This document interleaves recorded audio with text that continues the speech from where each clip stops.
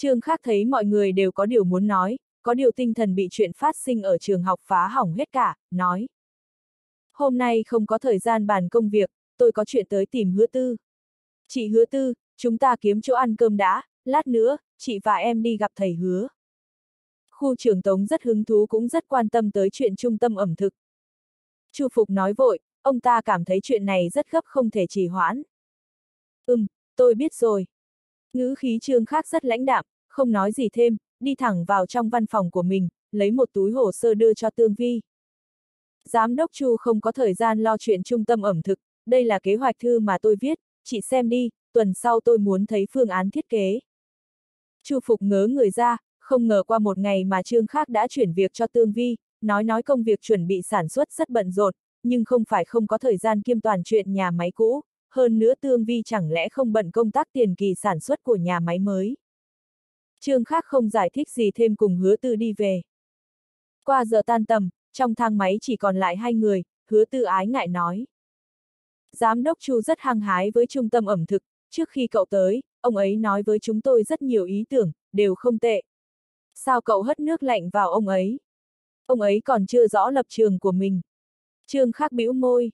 Hiện giờ là em, là cầm hồ phát lương cho ông ta, ông ta không cần chuyện gì cũng báo cáo với Tống Bồi Minh, ít nhất trước khi báo với Tống Bồi Minh phải báo cho em chứ. Cậu ấy à? Hứa tư lườm y một cái, cười duyên. Đúng là rất nhiều tính toán. Đây là đánh giá kiểu gì vậy? dáng vẻ yêu kiều của hứa tư thật làm người ta nảy sinh suy nghi vẩn vơ, trương khác chỉ cười không nói. Khác với hứa tư, tương vi và chu phụ ngả về phía tống bồi minh nhiều hơn. Mặc dù giao phương án này cho chu phụ hay tương vi kết quả cuối cùng chẳng khác nhau. Nhưng không cấp thêm áp lực cho họ sau này sẽ khó khống chế. Vừa mới ra ngoài thang mấy liền thấy thân hình phì nộn của Ngô Thiên Bảo xuất hiện trên bậc thềm ngoài cửa. Không biết cảnh ở trước trường học có phải do ông ta cố ý an bài không để phô trương thế lực hay không, nếu thế thì Ngô Thiên Bảo coi thường mình rồi. Trương khác không muốn gặp ông ta, kéo hứa tư nấp sang bên, nhìn Ngô Thiên Bảo vội vã đi vào thang máy. Cậu trốn làm gì? Đó là ông chủ nhà hàng thị kiến, buổi chiều ông ấy có tới thảo luận với Chu Phục, cả thiệu trí cương của nhà hàng hoa viên cũng tới. Hứa tư không biết trương khác có tính toán gì, cô luôn không hiểu nổi hành động của y, có điều cũng quen rồi, chỉ là hơi tò mò thôi. Thiệu Chí Cương qua một hôm đã tới, Trương Khắc không hề bất ngờ, như vậy xem ra vở kịch trước trường học do bọn họ liên thủ biểu diễn. Trương Khắc kể sự việc cho hứa tư nghe. Ngô Thiên bảo không có tư cách lên mặt với em, cho nên bảo con trai tới, bọn họ đúng là đánh giá cao bản thân. Ngày mai chị bảo với Tương Vi, tất cả cuộc hiệp đàm với nhà hàng Hoa Viên và Thị Kiến đều dừng lại cho em, cho bọn chúng thèm cái đã. Ôi, cậu đấy, Hứa tư thở dài. Chuyện hôm qua Phi Dung kể với tôi rồi, nó sợ chết khiếp, nó bảo trong lòng giờ vẫn thấy run. Trương Khắc cẩn thận hỏi. Chị cũng thấy em quá đáng sao? Sao thế được? Hứa tư cười, thật dịu dàng thật quyến rũ. Có hơi sợ, nhưng lại thấy yên tâm, có thế đám người đó mới không dám quấn lấy Phi Dung, thực ra nó cảm kích cậu lắm đấy, chỉ là ở tuổi nó không sao tán đồng cách làm của cậu được. Chỉ có những người bị hiện thực tàn khốc úc hiếp mới hiểu được, vì bảo vệ bản thân, một số thủ đoạn là cần thiết. Trương Khác và Hứa Tư tìm một quán cơm ăn qua loa, thuê xe taxi tới viện cờ Hải Châu, Hứa Hồng Bá đang chỉ dạy mấy kỳ thủ thiếu niên. Trương Khác nộp tiền, mời Hứa Hồng chỉ dạy cờ, trong lúc đánh cờ mới nói chuyện hôm qua. Khác với thái độ nghiêm khắc cẩn thận khi dạy học, Trương Khác hy vọng bài văn phát biểu trên Nhật báo Hải Châu của Hứa Hồng Bá phải mạnh mẽ cá tính, thu hút nhiều học giả, người dân hơn nữa tham gia thảo luận, như thế mới tạo ra được thanh thế lớn. Hứa Hồng Bá không thể tĩnh tâm lại chơi cờ, tay kẹp quân cờ chỉ là cho có, ông rất hứng thú với Trương khác. Cậu quan tâm tới chính trị hay quan tâm tới sĩ đồ của ba cậu? Trương khác gãi đầu. Thầy thấy bất ngờ sao? Hứa Hồng Bá lắc đầu. Không, tuổi tác không phải là vấn đề. Trước kia người 15-16 tuổi đã gánh vác trọng trách rồi, chỉ là hiện giờ thiếu niên ít trải nghiệm nên không hiểu chuyện. Xong nói đi cũng phải nói lại, vạn hướng tiền tới 614 rồi mà chưa biết tiến thối đấy sao. Nói tới đó hứa hồng bá cười ra tiếng, có thể thấy ông ta chẳng coi vạn hướng tiền ra gì. Hứa hồng bá thẳng thắn, trương khác cũng không giấu giếm. Trong ba người đường, chu, vạn thì đường học khiêm căn cơ ít nhất, nếu làm chính trị, tình thế này có lợi với ba cháu. Nhưng ba cháu không phải là người làm chính trị, ông ấy không biết nịnh bợ luồn cúi, khi thế cục vi diệu, ba cháu không biết tránh khỏi vòng xoáy đấu tranh, cho nên cháu phải phá vỡ thế cục này. Chuyện mùa hè phải không?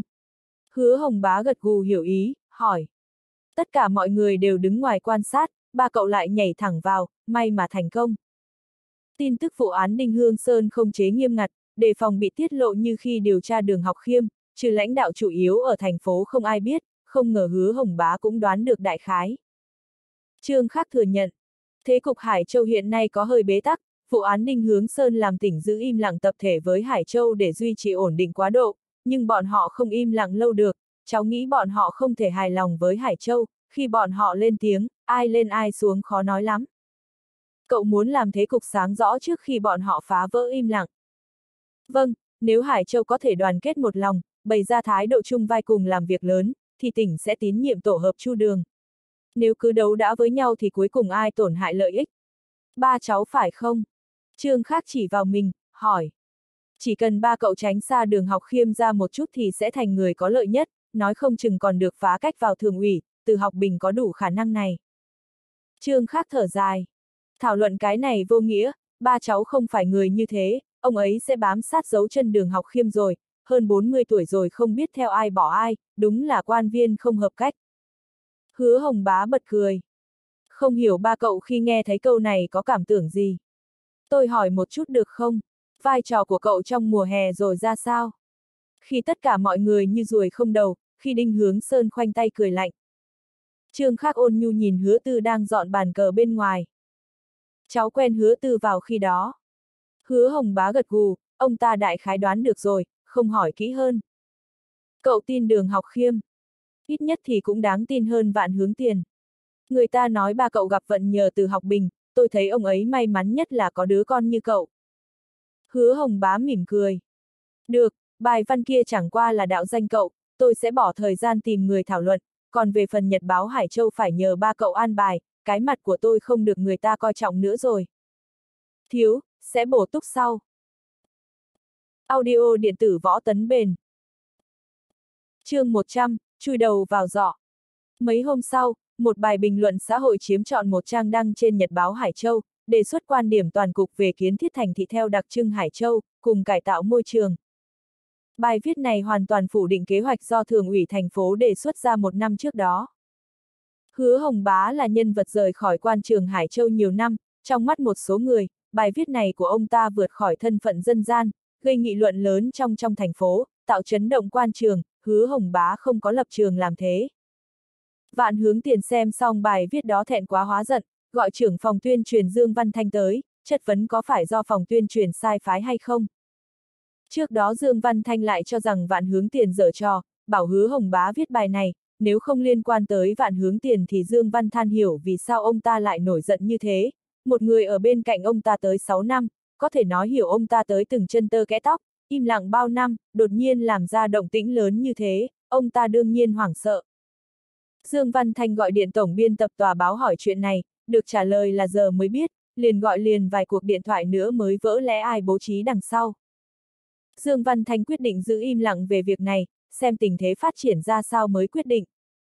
Chuyện vạn hướng tiền nổi giận được người làm việc bên cạnh ông ta truyền đi, Trương Khác vừa nghe cha kể chuyện này xong liền hỏi.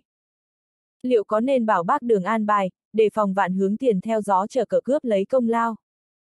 Không dễ đâu, cuộc họp buổi chiều Chu Phú Minh yêu cầu Cục Quy hoạch, Cục Kiến thiết thảo luận kế hoạch tương quan, công tác quy hoạch trước đó đã tạm dựng cả rồi. Lúc này tranh công với Chu Phú Minh không phải là việc làm sáng suốt. Nhật báo Hải Châu đồng thời phát động hoạt động vẻ đẹp Hải Châu, ba ngày sau đưa ra chuyên đề phố cổ Sa Điền, Cẩm Hồ. Tiến hành mở rộng thảo luận về đặc trưng của Hải Châu.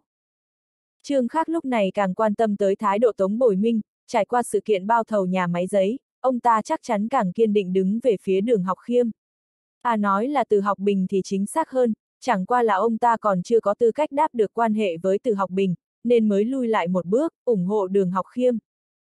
Việc cải tạo nhà máy giấy thành trung tâm ẩm thực nghỉ ngơi có thể lấy làm thí điểm cho tư tưởng nóng hổi trên báo, không biết nên cho người nhắc Tống Bồi Minh một chút không?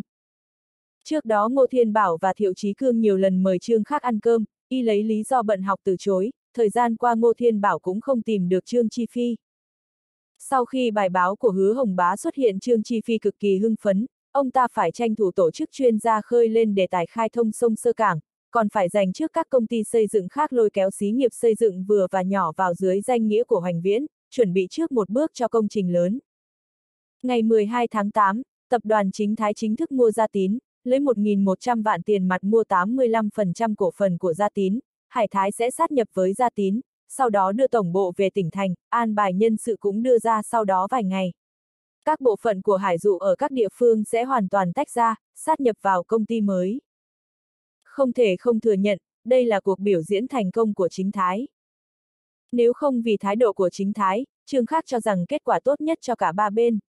Chính Thái thắng lớn, nhưng Hải Dụ cũng thoát được gánh nặng hiện thời, còn giữ được 18% cổ phần ở công ty mới, Trương Khắc tuy có hơi thiệt, nhưng chưa tới nửa năm kiếm được từ trong đó 300 vạn là đủ vui mừng rồi. Hôm đó lại có hai tiết tự học, vẫn là Lý Chi Phương coi lớp, Trương Khắc phải đợi đến chiều tan học mới rời khỏi trường. Chiếc Toyota của Ngô Thiên Bảo đã đợi sẵn ở ngoài cổng trường, thấy Trương Khắc vội lái xe tới.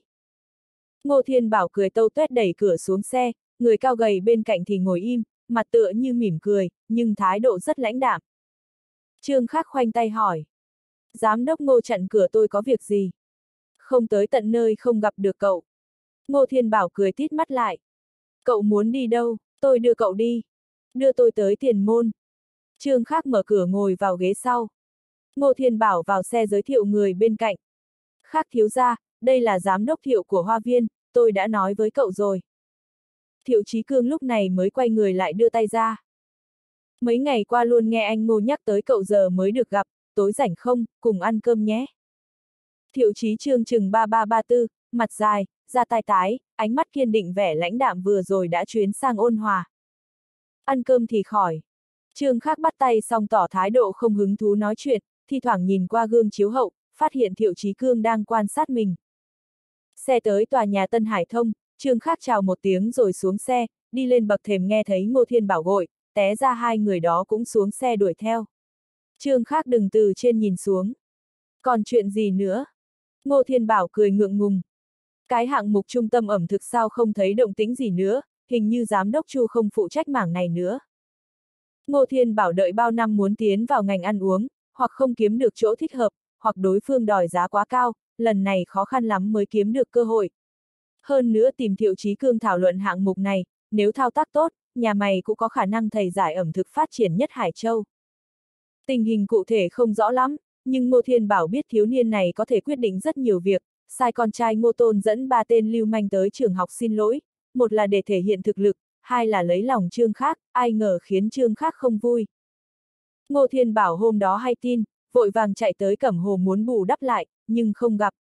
Hôm sau lại hay tin dụ án dừng lại, hỏi Chu Phục thì được trả lời là không phụ trách nữa, chuyện gì cũng phải đợi Trương Khác quyết định.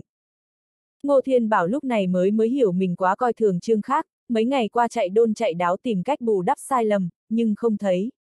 Hôm nay đợi nửa ngày ở trước cổng nhất trung mới gặp được, ai ngờ Trương Khác cứ như quên mất chuyện này rồi. À chuyện đó hả, nhà máy mới chuẩn bị giữa tháng đi vào sản xuất, gần đây việc khá nhiều, có khả năng chu phục bận nên tam gác lại. Trương Khắc thuận miệng nói bừa, tiếp tục đi vào trong. Thế hạng mục này khi nào khởi động? Ngô Thiên Bảo đi sát sau. Trương Khắc dừng lại trước cửa thang máy. Tôi chỉ là thằng nhóc con, ở trường đấm đá tranh giành còn được, giám đốc ngô tưởng rằng tôi quyết được chuyện này à. Cửa máy ở ra, không ngờ bên trong là Tống Bồi Minh và Chu Phục, thấy Trương Khác, Tống Bồi Minh nắm ngay lấy tay y. Đợi cậu mấy ngày rồi đó, tôi muốn bàn chuyện trung tâm ẩm thực, hôm nay cậu không bỏ rơi tôi được đâu. Chú Tống nói thật là, cháu sao dám bỏ chú qua một bên. Trương Khắc cười rất tươi. Chú có việc gì sao không hỏi thẳng giám đốc Chu? Chu Phục xấu hổ cúi đầu xuống, Tống Bồi Minh hiểu ra cười ha hả nói đỡ Chu Phục. Lão Chu kín miệng lắm, hôm nay tôi mới biết hạng mục này do tương vi phụ trách, tôi chỉ tìm hiểu được đại khái tình huống, tài liệu chi tiết hơn cần cầu cấp quyền. Thấy thang máy đã đã đóng lại mà Ngô Thiên Bảo và Thiệu Chí Cương đứng một bên không vào, nghi hoặc hỏi. Hai vị này là... Chào khu trưởng Tống. Ngô Thiên Bảo vội lấy danh thiếp ra. Ngô Thiên Bảo, giám đốc nhà hàng thị kiến, là thảo dân dưới quyền ngài. Thiệu Chí Cương chấn tĩnh hơn, đưa giai thiếp nói. Thiệu Chí Cương, thường được nghe khu trưởng Tống phát biểu trên TV. Tống Bồi Minh đọc danh thiếp của Thiệu Chí Cương. Hội viên Hiệp hội Tác gia Hải Châu, Hiệp hội Nghiên cứu Nghệ thuật Cẩm tú Hải Châu. chương 101, thì ra kiếm tiền dễ như thế. Trương khác nhướng mày, không ngờ hắn còn có thân phận này, vừa rồi y chú ý Thiệu Chí Cương lấy danh thiếp từ cuối ví ra, có vẻ hắn mang theo nhiều danh thiếp khác nhau, gặp quan viên lấy ra danh thiếp danh nhân văn hóa, gặp người văn hóa lấy ra danh thiếp thương nhân, ít nhất về khí thế không thua kém người ta, chi tiết nhỏ thôi đã nói lên con người của hắn rồi. Ánh mắt tống bồi mình nhìn hắn quả nhiên chú ý hơn Ngô Thiên Bảo. Trương khác không vạch trần ra, vờ như không nhìn thấy ánh mắt dò hỏi của tống bồi minh. Ngô Thiên Bảo cười tuét miệng. Chúng tôi đang thảo luận với giám đốc tiểu trương về việc trung tâm ẩm thực, không ngờ khu trưởng tống cũng quan tâm tới chuyện này. Thiệu Chí Cương mấy ngày qua được nghe Ngô Thiên Bảo nói trương khác giỏi ra sao, hắn không tin, hắn chỉ quan tâm tới hạng mục này, thằng nhãi con thì làm nổi việc gì to tát.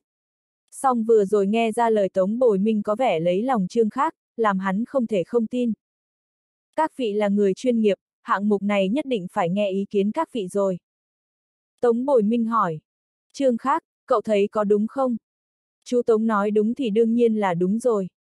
Năm người quay lại tầng 18, Ngô Thiên Bảo và Thiệu Chí Cương cho rằng có thể bàn sâu hơn được với Tống Bồi Minh, tụt lại sau thì thầm xem buổi tối mời ông ta đi đâu ăn cơm thì thích hợp. Trong phòng làm việc chung, Chu Văn Bân đang ngồi đọc báo, Trương Khác chào xong hỏi. Chị Tương đâu? Tương Vi đẩy cửa đi ra từ phòng làm việc, oán trách. Giám đốc tiểu trương chạy đâu mất mấy ngày, trừ hứa tư chẳng ai tìm được. Trương Khác chắp tay xin tha. Tôi tin chị và giám đốc Chu làm ổn thỏa mọi việc mà, thiết kế đã xong chưa, tôi muốn xem qua. Tương Vi về văn phòng lấy kế hoạch thư và thiết kế đưa cho Trương Khác. Tìm ba đơn vị thiết kế, mỗi nhà làm một bản, thời gian gấp, nên chi tiết không làm tốt lắm. Trương Khác hết đưa cho Tống Bồi Minh. Chú Tống, cháu nghĩ nội dung cụ thể thì chú biết rồi, không cần thảo luận thêm nữa, phương án này không chỉ cải tạo nhà máy giấy, mà bao gồm cả hai nơi giải trí và nhà dân bên cạnh. Cần chính phủ khu đầu tư, chú lấy tài liệu này viết thành văn, đưa lên báo cũng không sao, đây chỉ là bản dự thảo. Cậu biết tôi tìm cậu vì việc này. Tống Bồi Minh ngạc nhiên. Còn có việc khác sao? Trương khắc hỏi ngược lại. Đúng là không có. Tống Bồi Minh cười lớn. Thằng nhóc cậu quá danh mãnh đấy, tôi đã bảo mà, lão hứa sao vô duyên vô cớ viết bài kia. Chuyện này không thể nói bừa được, chú mà hỏi là cháu chối không biết đấy. Trương khắc giang tay ra. Chú Tống, nếu không còn việc gì khác cháu không cản trở công việc của chú nữa. Tống Bồi Minh nghe Trương Khác ra lệnh đuổi khách cũng chỉ cười. Còn tưởng cậu sẽ kiếm của tôi bữa cơm nữa chứ, cậu đuổi thì tôi đi vậy. À bài viết ký tên thế nào? Chú muốn tự ký tên mình vào cũng được. Tống Bồi Minh không quen tranh luận miệng lưỡi với Trương Khác, thấy y làm động tác không tiến, liền mang tài liệu đi, Chu Phục do dự một chút không đi ra tiến. Ngô Thiên Bảo, Thiệu Chí Cương hoàn toàn không có lấy cơ hội tiếp xúc với Tống Bồi Minh, thấy người trong văn phòng ở nguyên chỗ cũ, chẳng ai tiến chân người đứng đầu khu. Thiệu Chí Cương liếm cánh môi khô cong, cố gắng phân biệt sự thực trước mắt, hỏi. Kế hoạch cải tạo nhà máy cũ sẽ cho đăng trên báo trước sao? Đúng, mấy ngày qua Nhật báo Hải Châu liên tục cho đăng bài tạo ra thảo luận xôn xao, tôi nghĩ các vị cũng biết. Ở tầm nhỏ, cải tạo nhà máy giấy chỉ là hành vi kinh doanh thương nghiệp, nhưng trong mắt chính phủ khu thì ý nghĩa khác hẳn đấy. Trương Khác thản nhiên gật đầu. Thiệu Chí Cương có chút ủ rũ, khi Ngô Thiên Bảo tìm hắn thảo luận hạng mục này, hắn khá động lòng, liền suy nghĩ cẩn thận, cho rằng có thể đến chỉ điểm cho người ta, giờ hắn không còn tự tin đó nữa. Thiếu niên này nhìn vấn đề ở góc độ còn cao hơn hắn, chẳng lẽ có liên quan tới hoán cảnh gia đình của y. Thiệu Chí Cương nỗ lực tìm đề tài khác. Không biết Cẩm Hồ chuẩn bị tìm người hợp tác thế nào. Chính phủ khu coi trọng, tôi nghĩ sẽ có một số người hợp tác như giám đốc thiệu chủ động tìm tới, đương nhiên chúng tôi cũng sẽ tích cực liên hệ nơi thích hợp. Đồng thời tranh thủ một số chính sách ưu đãi cho ai tham gia hạng mục này. Tức là, chúng tôi sẽ đề cao yêu cầu với người hợp tác. Thiệu Chí Cương biết câu cuối mới là quan trọng, khi tất cả điều kiện có lợi của hạng mục này chưa hiện ra, Cẩm Hồ sẽ không đưa ra lời hứa mang tính thực chất, để vào lúc cuối cùng nâng cao tiêu chuẩn cho thuê. Qua tấm pha lê mờ, nhìn thấy hứa tư ngồi yên không nhúc nhích trong văn phòng, Trương Khác ném hai người đó lại cho Tương Vi. Tình hình cụ thể chị giới thiệu với giám đốc thiệu giám đốc ngô một chút. Rồi đi vào văn phòng Tương Vi. Làm sao thế? Trương Khác thấy vẻ đau buồn trong mắt hứa tư, trước mặt cô là một lá thư, nhìn con dấu trên đó Trương Khác hiểu ra ngay chuyện gì. Đó là công hàm do Viện Kiểm sát khu Tây Hà trên tỉnh phát ra. Mặc dù tổ chuyên án đã ra quyết định không khởi tố hứa tư, nhưng Viện Kiểm sát vẫn phải theo trình tự xác thực chuyện của hứa tư, cô phải lên tỉnh trình bày với Viện Kiểm sát, Viện Kiểm sát có quyền phủ định quyết định của tổ chuyên án, quyết định lại có khởi tố hay không. Trương Khác ngồi xuống trước mặt hứa tư, nắm lấy bàn tay lạnh băng mềm yếu của cô, nắm lấy bằng cả hai tay. Em cũng đi, thời gian qua vất vả rồi, coi như lên tỉnh thành nghỉ ngơi là được. Trương Khác bảo Chu Văn Bân đưa hứa tư về nhà rồi sang văn phòng tương vi. Thiệu Chí Cương và Ngô Thiên Bảo tỏ ra rất tập trung, hẳn bị chi tiết tương vi tiết lộ ra thu hút. Bọn họ thấy Trương Khác đi vào, cùng khom người chào. Mọi người cứ tiếp tục đi. Trương Khác thấy trong phòng hết ghế, liền lấy ghế từ ngoài vào, khoanh tay nghe bọn họ thảo luận. Kế hoạch ban đầu của Trương Khác rất đơn giản, còn nội dung tương vi lúc này nói cụ thể hơn nhiều, dù sao ở một số vấn đề chuyên môn thì y không hơn được người chuyên nghiệp được. Thiệu Chí Cương quay sang, hắn nhìn Trương Khác tới 5 giây, ánh mắt sắc bén như muốn nhìn thấu Trương Khác. Giờ tôi đã hiểu vì sao cậu tránh chúng tôi. Thiệu Chí Cương có sự kiêu ngạo của mình, cho dù phải vì lợi ích mà cúi đầu, hắn cũng rất ít khi phục người khác. Không xem bài báo đăng mấy ngày qua thì không hiểu cậu muốn liên kết cả cầu tứ phượng cùng trung tâm ẩm thực thành đặc trưng của khu Nam Thành, đúng là ý tưởng tuyệt vời. Nhưng các vị không quen thuộc ngành ẩm thực, nên chi tiết kế hoạch không hoàn mỹ. Trương khác, Tương Vi và cả mấy công ty thiết kế đều không am hiểu ngành ẩm thực, huống hồ thời gian y cấp cho Tương Vi quá gấp, không đủ trao đổi với người trong ngành trước. Nhìn dáng vẻ tự tin của Thiệu Chí Cương, đại khái là hắn đang muốn Trương Khác lên tiếng xin mình chỉ bảo. Kể hoạch thư đưa lên báo, tôi còn lo không tìm được người giúp tôi hoàn thiện chi tiết hay sao? Trương Khắc cười nhẹ. Có điều tôi sẽ nghiêm túc suy nghĩ kiến nghị của ông. Bất kể là nhà máy Tân Quang hay Cẩm Hồ đều không xuất thân từ ngành ẩm thực, có thể giao một phần hạng mục cho tôi không, trừ tiền thuê ra, tôi có thể trả ngoài cho Cẩm Hồ 100 vạn. Thiệu Chí Cương nhìn thẳng vào mắt Trương Khác, hỏi gấp. Thế nào? Tim tương vì đập cái thịt một cái, thì ra tiền dễ kiếm như thế. Đổi lại là người khác nói không chừng đã động lòng rồi. Trương khác thì không vì mục tiêu của y không phải là trung tâm ẩm thực, miệng cười, lòng nghĩ, tên thiệu trí cương này quả đúng như tin đồn, dám dốc cả gia sản đánh cược, khí phách không nhỏ. Ông chuẩn bị trả tiền thuê mỗi năm bao nhiêu? Trương khác vẫn muốn thăm dò thêm. Bên cạnh nhà máy là sân trượt băng nguyên tường lớn nhất Hải Châu, tôi có thể trả gấp rưỡi tiêu chuẩn của họ. chương 102, tuần trăng mật hợp tác. Tương vi líu lưỡi, vậy là cho thuê toàn bộ nhà máy có thể thu hồi mỗi năm 200 vạn tiền thuê, trước khi ký hợp đồng bao thầu, Chu Phục đưa ra kế hoạch nhà máy cũ mỗi năm sản sinh hiệu ích 80 vạn, không hiểu ông ta mà nghe thấy lời này của Thiệu Chí Cương có phản ứng gì. Tương Vi có khuynh hướng tiếp nhận đề nghị của Thiệu Chí Cương, Cẩm Hồ chỉ là cái xác không, nhà máy thì không ai có năng lực thao tác hạng mục này, chương khác phải đi học, không đủ tinh lực để làm. Nguyên tường có phải là sân trượt băng lớn nhất Hải Châu không thì tôi không rõ, nhưng chắc chắn không phải chỗ tốt nhất, nhà máy tỏa ra mùi cay mũi bay vào trong sân băng không dễ chịu gì, trước khi làm hạng mục này, tôi còn định nuốt gọn cả nguyên tường. Trương Khác thấy sắc mặt Thiệu Chí Cương như bình thường, đàm phán thương nghiệp là thế không thể tỏ ra trột dạ trước được. Trương Khác cũng không thèm bóc mẽ Thiệu Chí Hưng, y tính toán được gia sản của Triệu Chí Hưng tất nhiên biết cách nắm được thóp của hắn. Giám đốc thiệu ngay ngày mai có thể đem 100 vạn tới chỗ tôi, tôi sẽ suy nghĩ kiến nghị của ông. Thiệu Chí Cương đảo mắt, tựa hồ né tránh ánh mắt của Trương Khác, Ngô Thiên Bảo thầm kinh hãi, ông ta chưa bao giờ thấy Thiệu Chí Cương giao phong với người khác mà bị động như thế.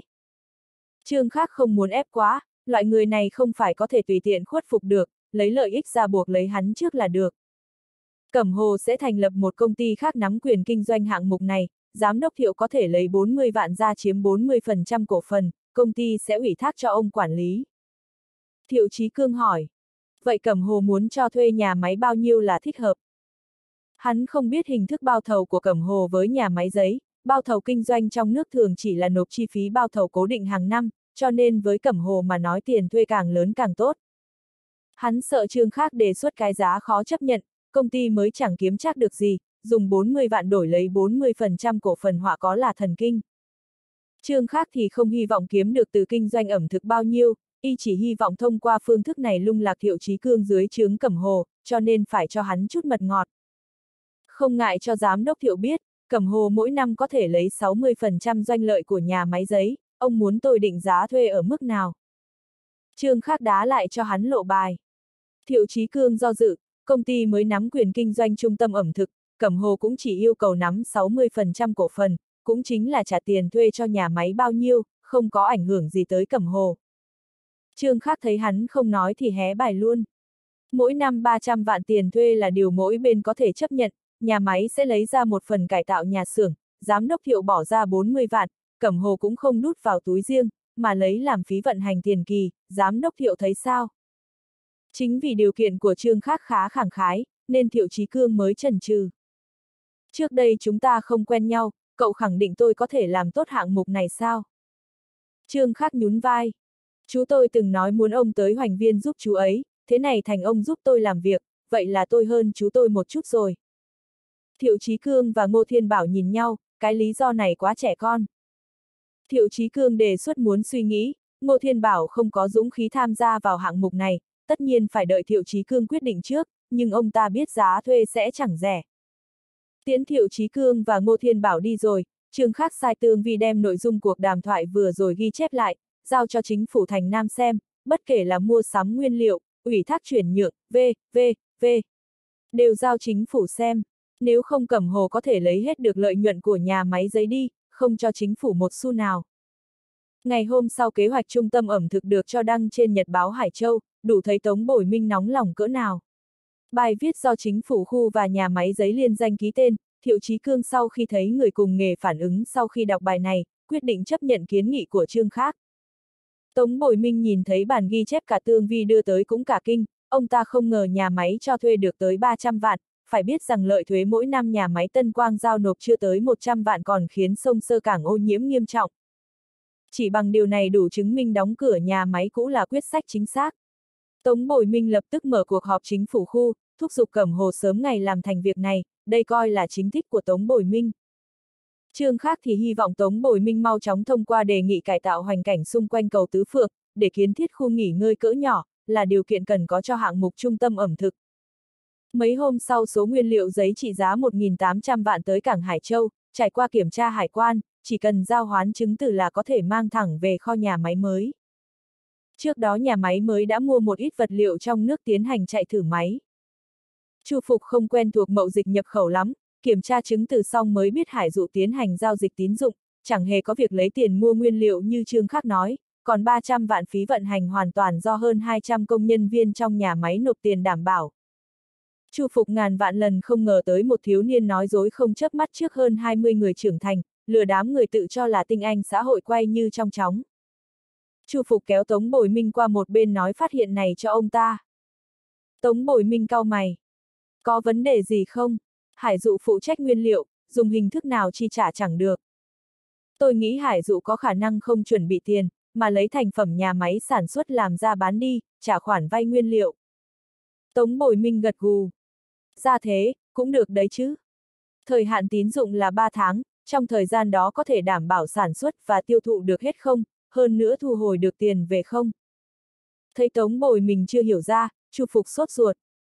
Tiền hàng thanh toán sau nửa năm đã là tốt rồi, hơn nữa chỉ còn hai tháng nữa là hết thời hạn tín dụng, phải làm sao đây? Ông quá lo rồi, tín dụng là do City Hải Dụ làm, khâu nào có vấn đề thì nguy hiểm lớn nhất do Hải Dụ gánh, ông lo gì nữa? Chu Phục muốn nói lại thôi, ông ta là người có chút bảo thủ, bao năm qua làm ăn chắc chắn, Trương Khác dùng ông ta làm quản lý sản xuất là chính xác, ông ta thì không thể tán đồng hành vi kinh doanh của Trương Khác, quá nguy hiểm, sai sót một chút là tan tành hết. Với kinh nghiệm trước kia của Chu Phục, khâu thu hồi tiền hàng là khó khống chế nhất, đám thương nhân tiêu thụ kia chịu kết toán trong nửa năm đã được coi là người dân lương thiện rồi. Trong hơn 2 tháng có thể thu tiền lại trả khoán tín dụng với Chu Phục mà nói là nhiệm vụ không thể hoàn thành. Đặc biệt là trương khác bắt công nhân viên nộp tiền đảm bảo ít nhiều có mùi vị lừa đảo, Chu Phục biết 80% công nhân vì việc này mà phải đi vay nợ. Với tính cách của Chu Phục, ông ta không dám mạo hiểm như thế, một khi hải dụ gặp trục trặc, át lửa sẽ đốt lên người nhà máy giấy. Tống Bồi Minh thì khác, ông ta không cho rằng hải dụ có thể chỉ vì khoản tín dụng chưa tới 2.000 vạn mà lâm vào tuyệt cảnh, đừng nói từ học bình mà ngay ông ta cũng có thể vay được 2.000 vạn từ ngân hàng nữa là, vậy thì có gì phải lo. Trong lòng Tống Bồi Minh chờ mong nhà máy Tân Quang có thể thành công, hy vọng mô hình này có thể được khu thành Nam phổ biến ra. Đem so với tiền đồ tươi sáng, Tống Bồi Minh không nghĩ tới năng lực chịu đựng của công nhân viên bình thường. Tống Bồi Minh vỗ vai Chu Phục bảo ông ta chuyên tâm quản lý sản xuất là được. Cẩm Hồ đem tiêu thụ ủy thác cho Hải Thái, không yên tâm thì ông cứ tìm Chu Du mà hỏi. Chu Du ở trong khu hút thuốc ở cảng, vốn nguyên liệu tới cảng chẳng liên quan gì tới hắn, nhưng vì Tống bội Minh tới xem, cho nên hắn mới tới. Hút xong điếu thuốc Chu Du mới đi tên bến tàu, Tương Vi đang chỉ đạo mọi người chạy đi chạy lại đối chứng hóa đơn, còn cả người khoa chất lượng đang quát tháo om sòm, Chu Du chẳng để ý tới chuyện đó, đi tới nói với Tống bội Minh và Chu Phục. Đứng đây uống gió nữa là bị cảm đấy, đi nào, mọi người vào xe tránh một chút. Chu Du theo từ Chí Minh nhiều năm, thấy nhiều quan viên cao cấp rồi, trước mặt Tống Bồi Minh chẳng hề gò bó. Anh chảy cả nước mũi ra rồi kìa, phải chú ý hình tượng đấy. Tống Bồi Minh trêu, ông ta cũng chịu đủ rồi, quay về xe, Chu Phục dặn dò một tiếng rồi cũng vào xe của Tống Bồi Minh đỗ bên cạnh. Tống Bồi Minh đưa thuốc lá cho Chu Du. Tổng bộ Hải Thái sẽ rời về tỉnh thành, sẽ không ảnh hưởng tới tiêu thụ chứ. Ảnh hưởng không lớn, việc này không cần phải lo, chỉ cần giám đốc Chu sản xuất ra giấy, chúng tôi phụ trách dùng tiền mặt lãnh hàng. Dùng tiền lãnh hàng. Chu Phục thấy khó tin. Trương Khắc nhất quyết yêu cầu như thế, nếu không đổi giám đốc tiêu thụ, công ty vì thế chuẩn bị mấy trăm vạn trung chuyển, sao vậy? Trương Khắc không nhắc tới chuyện này với ông à. Hải Thái và Gia Tín sát nhập, tạ vãn Sơn đích thân đảm nhiệm tổng giám đốc, Thái Phi Quyên điều về tỉnh thành làm phó tổng giám đốc đại biểu cho Hải Dụ, Chu Du chủ động yêu cầu ở lại Hải Châu phụ trách chi nhánh. Con gái Chu Nhất Bình còn nhỏ, hắn ở lại làm phó giám đốc chi nhanh trợ thủ cho Chu Du, bạn gái của Lưu Minh Huy còn học ở đại học ở Hải Châu, dùng lời của hắn mà nói thì hắn và bạn gái không ai yên tâm về người kia, nên phải ở trong tầm mắt mới được, hắn không rời khỏi Hải Châu, dẫn một phần nhân viên thị trường của Hải Thái nhảy sang Cẩm Hồ, thành lập phòng ban chính thức đầu tiên của Cẩm Hồ. Điều chỉnh nhân viên và tài vụ là vấn đề đau đầu nhất khi sát nhập công ty, Cẩm Hồ chấp nhận tuyệt đại đa số nhân viên thôi việc làm công ty mới tiết kiệm mười mấy vạn tiền sa thải nhân viên. Thái độ của Cẩm Hồ làm tạ Vãn Sơn vô cùng hài lòng, trong mắt hắn, hai bên trong kỳ hợp tác trăng mật, sau khi khảo sát thị trường giấy cao cấp xong, tạ Vãn Sơn đồng ý yêu cầu lấy tiền lãnh hàng của Cẩm Hồ, tiêu trừ mối lo vấn để thu hồi tiền hàng của Chu Phục. chương 103, Ôn Nhu Bí thư thành ủy hãm hại phó thị trưởng, tình tiết này mà công bố chắc chắn khiến truyền thông trong ngoài nước cực kỳ hứng thú, bất kể ở phương diện nào cũng không muốn bị giới truyền thông bám lấy chi tiết mất mặt này. Xuất phát từ lo lắng đó, một số tình tiết trong vụ án Đinh Hướng Sơn sẽ không công bố ra ngoài. Viện Kiểm sát khu Tây Hà phái kiểm sát viên tới Hải Châu, thông báo tình hình với những người liên quan. Lo cho hứa tư, trường khác lấy cớ mình không cần đối đãi đặc thù, xin trường học nghỉ 3 ngày, được đích thân Phó Viện Kiểm sát trưởng Kim Quốc Hải đích thân đưa tới Viện Kiểm sát tiếp thụ soát lại tình tiết vụ án. Hứa tư cũng tới Viện Kiểm sát cùng ngày với trương khác, đúng như lời y an ủi, cả quá trình diễn ra vô cùng thuận lợi, vì không một ai hy vọng dây dưa ở tình tiết này. Tối hôm đó trương khác theo thường lệ ở lại nhà từ học bình, hứa tư ở lì trong nhà khách suốt đêm, trước khi cô lên tỉnh không nói lý do với người nhà chỉ nói là đi làm. Hứa tư không để cho hứa Duy biết mình lên tỉnh, cô không phải là người che giấu được tình cảm. Ngày hôm sau Viện Kiểm sát thảo luận xong chính thức đưa ra quyết định không khởi tố với hứa tư, sau khi báo lên Viện Kiểm sát cấp một phê chuẩn, sẽ gửi quyết định tới đương sự. Đi ra khỏi Viện Kiểm sát khu Tây Hà, khuôn mặt kiều diễm của hứa tư bị gió thổi cho trắng bệch, trắng như nuốt chừng màu máu, trắng như tuyết đầu mùa đông, đôi mắt trong mà dạng dỡ. Nhìn thấy Trương Khác đứng ở phía đường đối diện, chạy tới ôm lấy cánh tay y, người không ngừng run lên, nước mắt tuôn rơi. Nhiệt độ đã xuống dưới không độ, phương Nam độ ẩm lại cao, trời vừa lạnh vừa ẩm ướt làm người ta rất khó chịu, nên trên đường chẳng có mấy người qua lại.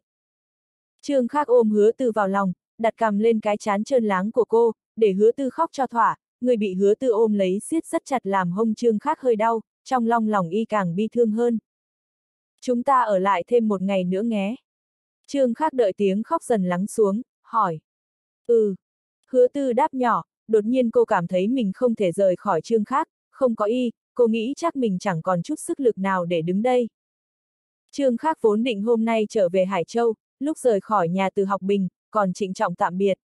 Thấy hứa tư tâm tình không ổn định, quyết định ở lại tỉnh thành thêm một ngày, cùng hứa tư giải khuây. Trương Khác gọi điện báo tối nay không về nhà ăn cơm như dự kiến, sau đó gọi điện cho tạ vãn tình. Hai người tìm một quán cà phê ở góc phố ngồi đợi, hơn nửa tháng sau tạ vãn tình lái xe tới đón. Nhận được điện thoại là chỉ tới ngay, thuận đường còn đưa hứa Duy về trường học, hai đứa đợi lâu chưa? Vào trong xe hai người mới biết vì sao tạ vãn Tỉnh tốn nhiều thời gian như vậy, Trương Khác thò đầu nhìn, thấy đồng hồ chỉ tốc độ không quá 30 km, nhớ kỹ lại thì đúng là trước đó chưa bao giờ thấy tạ vãn Tỉnh lái xe, thật làm khó cô. Sau khi cuộc sống quay lại bình thường, tạ vãn tình và chỉ đồng ở khu nhà các đại học Đông Hải không xa, chỉ cuối tuần mới đưa chỉ đồng về Tân Mai Uyển chơi với ông bà nội. Hay là kiếm chỗ nào ăn chút gì nhé? Tạ vãn tình lái xe vào hầm gửi xe xong thì đã sắp trưa rồi. Trong nhà chỉ có chút mì, sủi cảo đông lạnh thôi. Trương Khác nhìn hứa tư, thấy cô tỏ vẻ do dự, đoán chừng không muốn ra ngoài thấy người lạ nữa, nói. Hay là mua chút thức ăn, chúng ta tự làm lấy. Tạ vãn tình ngượng ngùng nói. Nhưng hôm nay giúp việc không có nhà. Tạ vãn tình là con út, ngay khi nhà họ tạ chưa phất lên cô cũng chưa từng bị chịu khổ, sau khi kết hôn được từ Chí Minh Triều hết mức, tới bây giờ mới miễn cưỡng học được cách nấu mì.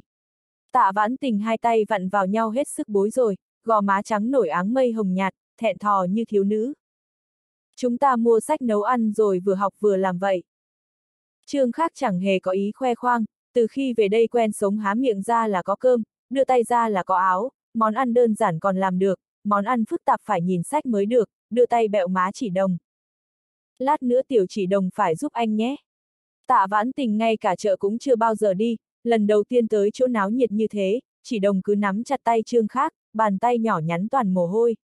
Tạ vãn tình phong vận mê người, hứa từ kiều diễm trẻ trung, thêm vào cô bé con xinh đẹp cực điểm, tất nhiên khiến người ta chú ý.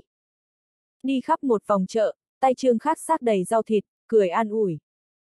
Có thể làm nhiều người như thế nhìn mà thèm, sách thêm một ít nữa cũng cam tâm tình nguyện. Cổng chợ có sạp báo bán sách nấu ăn, tạ vãn tình mua một quyển ném vào lòng trương khác. Đừng nói lung tung nữa, giờ dựa hết vào trình độ học tập ứng dụng của em đó. Về tới nhà, tạ vãn tình không ôm hy vọng lắm vào chương khác, cầm sách nấu ăn lên đọc chăm chú, tay cầm củ cải thảo luận với hứa tư phải cắt ra sao cho đẹp. Hứa tư không nhịn được, nở nụ cười đầu tiên trong ngày. Chị vãn tình, chị bị trương khác trêu rồi, trình độ cậu ấy giỏi lắm đấy. Trong lúc lơ đánh sóng mắt đung đưa, tỏa ra vẻ lẳng lơ từ trong tận xương tủy. Trước tiên để chị vãn tình thể hiện một chút rồi hãng nói chứ. Trương khắc nghênh nghênh cái mặt. Hồi mẹ em mới lấy ba em, lần đầu trổ tài quên mất cho nước vào nồi cơm, may mà phát hiện kịp thời không thì hỏng cả nồi. Em muốn đợi xem chị vãn tình có kiệt tác kinh người gì đây. Hứa tư không nhịn nổi vì cười ra tiếng, chỉ đồng hưng phấn lắc tay áo mẹ, tạ vãn tình đột nhiên mặt đỏ bừng, giận dỗi ném củ cải vào chậu dừa. Để em làm hết đấy. Sao đột nhiên lại đỏ mặt, phải chăng là chị cũng có chiến tích vĩ đại nào đó? Trương khác nhìn tạ vãn tình không chấp, má cô đỏ như máu, ít khi thấy vẻ kiều mị như thế của cô, ép tới. Chị kể ra xem nào. Cút, còn định đợi chị đây bêu xấu à? Tạ vãn tình lườm y một cái, kéo hứa tư đi. Chúng ta ra phòng khách xem phim, mặc tiểu khác đập phá trong bếp. Trương Khắc cười ha hả buộc tạp dề vào, chuẩn bị vào việc, mắt không quên dõi theo hai mỹ nhân, thấy tạ vãn tình kéo hứa tư ngồi xuống ghế sofa, ghé vào tai thì thầm gì đó, hứa tư đột nhiên cười rúc rích, tạ vãn tình cũng bật cười, chỉ đồng chẳng biết gì cũng cười theo, thế là cả ba cười lăn lộn trên ghế. Buồn cười vậy à? Trương Khắc tò mò thò đầu khỏi bếp. Chị hứa tư nói cho em nghe với. Chuyện phụ nữ, em quan tâm làm cái gì? Tạ vãn tình phẩy tay đuổi trương Khắc quay sang dọa dẫm hứa tư. Em không được nói cho tiểu khác đâu đấy. Vâng, em không nói. Hứa tư vuốt ngực điều hòa lại nhịp thở, khuôn mặt hồng hồng, càng thêm phần quyến rũ, bất chi bất giác vẻ đau buồn trên mặt đã không còn nữa.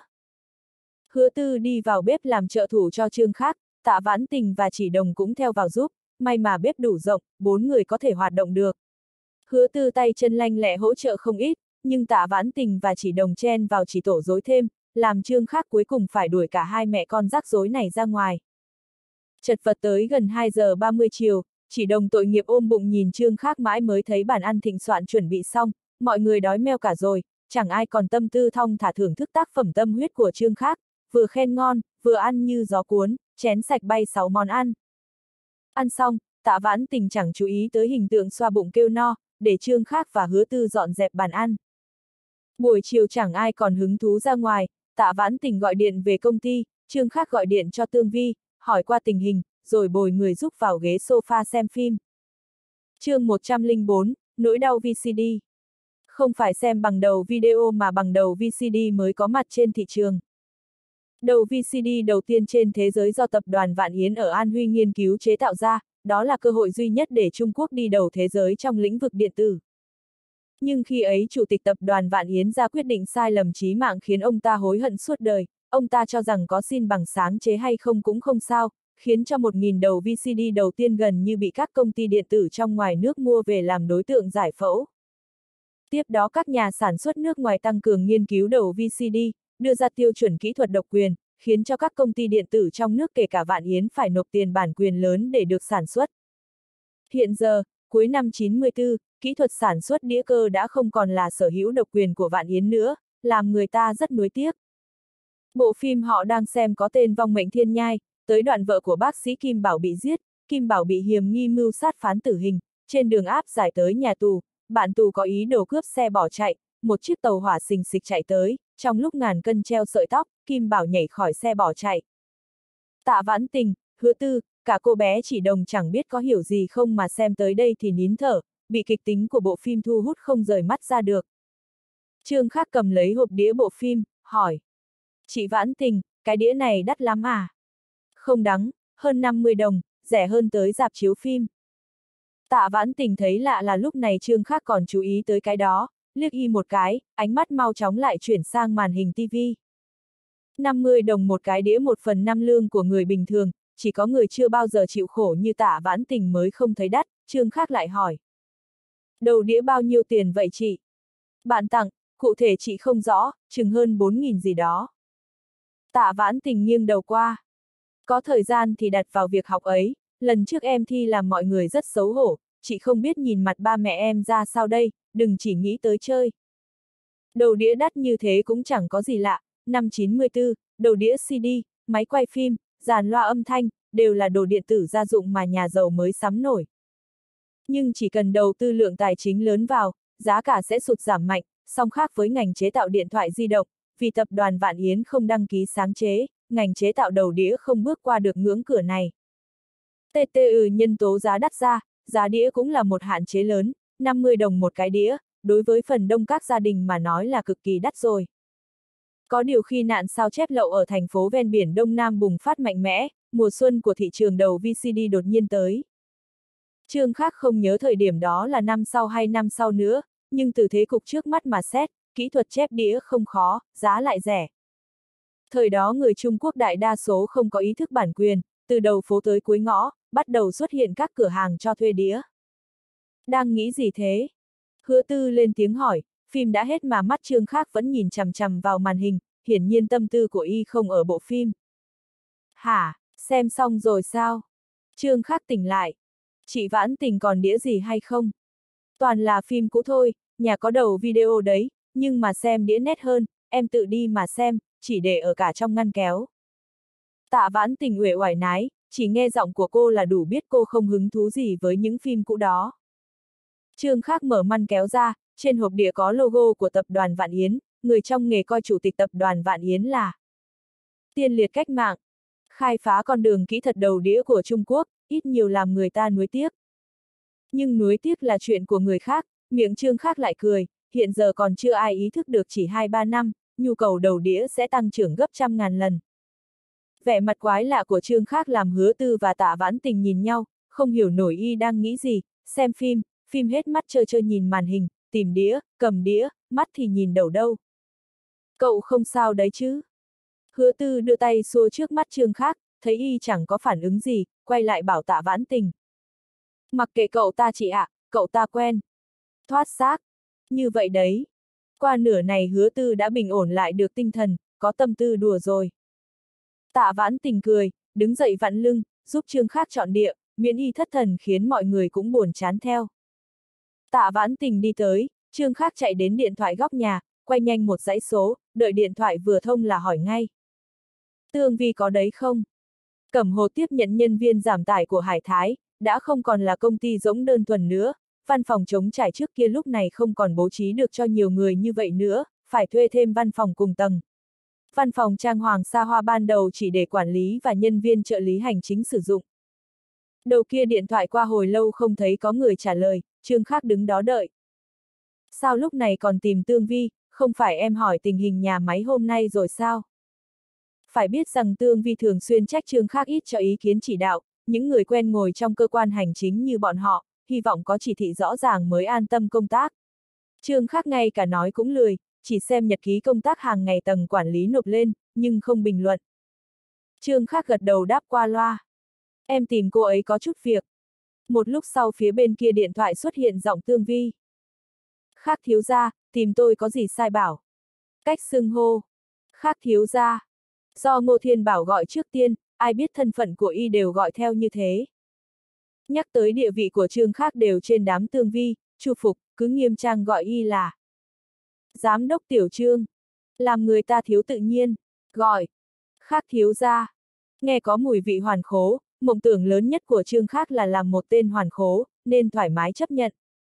Chị và Lưu Minh Huy mau chóng thu thập tư liệu về đầu đĩa. Đúng, cái mà tập đoàn Vạn Yến sản xuất ấy. Nhà chị nhờ người mua từ tỉnh thành một cái rồi à? Tốt, chị biết là tốt rồi. Chị chuẩn bị trước đi, mai tôi về Hải Châu, có thể sẽ cần chị đi công tác xa một chuyến đấy. Thủ tục đi Hong Kong nhanh nhất mất bao lâu? Được chị làm giúp thủ tục luôn cho tôi. Sao vội thế? Tương Vi ở bên kia hỏi. Hứa tư và tạ vãn tình cũng bị lời của Trương Khác làm giật mình, bất giác đứng cả dậy nghi hoặc nhìn Trương Khác. Trương Khác mỉm cười với hai cô, nói với Tương Vi. Chị cứ làm nhanh cho tôi. Không nói thừa thái liền cúp điện thoại, quay sang tạ vãn tình, hứa tư. Sao không xem phim nữa? Em bất thường như thế, bọn chị không tò mò mà được à? Tạ vãn tình nhíu mày nói. Không có gì đâu chị. Trương Khắc cười che giấu. Lúc này tới Đông Phương Plaza có mua được đầu đĩa này không? Định tính giấu giếm bọn chị ngay từ đầu cơ à? Vốn có thể nhờ người đưa tới tận nhà, nhưng cách giờ cơm còn sớm, bốn chúng ta đi chơi một chút cũng là chủ ý không tệ. Lần này tạ vãn tình không lái xe mà thuê taxi tới Đông Phương Plaza, không chỉ lần trước cùng hứa Duy và các cô bạn cùng phòng tới đây, khi học đại học ở Đông Hải, rảnh rỗi trương khác thường quen tới chỗ này ngắm mỹ nữ.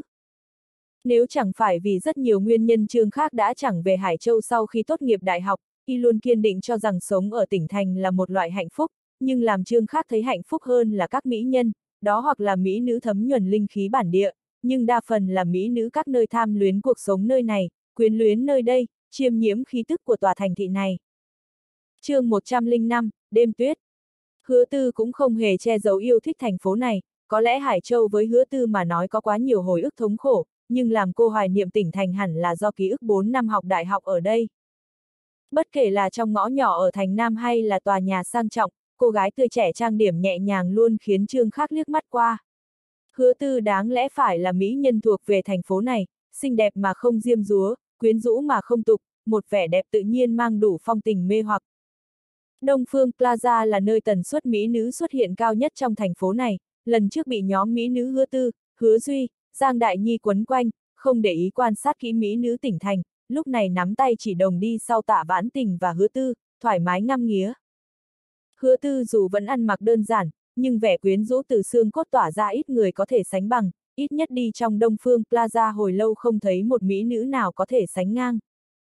Chỉ đồng mặc dù vẫn chưa chịu nói chuyện, nhưng cô bé ngây thơ đáng yêu như con búp bê sứ, đôi mắt to đen láy linh động, chắc là tiểu mỹ nhân xinh đẹp nhất rồi, thậm chí có cả một số cô gái không nhìn được chạy tới bẹo má chỉ đồng. Thật là cô bé xinh đẹp. Ngại tạ vãn tình ở đây, Trương Khác chỉ đành giữ nụ cười chừng mực, thầm nghĩ. Lần sau lừa riêng chỉ đồng đi thôi, chắc chắn chỉ đồng là vũ khí tán gái sắc bén. Mắt láo liên nhìn cái gì đấy? Hứa tư tay cầm y phục mặc thử, khẽ gõ trương khác một cái. Cô còn chưa quen với thứ y phục đắt tiền, tạ vãn tình nhất quyết bắt cổ thử, trương khác ở bên ra sức cổ động. Trương khác ngồi trên ghế ra, rất vô trách nhiệm gác cầm lên đỉnh đầu chỉ đồng, hai chân kẹp lấy người cô bé không cho nhúc nhích, nhưng mắt y đảo bốn xung quanh ngắm nhìn các mỹ nữ. Láo liên gì đâu, chị trốn bên trong thử y phục không chịu cho em xem, em đang nghĩ, nếu y phục những người kia mặc trên người chị hứa tư sẽ mê người nhường nào.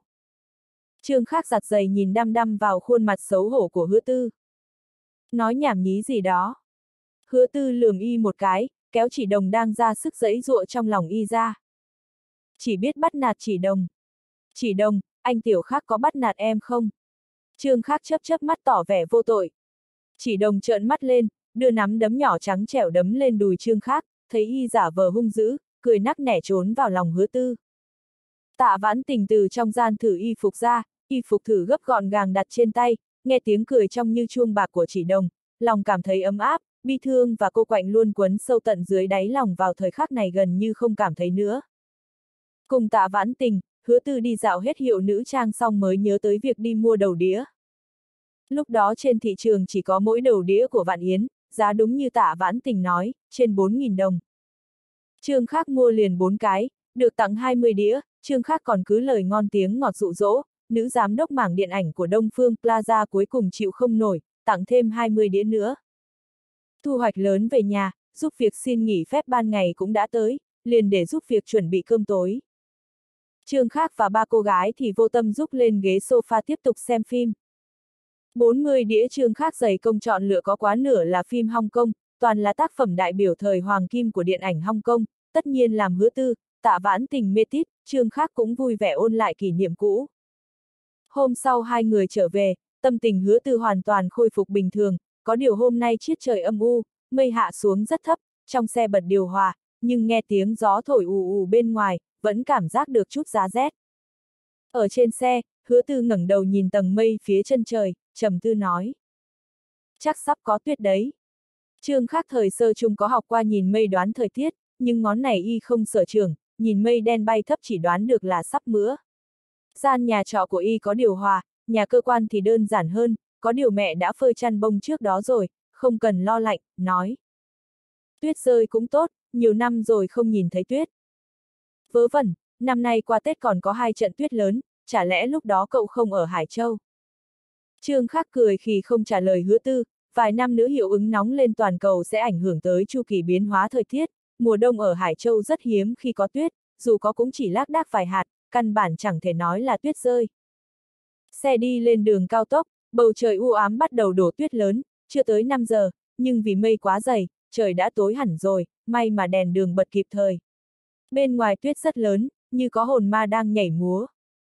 Mặt hứa tư gần như dán sát vào cửa kính, ngắm nhìn tuyết bên ngoài, trương khác thì lại nhìn chỗ khác, đó là khuôn mặt hứa tư phản chiếu trên gương, trông tuyết rơi bên ngoài lòng đột nhiên nổi lên khao khát kỳ lạ.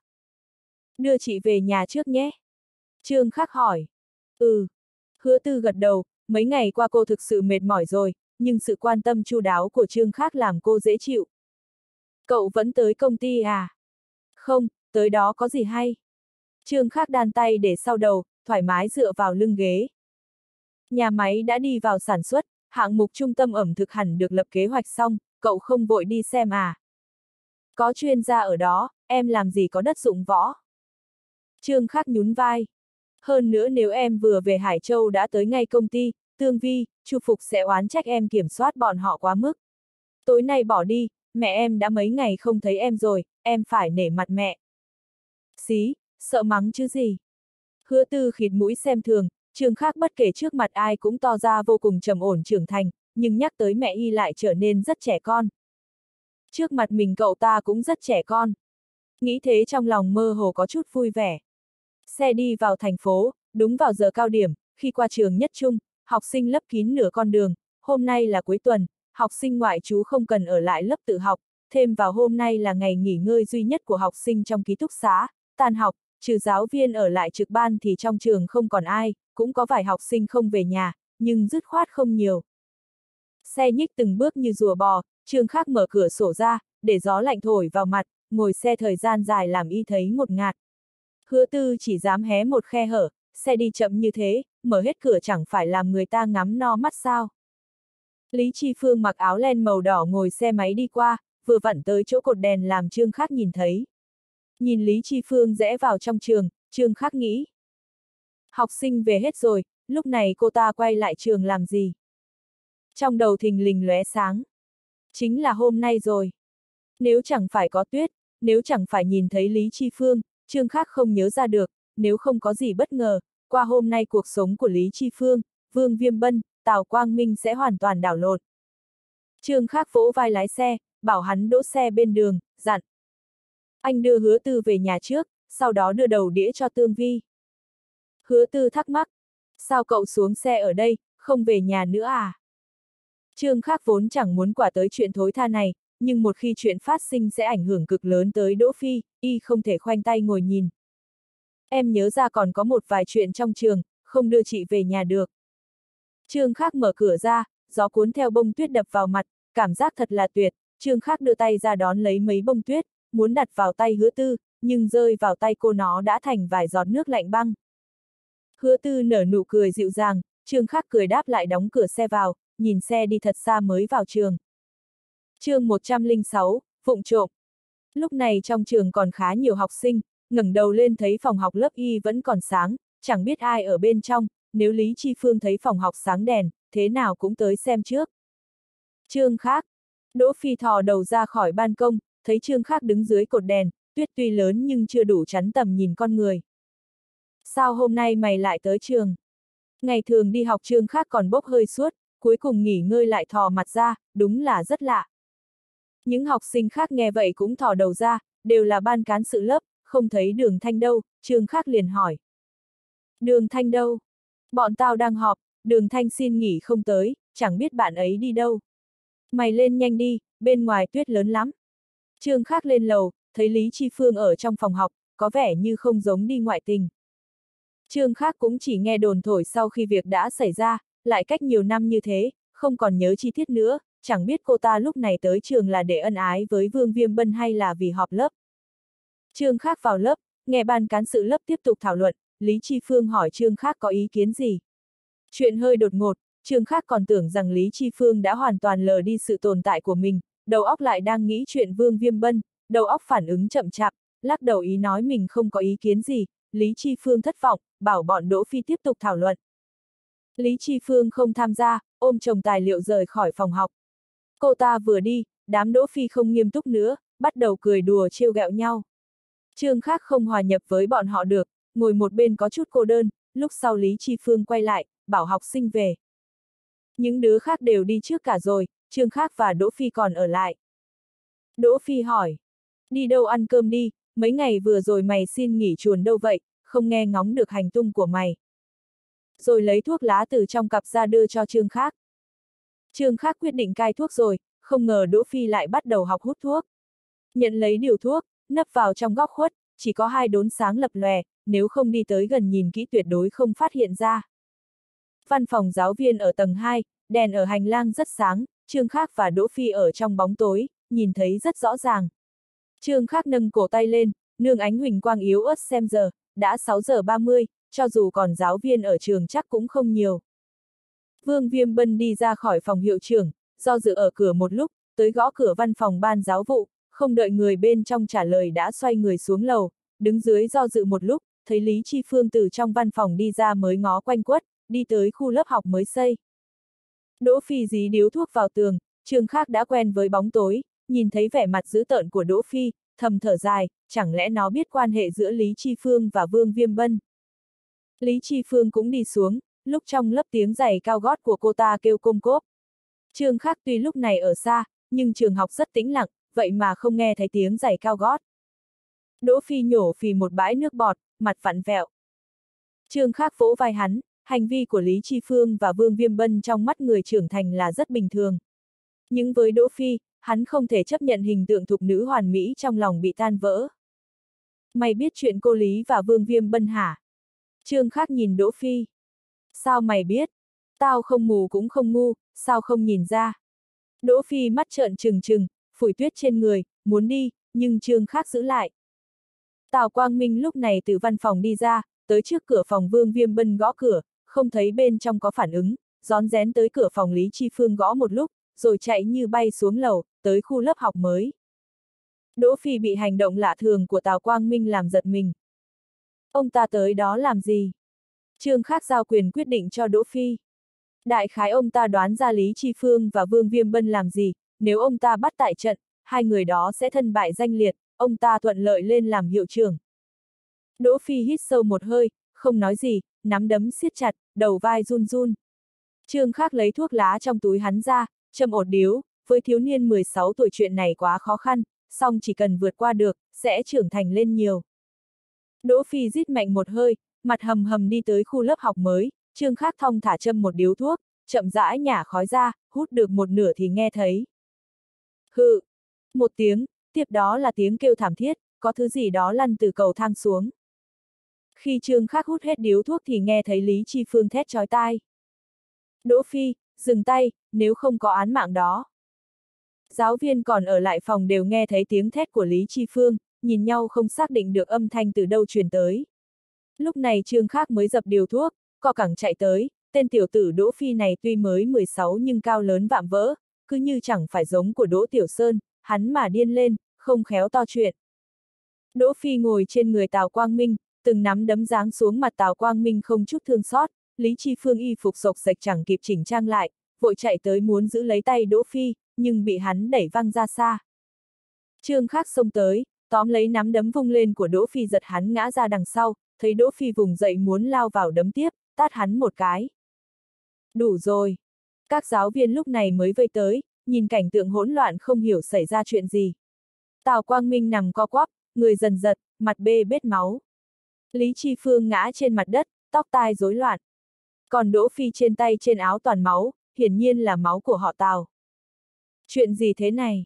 Tổ trưởng tổ toán Ngô Bình Sinh, tuổi trên 50 mà tóc bạc hết cả, ông ta là người có uy vọng nhất trong các giáo viên, đưa tay đặt lên mũi Tào Quang Minh xem còn thở không, quay đầu lại bảo một giáo viên trẻ. Mau gọi điện thoại gọi xe cấp cứu. Rồi nhìn chằm chằm Đỗ Phi, hiển nhiên là hắn chủ động đánh người, học sinh đánh thầy giáo thảm tới mức này, còn ra thể thống gì nữa. Ông ta cực kỳ tức giận, quát. Chuyện này là sao, muộn thế này mấy đứa sao còn ở trường. Đỗ Phi trợn con mắt đỏ như máu sắc láo nhìn lại, chẳng hề sợ hãi, lúc này hắn bất chấp hết rồi. Trương Khắc đá cho Đỗ Phi một cái. Em và Đỗ Phi nấp dưới cầu thang hút thuốc, bị thầy Tào và cô Lý đi qua nhìn thấy, thầy Tào không nói đúng sai gì đã tát cho Đỗ Phi một cái, Đỗ Phi như nổi điên đánh thầy Tào, em và cô Lý can không được, cô Lý còn bị bạn ấy đẩy ngã mấy lần. Dưới ánh đèn, mọi người nhìn thấy rõ ràng dấu tay lằn đỏ trên má trái Đỗ Phi, có thể thấy cái tất này mạnh thế nào. Trương khác vì Đỗ Phi tỉnh lại cho nên mới dùng sức thật mạnh, lúc này thấy mọi người nhìn mình Đỗ Phi mới thấy đau, đưa tay ôm má, song vẫn không nói một lời. Lý Chi Phương đang chỉnh lại trang phục, mọi người đều nghĩ cô ta khuyên can Đỗ Phi khiến y phục bị thế, cô ta nghe Trương Khác nói vậy đứng sững ra đó, rồi hoảng sợ ngó quanh, không thấy bóng dáng Vương Viêm Bân đâu. Ngô Bình Sinh nhìn sang phía Lý Chi Phương, chẳng phải hoài nghi Trương Khác, mà cô ta là giáo viên chủ nhiệm, xử lý thế nào phải nghe cô ta. Chủ nhiệm Lý, chuyện này xử lý ra sao? Lý Chi Phương lòng dối bời, cô ta không có dũng khí vạch trần lời nói dối của Trương Khác, nhưng biết lời nói dối này làm sao có thể che giấu người khác được, nhìn Tào Quang Minh đang nằm co giật trên mặt đất, nói. Hay là nên đưa thầy Tào tới bệnh viện trước đã? Ngô Bình Sinh bảo người đi gọi ý cấp cứu rồi, nói thế ngang với không nói, song mọi người cũng chẳng hy vọng một cô giáo có thể xử lý loại sự kiện bất ngờ này. Đỗ Phi là con bí thư thành ủy khu Tây Thành, nhưng Tào Quang Minh đánh người trước, các giáo viên không ai nói gì. Hiệu trưởng Vương đâu? Ngô Bình Sinh đột nhiên nhớ ra Vương Viêm Bân vẫn ở trong trường, vậy mà chưa thấy đâu. Trương Khắc chửi thầm. Con rùa chạy nhanh thật, chuyện này không xử lý tốt, con rùa nhà nhà ông sẽ ngã ngửa ra đấy.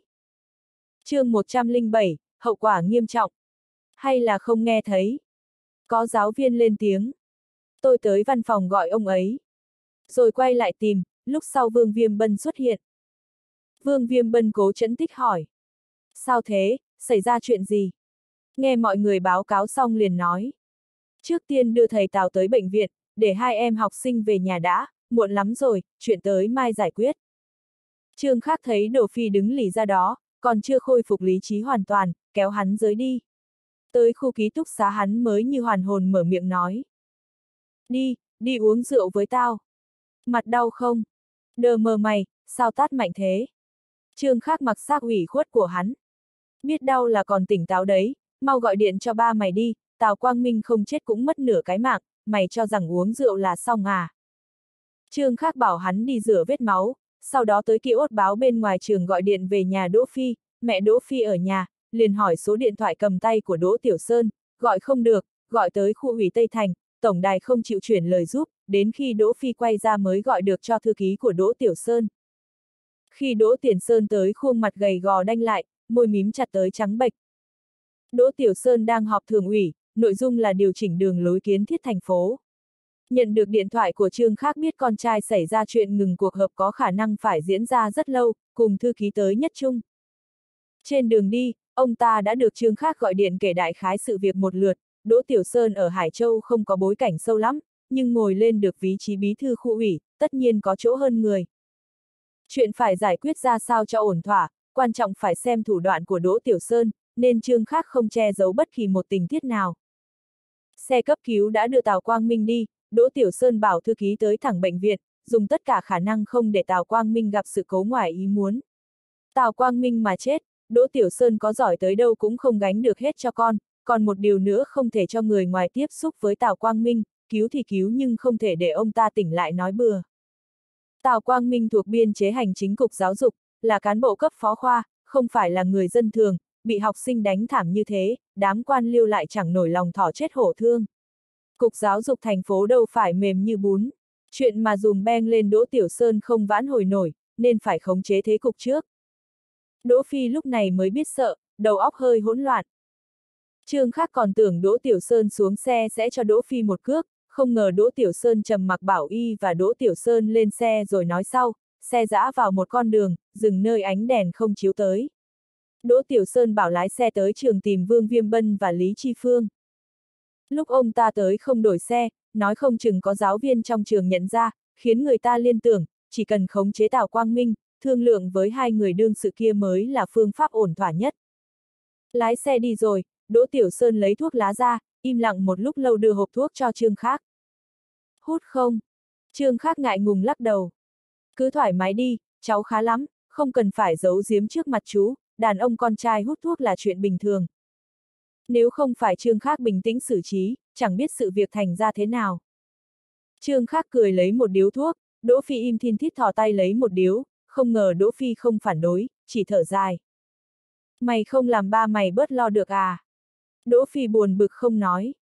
Trương Khác lấy làm lạ, nếu mình gây ra cái họa này không biết bị cha giáo huấn cho thế nào. Đỗ Tiểu Sơn đâu phải là người dung túng con cái, nếu không Đỗ Phi sớm thành tên hoàn khố ngang ngược rồi. Ba người hút thuốc trong chiếc xe hẹp, chẳng ai nói tới chuyện mở cửa xe, cũng không ai nói chuyện, yên tĩnh tới mức nghe được tiếng tuyết rơi trên nóc xe. Một lúc sau qua cửa sổ có ba bóng người đi về phía này. Vương Viêm Bân và Lý Chi Phương chui vào xe, lái xe đứng ở bên ngoài.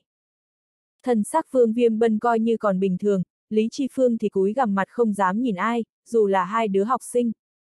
Đỗ Bí Thư, gây thêm phiền phức cho ngài rồi. Giọng Vương Viêm Bân rất khàn. Đỗ Tiểu Sơn không trả lời, Trương Khác biết ông ta đợi tình hình bên phía bệnh viện rồi mới quyết định định xử lý thế nào. Vương Viêm Bân nói với Trương Khác. Thư ký trưởng gọi điện tới trường học. Trương Khác nhớ ra mình nói về nhà ăn cơm, giờ sắp 8 giờ tối, cha mẹ nhất định lo sốt pho rồi, gọi điện thoại tới trường tìm mình chắc là đã gọi cho tạ vãn tình hỏi hành tung của mình trước. Đỗ Tiểu Sơn đưa điện thoại cầm tay cho Trương Khác. Trương Khác chẳng ngại người khác, gọi thẳng về nhà, là mẹ nhận điện. Cái thằng nhóc này, bảo về nhà ăn cơm sao chạy tới trường, Thanh Thanh đợi con nửa ngày rồi đấy, mọi người tới giờ vẫn chưa ăn cơm chỉ vì mỗi con. Trong nhà còn ai nữa ạ? À? Trương Khắc hỏi. Con đang ở chỗ Đỗ Phi à? Giọng Trương Chi Hành chen vào. Tin tức truyền nhanh thế sao? Trương Khắc ngạc nhiên hỏi, chuyện xảy ra chưa được hai tiếng. Trong xe yên tĩnh, mọi người đều nghe được tiếng từ điện thoại phát ra, Đỗ Tiểu Sơn hơi ngả người tới. Ba vừa nhận được điện thoại kể về chuyện này. Con đang ngồi trong xe chú Đỗ, khả năng muộn chút nữa mới về được. Vậy cả nhà ăn cơm trước, không đợi con nữa. Trương Chi Hành không hỏi kỹ hơn, nếu dặn dò gì đó có khi làm Đỗ Tiểu Sơn nghe thấy sinh khoảng cách, Trương khác xử lý thì ông yên tâm. Hơn nữa lúc này cũng chẳng thể nói gì với Đỗ Tiểu Sơn, ai biết hậu quả có nghiêm trọng không. Trương khác trả điện thoại cho Đỗ Tiểu Sơn. Bí thư Đỗ, những giáo viên kia. Vương Viêm Bân cũng không ngờ tin tức truyền đi nhanh như thế. Đỗ Tiểu Sơn chấn tĩnh nói. Không sao, chuyện thế nào cũng chẳng giấu nổi, hơn nữa kẻ đợi tôi bị bẽ mặt nhiều lắm. Lại trải qua quãng thời gian im lặng gian nan, khi điện thoại lần nữa vang lên thì đã là 9 giờ 30. Là điện thoại của thư ký của Đỗ Tiểu Sơn gọi điện từ Bệnh viện Nhân dân, Tào Quang Minh được cấp cứu, không còn nguy hiểm tới tính mạng, nhưng xương gò má trái bị nứt, sống mũi gãy, xương ống chân phải gãy, thương phần mềm nhiều chỗ, đầu chấn thương. Cái chân gãy đại khái do Tào Quang Minh đang xem. Phim sống. Say xưa thì bị Đỗ Phi đá cho ngã xuống lầu, nếu không đã chẳng bị Đỗ Phi đánh cho thảm như vậy mà không chống đỡ được. Khi Đỗ Phi phát điên đánh Tào Quang Minh thì Vương Viêm Bân hoảng loạn trốn đi, không nhìn thấy cảnh hắn đánh người. Nghe kể lại thương tích của Tào Quang Minh, hít một hơi khí lạnh. Đám con cái cán bộ đúng là không coi mạng người ra gì. Lý Chi Phương mặt trắng bệch, miệng há ra nhưng chẳng biết nói gì. Trương khác cũng không hiểu sao Đỗ Phi đánh Tào Quang Minh như thế, cùng lắm đá cho ông ta ngã xuống lầu là đủ. Hỏi nhưng Đỗ Phi không nói, hình như đánh thế vẫn chưa hả giận. May là tính mạng Tào Quang Minh không đáng lo, chuyện gì cũng có thể thương lượng, lòng nhẹ đi, lấy một điếu thuốc châm lửa hút. Lý Chi Phương thấy Trương Khác ngang nhiên hút thuốc, theo bản năng nhướng mày lên định mắng, rồi cúi đầu xuống, ánh mắt ảm đạm. Bí thư Vương, chuyện này phải xử lý ra sao? Vương Viêm Bân dè dặt hỏi, ông ta ngồi im trong xe gần 2 tiếng rồi, Đỗ Tiểu Sơn chỉ nói đúng hai câu, sắp tới ngưỡng áp lực tâm lý ông ta có thể chịu đựng rồi. Trương Khắc gõ tàn thuốc vào gà tàn. Còn làm thế nào nữa, chân tướng đã truyền khắp nơi rồi còn gì. Nhưng, Vương Viêm Bân ấp a ấp úng, ông ta đương nhiên hy vọng mọi chuyện kết thúc như vậy. Tào Quang Minh sẽ không để yên như thế. chương 108, chẳng qua cũng chỉ là thỏa hiệp. Đỗ Tiểu Sơn nhìn Vương Viêm Bân, thật uổng công làm hiệu trưởng bao năm không chấn tĩnh bằng đứa học sinh. Không cho Tào Quang Minh cơ hội mở miệng là được, bên phía trường học ông xử lý, nghe nói Tào Quang Minh không được lòng người lắm. Tào Quang Minh có được lòng người hay không thì Đỗ Tiểu Sơn không biết, ông ta hy vọng không ai đứng ra lên tiếng cho Tào Quang Minh. Vâng Tào Quang Minh rất không được lòng người, đối đãi với học sinh rất thô bạo, Đỗ Phi làm thế không đúng lắm, nhưng người trẻ tuổi, khó tránh khỏi nóng tính một chút. Vương Viêm Bân cuối cùng cũng tỉnh ra, nói thuận theo ý Đỗ Tiểu Sơn. Tôi sẽ bảo cô Lý viết một bản tường trình tình hình, trường học sẽ tiến hành xử lý loại giáo viên như thế, tốt nhất trục xuất khỏi đội ngũ giáo viên nhân dân. Để phòng miệng người khó hơn phòng lũ, Tào Quang Minh mà mất hết thì làm sao còn chặn hỏng được. Trương Khắc chửi thầm, đồ ngu, nếu không phải vì Đỗ Phi, ông đây chả thèm dây vào. Nhìn cái bộ mặt Vương Viêm Bân, Trương Khắc như nuốt phải ruồi, còn Lý Chi Phương con mình một góc chỉ biết chấp nhận âm mưu quỷ kế trong xe, hết sức tội nghiệp, có chút không đành lòng, Trương Khắc nói. Hiệu trưởng Vương, lái xe đứng ngoài hai tiếng rồi, ông để anh ấy vào tránh tuyết chút chứ nhỉ. Vương Viêm Bân ngẩn ra, thấy Đỗ Tiểu Sơn nhướng mày lên, nhịn không nói, ủ rũ xuống xe, lái xe chui vào, mặt lạnh cứng, áo ngoài đã ướt sũng. Lãnh đạo xưa nay không giấu chuyện với lái xe và thư ký, huống hồ Tào Quang Minh không chết, tiếp theo chẳng phải là âm mưu kinh động gì, cho lái xe vào sưởi ấm cũng không sao. Trương Khác nhìn Đỗ Tiểu Sơn, thấy ông ta có vẻ khó lên tiếng, liền nói. Cô giáo lý, em biết trong mắt cô từ xưa tới nay em chẳng phải học sinh tử tế gì, nhưng giờ có vài lời cô phải nghe em. Tào Quang Minh thành ra như thế là do ông ta có lòng dạ bất lương trước, chẳng trách được ai, Đỗ Phi ra tay hơi nặng cũng là đáng đời. Còn cô không muốn thân bại danh liệt, nhà tan cửa nát thì hãy để chuyện này qua đi như thế, như vậy cũng tốt cho Đỗ Phi.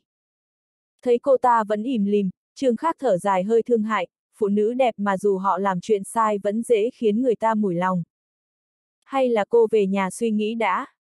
Lý Chi Phương cứ như tượng gỗ đi xuống xe, Vương Viêm Bân ở ngoài gõ cửa, Đỗ Tiểu Sơn bực bội phẩy tay, bảo ông ta theo Lý Chi Phương đi trước. Trong xe chỉ còn lại bốn người, Đỗ Tiểu Sơn thở phào, Trương Khác chỉ vào dấu tay trên má Đỗ Phi. Đau không, tao hơi nặng tay. Mày là thằng khốn kiếp, muốn giết người à? Cô ta có đáng ải làm thế không? Đỗ Tiểu Sơn mắng con. Ba cũng thế còn gì? Đỗ Phi Sơn ương bướng nói. Trương Khác còn tưởng Đỗ Tiểu Sơn sẽ tát cho Đỗ Phi một cái, ai ngờ Đỗ Tiểu Sơn nghe câu này ngồi thử người ra, có vẻ không còn giận nữa. Trương Khác cười thầm, chẳng lẽ Đỗ Tiểu Sơn di truyền cho Đỗ Phi truyền thống si mê thục nữ. Một lúc sau Đỗ Tiểu Sơn gãi đầu, nói với Trương Khác. Chuyện này cần cục giáo dục im lặng mới được, chú và đám người ở đó không quen biết, thị trưởng đường trước kia chủ quản giáo dục. Chuyện này không lớn, chỉ cần làm Tào Quang Minh ngậm miệng là được, ông ta không kiếm chuyện, đám đầu não cục giáo dục ra mặt nhằm vào Đỗ Tiểu Sơn làm gì. Nếu chỉ là đánh tiếng, thể diện của Đỗ Tiểu Sơn là đủ, cần gì đường học khiêm ra mặt. Nếu muốn bịt miệng Tào Quang Minh cho ông ta một vị trí thích hợp là xong, đường học khiêm không chỉ quen với các đầu não cục giáo dục, còn có thể trực tiếp hỏi tới điều chỉnh nhân sự của cục. Đương nhiên Đỗ Tiểu Sơn có thể trực tiếp quyết định biên chế giáo dục trong khu, nhưng cục trưởng cục giáo dục khu mới là cấp chính khoa, không thể vì an ủi Tào Quang Minh mà cho làm cục trưởng được, còn hai vị trí phó cục trưởng là phó khoa, chắc sẽ làm Tào Quang Minh hài lòng. Chỉ có điều làm thế quá lộ liễu, để thành phố điều chỉnh ít gây chú ý hơn. Trương Khác lại lấy điện thoại của Đỗ Tiểu Sơn gọi về nhà, kể đúng sự thực cho cha sau đó đưa điện thoại cho Đỗ Tiểu Sơn, chuyện đó phải để ông ta đích thân lên tiếng. Đỗ Tiểu Sơn đề xuất hy vọng lãnh đạo Cục Giáo dục có thể ra mặt vỗ về Tào Quang Minh, còn tâm tình Cục Giáo dục mong đường học khiêm an ủi, Trương Chi Hành chỉ nói một câu. Tôi biết rồi. Sau đó cúp điện thoại, 10 phút sau gọi lại, nói. Thị trưởng đường rất quan tâm tới chuyện này, muốn tôi và Cục trưởng cảnh tới bệnh viện thăm thầy Tào. Tôi qua đón anh. Đỗ Tiểu Sơn thở phào nói. Không cần, xe thị trưởng đường đưa tôi đi, chúng ta gặp nhau ở bệnh viện. Chuyện xấu xa này không cần thiết để đường thanh biết, nếu chỉ có đường thanh qua nhà mình ăn cơm thì giờ này đã phải về rồi, giờ xe số 2 vẫn còn ở đó, chứng tỏ đường học khiêm cũng ở nhà mình. Từ nhà trương khác tới tiểu khu của nhà đường học khiêm, vừa khéo đi qua bệnh viện nhân dân. Từ nhất trung tới bệnh viện khá gần, trương khác và Đỗ Tiểu Sơn, Đỗ Phi tới trước, tụ họp cùng thư ký. Ngô Bình Sinh và một giáo viên theo xe cấp cứu tới bệnh viện đã trở về nhà. Mọi người đứng ở bậc thềm bệnh viện đợi một lúc, xe Nissan của đường học khiêm đi vào, Trương Chi Hành ra trước, tiếp đó là đường Thanh xuất hiện vẫy tay chào với đám Trương khác, lúc này đường học khiêm không tiện ra mặt. Trương Chi Hành đi tới đưa cho Trương khác một cái túi. Chưa ăn gì phải không? Làm no bụng cái đã, cục trưởng cảnh lát nữa mới tới, chúng ta đợi ở đây. Trương khác giờ mới thấy đói, mở túi ra xem, toàn là vịt nướng, đùi gà, không biết mẹ nhớ hay là đường thanh nghĩ ra. Trương khác đưa cho Đỗ Tiểu Sơn trước, năm người thoáng cái đã chén bay chỗ thức ăn, vẫn còn thòm thèm, nhưng coi như lót dạ phần nào. Đợi tới khi Cục trưởng Cục Giáo dục Cảnh Kiến Trung tới, mọi người mới vào phòng bệnh. Tuy cũng là cấp chính sử, nhưng Trương Chi Hành là người quan trọng trước mặt bí thư thành ủy và thị trưởng, Đỗ Tiểu Sơn là bí thư khu ủy nắm đại quyền, đều to hơn Cục trưởng Cục Giáo dục nhiều, Cảnh Kiến Trung biết thêm một việc chẳng bằng bớt một việc, tuyệt không nhắc tới Lý Chi Phương và Vương Viêm Bân. Lúc này Tào Quang Minh còn đang hôn mê sau ca mổ, tất nhiên không thể giao lưu được, Trương Chi Hành và Cảnh Kiến Trung tới chỉ là xác định vế thương của Tào Quang Minh có phục hồi được không, có lo ngại về tính mạng hay không thôi. Nhìn đầu Tào Quang Minh băng kín mít, Trương Khác nhớ lại Đỗ Phi đấm phát nào ra máu phát đó, khẽ dùng mình. Tiếp trước y không được thấy cảnh Đỗ Phi trùm bao tải đánh Tào Quang Minh, chỉ nghe đồn đại, sau lần nấy cả hai mới thân nhau hơn. Nhưng bất kể thế nào Tào Quang Minh cũng không tránh được trận đòn này, nội tâm Đỗ Phi không tránh được bị sự kiến ấy làm tổn thương, song vận mệnh Lý Chi Phương và Vương Viêm Bân thì đã nghịch chuyển. Trương Khác đứng trước giường bệnh cảm khái mãi. Đỗ Tiểu Sơn, Trương Chi Hành, Cảnh Kiến Trung đứng một bên thì thầm thảo luận cách xử lý việc này. Cho dù có những người biết nội tình có khẳng định lời nói dối của Trương Khác là sự thực, cho dù có thể che giấu được chân tướng. Đỗ Phi vẫn có hiểm nghi cố ý gây thương tích, làm người nhà Tào Quang Minh ngậm miệng đã là khó rồi, huống chi là chuyện liên quan tới bê bối quan hệ nam nữ. Đỗ Tiểu Sơn hỏi, cục trưởng cảnh cũng tới rồi, hay là thông báo cho người nhà Tào Quang Minh một chút? Đỗ Phi nhìn Tào Quang Minh nằm trên giường, ánh mắt không dịu đi chút nào. Trương Khắc nhếch môi cười, giờ người ta mới nhớ tới thông báo cho người nhà Tào Quang Minh sao? Vương Viêm Bân không ra mặt có ổn không? Cảnh kiến trung sợ người nhà Tào Quang Minh tới bệnh viện làm ẩm ý, muốn đợi Tào Quang Minh tỉnh rồi mới thông báo cho người nhà, nhưng đợi tan thuốc mê thì quá nửa đêm, như thế không hợp lý. Trương Chi Hành không phát biểu ý kiến, ông tới đây chỉ là biểu thị thái độ của đường học khiêm, còn xử lý ra sao là do Đỗ Tiểu Sơn và cảnh kiến trung bàn bạc. Vương Viêm Bân làm hiệu để xảy ra chuyện này là thất chức. Trương khác ở bên nói một câu, thấy bọn họ nhìn qua liền ngậm miệng quay sang chỗ khác. Trương Chi Hành nghĩ cũng phải, Vương Viêm Bân vào thời khắc quan trọng chỉ nghĩ tới chuồn đi, chẳng lẽ cho rằng như thế có thể bảo toàn được bản thân.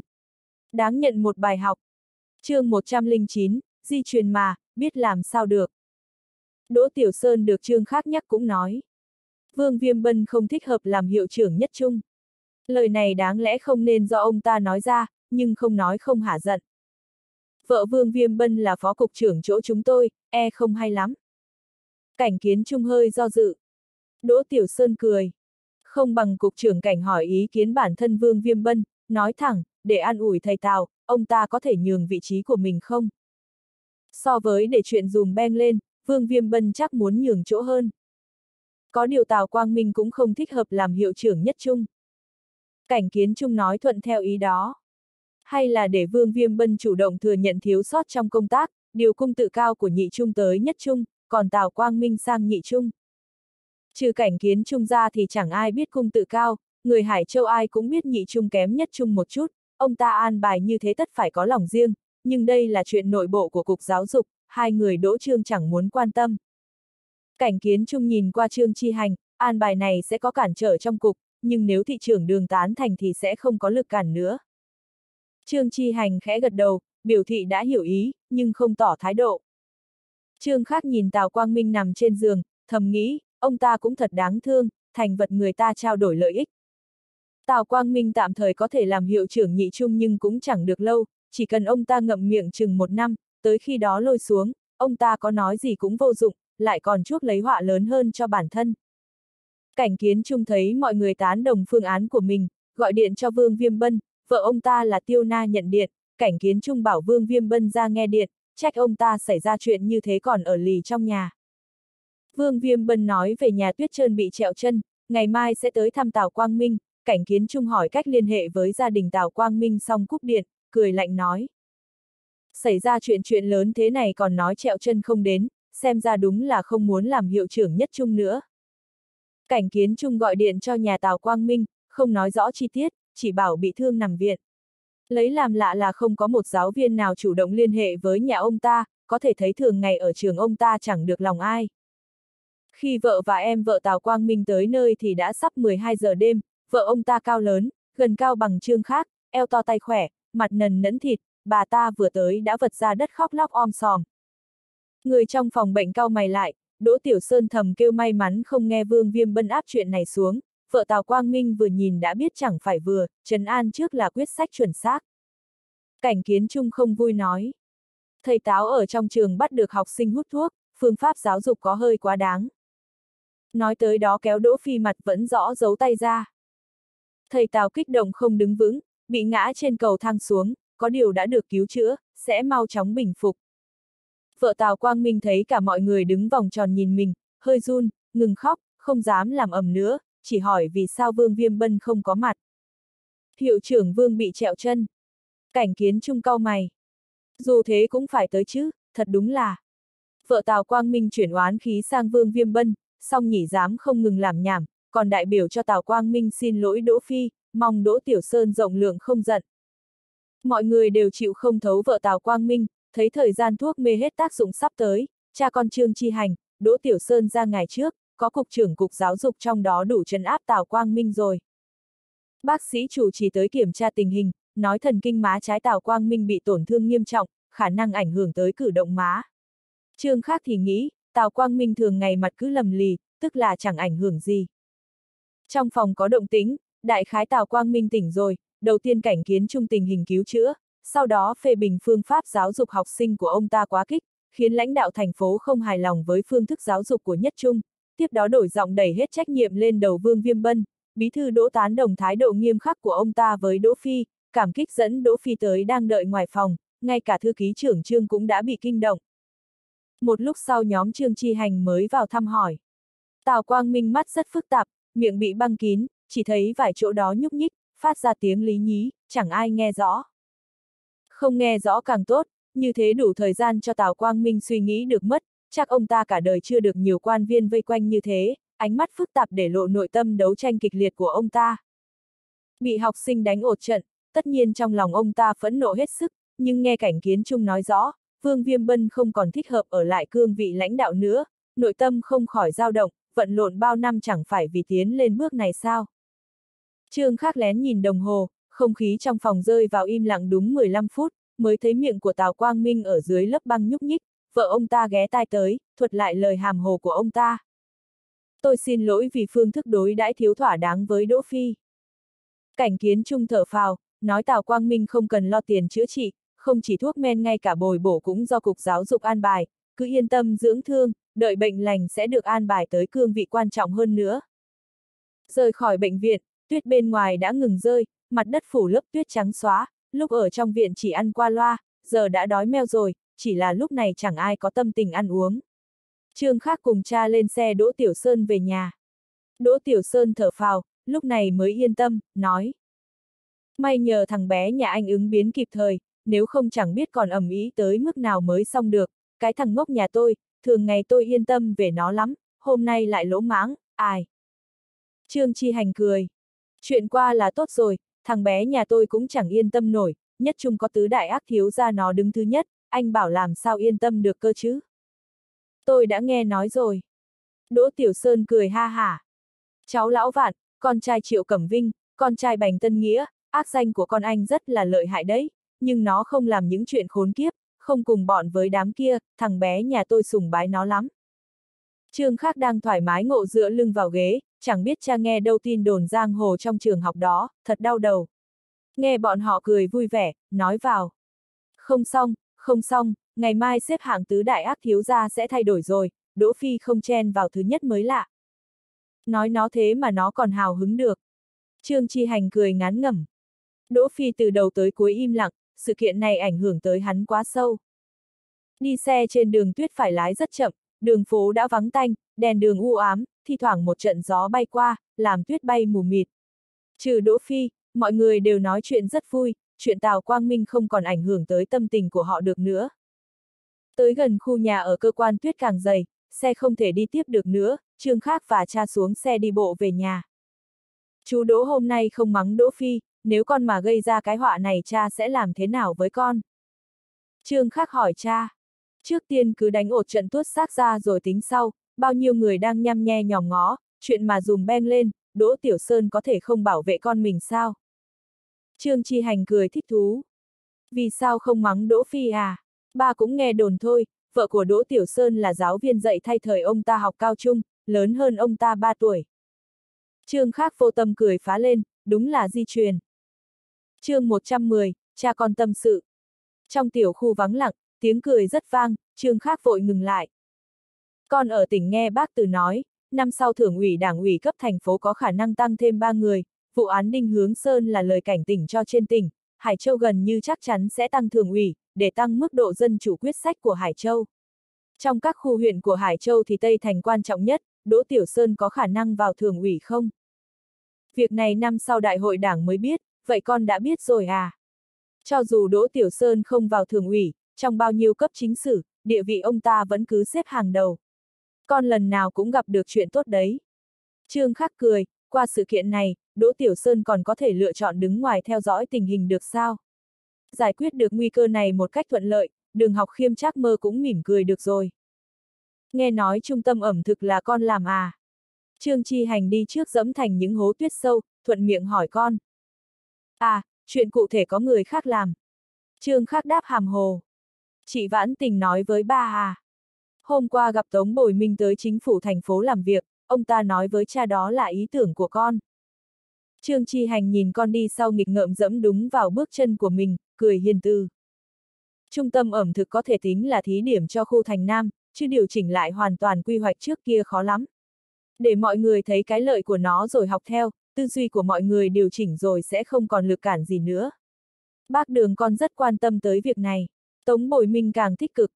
Tống Bồi Minh được Chu Phú Minh, đường học khiêm ủng hộ mới đứng vững trở lại được ở thành Nam, nhưng sự việc trước kia vẫn ảnh hưởng lớn, chỉ có thành công cải tạo nhà máy cũ thành trung tâm ẩm thực mới hóa giải hoàn toàn ảnh hưởng xấu trước đó. Số lần ông ta tới Tân Hải thông không ít hơn chương khác, thêm vào y cố ý giữ mồi, nên thường xuất hiện lệch giờ, làm ông ta khá là buồn bực. Trương khác do dự hỏi. Bác đường quan tâm tới trung tâm ẩm thực hay là cải tạo môi trường quanh cầu Tứ Phượng vậy ba? Nhìn một cách đơn thuần thì cả hai đều ảnh hưởng trực tiếp tới đường lối quy hoạch thành phố.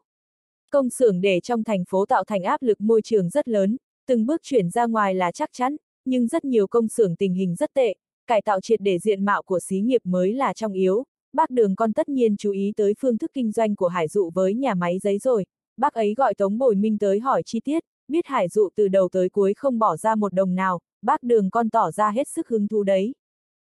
Trương Chi Hành đáp đúng sự thự. Hai cha con đi tới dưới tầng lầu, đèn cầu thang vẫn sáng, Trương Khắc nghĩ, đường học khiêm quả nhiên nhìn sâu hơn người khác.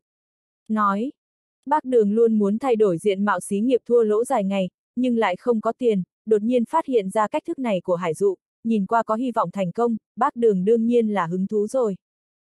Gần đây con hay tới công ty chơi, có quen thuộc chuyện này không? Tới cửa nhà tầng 3 Trương Chi Hành lục túi lấy chìa khóa, hỏi. Trương Khắc gật đầu. Xem như quen thuộc, nguyên lý kinh tế của nó cũng đơn giản, quan trọng là lối suy nghĩ của con người ta không chuyển biến kịp. Vậy con nói kỹ hơn ba nghe nghe xem. Trương Chi Hành không vội đi vào, sợ đánh thức vợ đang ngủ say, ngồi xuống cầu thang, phủi bụi chỗ bên cạnh để Trương Khắc ngồi. Trương Khắc ngồi xuống định giải thích chi tiết cho cha thì cửa đằng sau mở ra. Em nghe thấy bước chân, sao đột nhiên không vào, hai ba con có việc gì không thể vào nhà nói mà phải ngồi ở cửa. Lương cách chân mặc áo ngủ đi ra, tay vịn cửa nói. Anh sợ làm em tỉnh giấc. Trương Chi Hành mỉm cười đứng dậy. Hai ba con chưa về, em làm sao mà ngủ được. Cưới nhau hơn 20 năm, con đã lớn tướng rồi, chồng vẫn chu đáo như thế, lương cách chân lòng ấm áp trách yêu, nhưng vừa thấy trương khắc y phục mỏng manh, lại mắng. Sao mặc ít thế, lớn chừng đấy rồi mà không biết nóng lạnh à? Mau vào đi. Rồi kéo trương khắc vào phòng, lấy mấy cái cáo choàng ra, không cho còn ý kiến khoác lên người. Áo trên người trương khắc lấp lông bên trong là thứ hàng cao cấp của Mông Cổ, nhìn có vẻ mỏng, nhưng kháng lạnh rất tốt, nghe nói còn chưa phải hàng chính tông, mua một bộ giá hơn 6.000, tạ vãn tình mua cho y và hứa tư mỗi người một bộ. Mặc theo cả áo khoác chẳng phải nóng phát sốt à, nhưng lòng trương khác ấm áp, vẫn khoác áo trên người. Muộn thế rồi chắc hai ba con đói lắm hả? Em hâm nóng thức ăn cho cha con, ăn chút rồi ngủ, có gì để tới ngày mai hằng nói. Trương khác giang tay, nếu nói chuyện thâu đêm ở phòng khách, thế nào cũng bị mẹ cằn nhằn chết thôi, chủ đề này đành phải để sau vậy. Thứ hai Trương khác tới trường sớm, chuyện kia mặc dù ở tầng cấp nào đó được coi là giải quyết rồi, nhưng đối với học sinh, giáo viên nhất chung nó mới bắt đầu gây ảnh hưởng. Sáng nay Cục Giáo dục sẽ mở cuộc họp thảo luận sự kiện đột phát đó.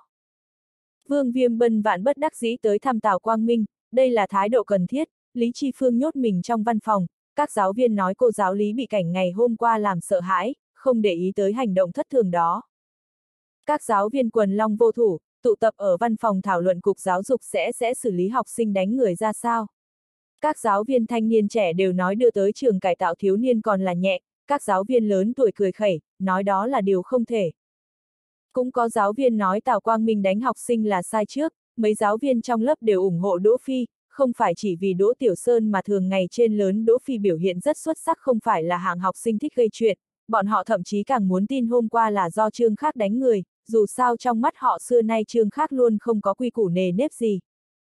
Các giáo viên không hề biết chuyện ngày hôm qua đã bị bóp nát ngay từ trạng thái manh nha, định sẵn là chẳng gây nên được sóng gió. Giờ Cục Giáo dục chẳng qua thực hiện điều thảo luận hôm qua. Giờ tự học buổi sáng chẳng có giáo viên nào lên lớp, học sinh như ngựa hoang thoát cương, ở trong lớp huyên náo xôn xao, ăn mừng cứ như thay chiều đổi đại. Trương Khắc lắc đầu than, đúng là đám nhóc con đầu óc đơn giản. Đỗ Phi tạm thời không vội tới trường học, đợi khi Cục Giáo dục đưa ra biện pháp xử lý, Đỗ Tiểu Sơn sẽ dẫn hắn tới trường tỏ thái độ một chút, quan trọng là thành khẩn nhận sai, tiêu trừ ảnh hưởng xấu để nhất trung nhanh chóng trở lại quỹ đạo bình thường. Có mấy nam sinh tự cho rằng có thể nói chuyện với Trương Khác, tới hỏi chuyện hôm qua, Trương Khác còn có thể nói gì được nữa, lời nói dối đã lan đi, chẳng qua lặp lại lần nữa. Trong sự kiện này Trương Khác nhận ra mình đóng một vai trò đáng buồn, trên lan can tầng 3 treo một hàng chữ Đỗ Phi, Đỗ Phi, mình yêu bạn. Tào Quang Minh bị đánh gần tàn tật, đúng là chuyện lòng người sảng khoái. Trương Khắc nghĩ, tên tiểu tử này nổi danh trong một đêm, thành anh hùng của đám học sinh, dù bị xếp vào tứ đại ác công tử, hình tượng cũng đẹp hơn mình nhiều. Thấy đám nữ sinh khi nói tới Đỗ Phi thì ánh mắt đầy ngưỡng mộ và mê đắm, nghĩ, thằng tiểu tử sướng quá, bao nhiêu em gái hoài xuân sẵn sàng ngả vào lòng. Còn đãi ngộ của Trương khác, Đỗ Phi bị bạn làm hư rồi. Đường Thanh giận dỗi nói.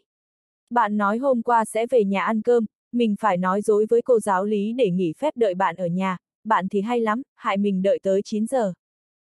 Mình thì lại nghĩ bạn ở trường, xe đi qua trường học, mình muốn tới tìm bạn trước tiên, ai ngờ gặp phải chuyện không may này. Trương khác đành phải bịa chuyện.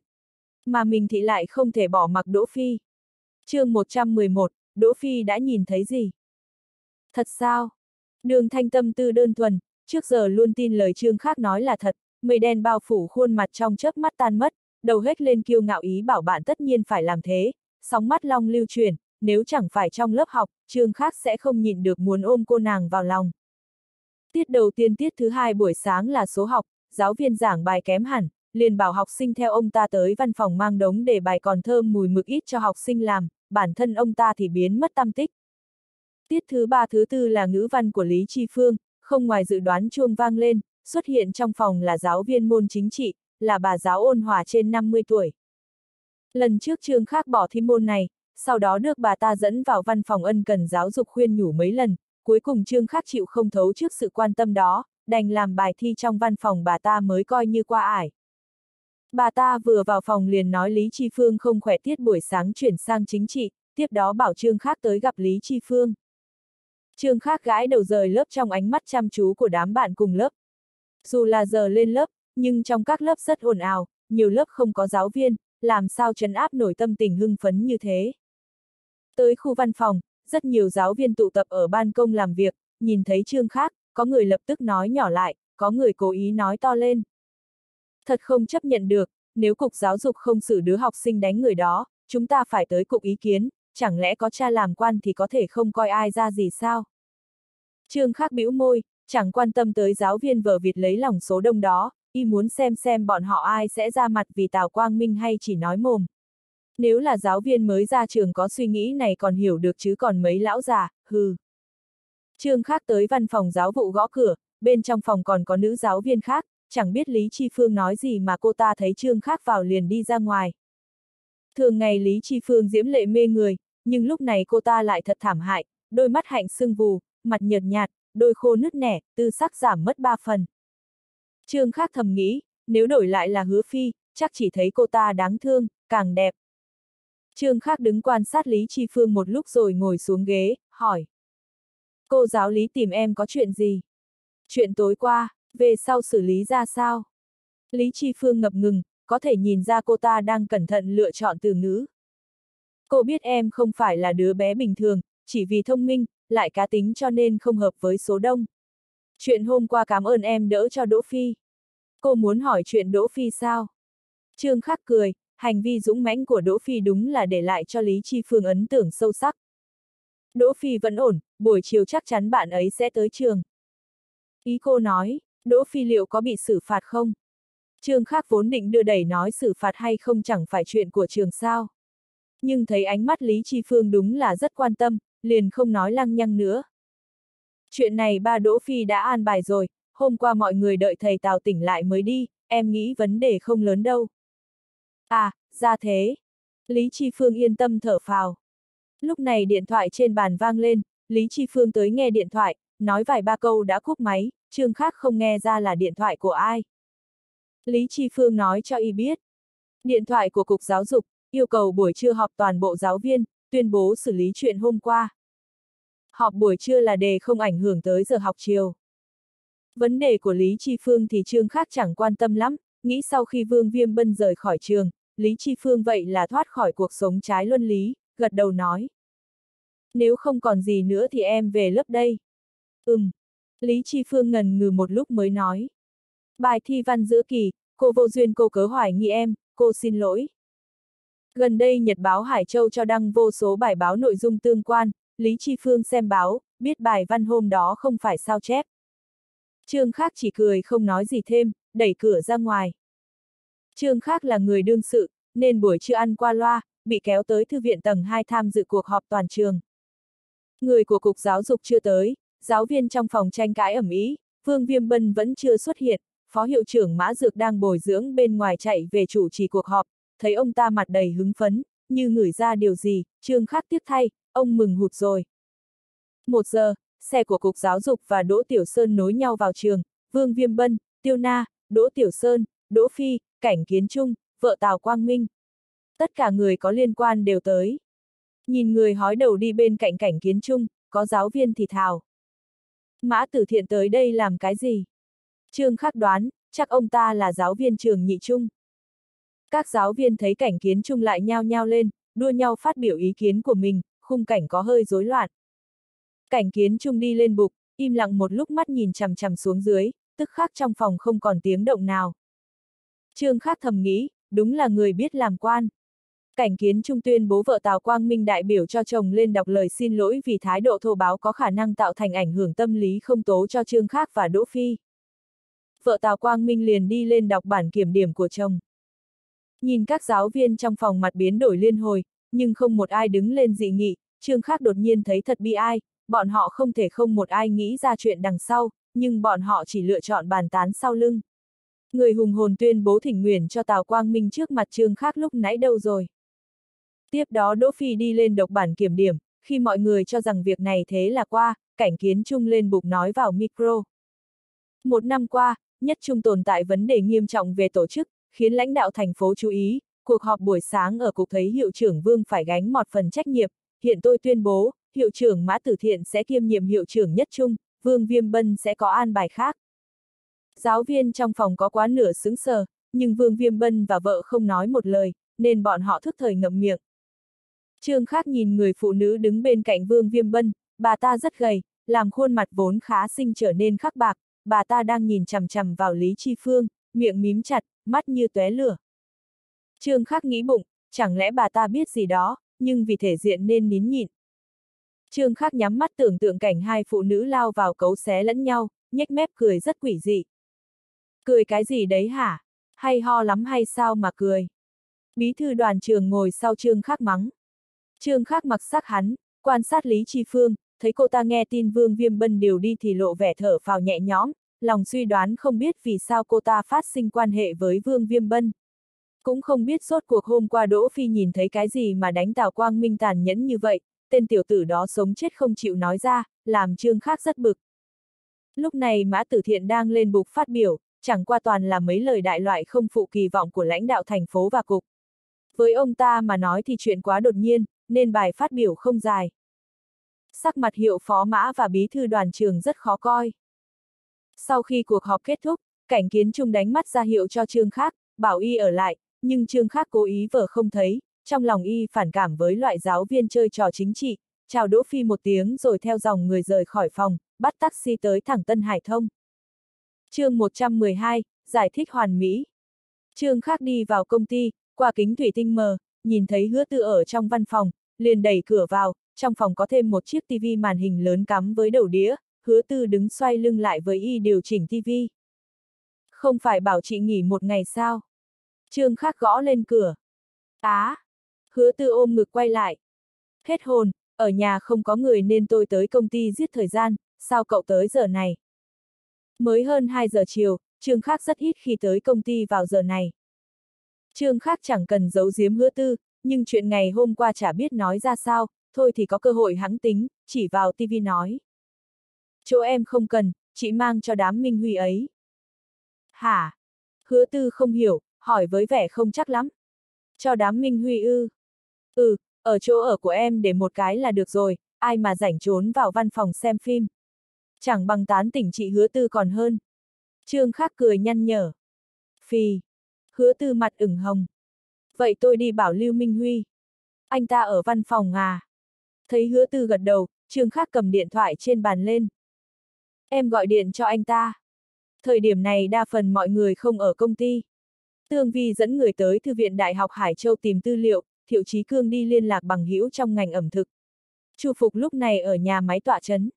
Lưu Minh Huy nhận được điện thoại dẫn hai cấp dưới tới, nghi hoặc hỏi. Khác thiếu gia, cho lắp đầu đĩa ở văn phòng chúng tôi thật sao? Nói nhiều thế làm gì? Trương Khác phất tay. Bảo mang đi thì mang đi đi.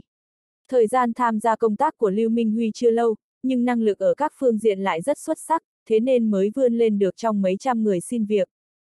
Trương khác có ưu thế tâm lý tuổi tác nhất đối với Lưu Minh Huy, nên hay sai bảo này nọ. Lưu Minh Huy cười hì hì.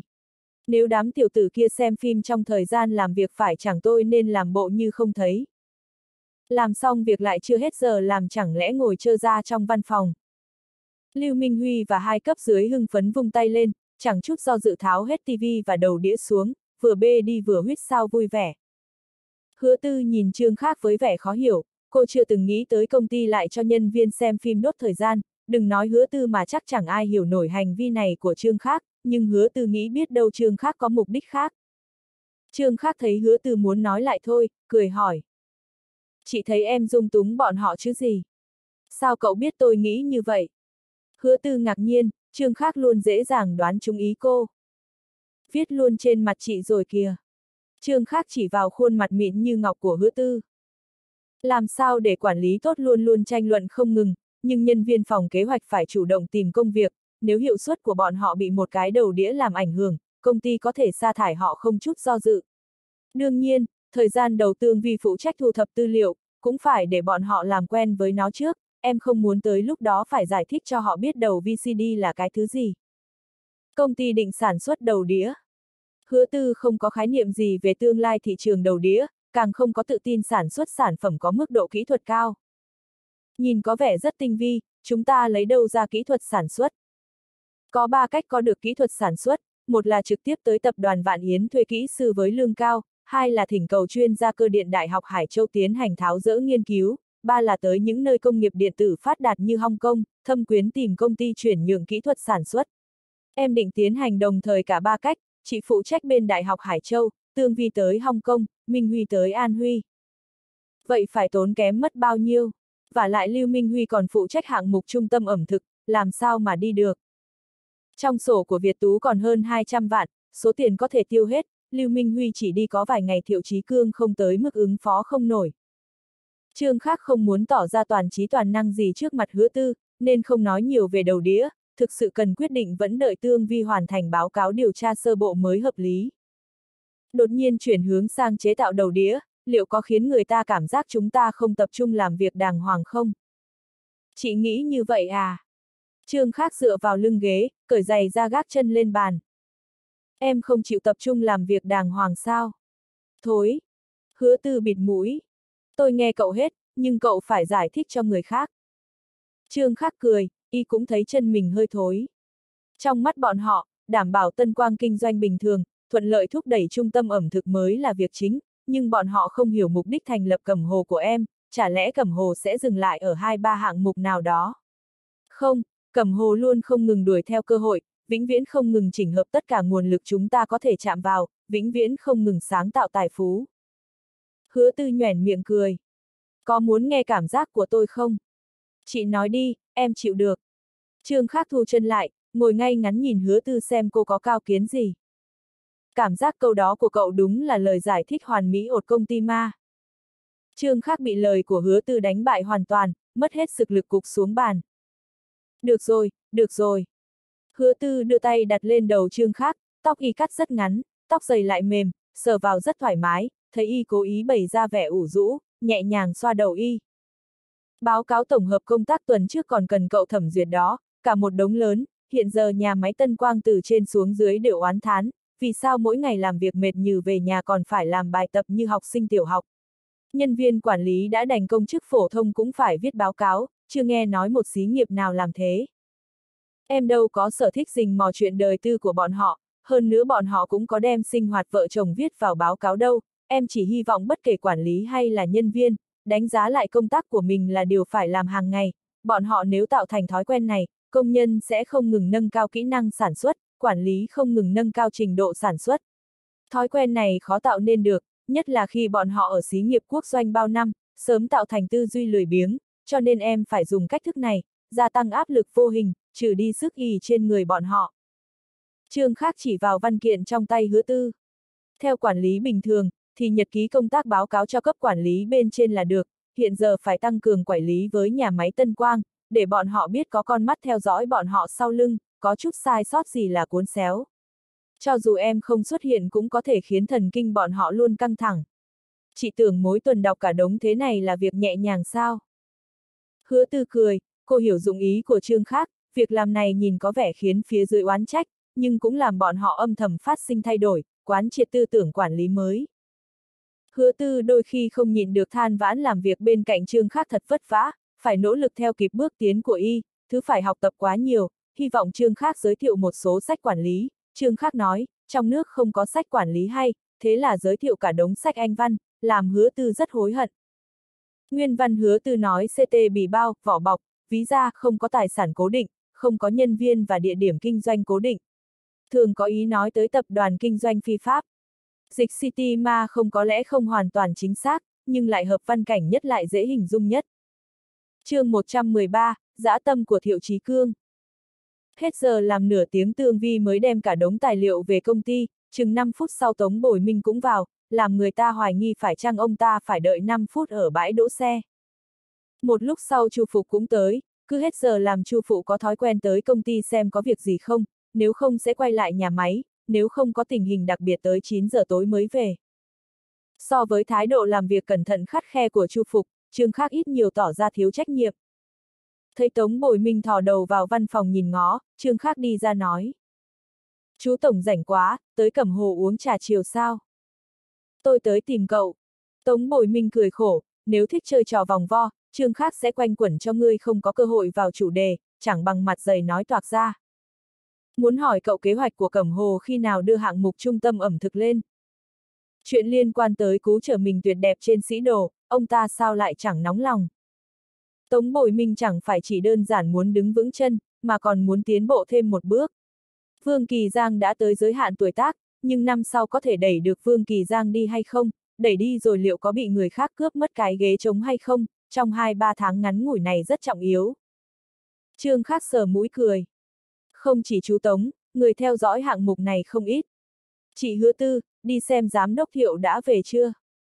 Để tôi.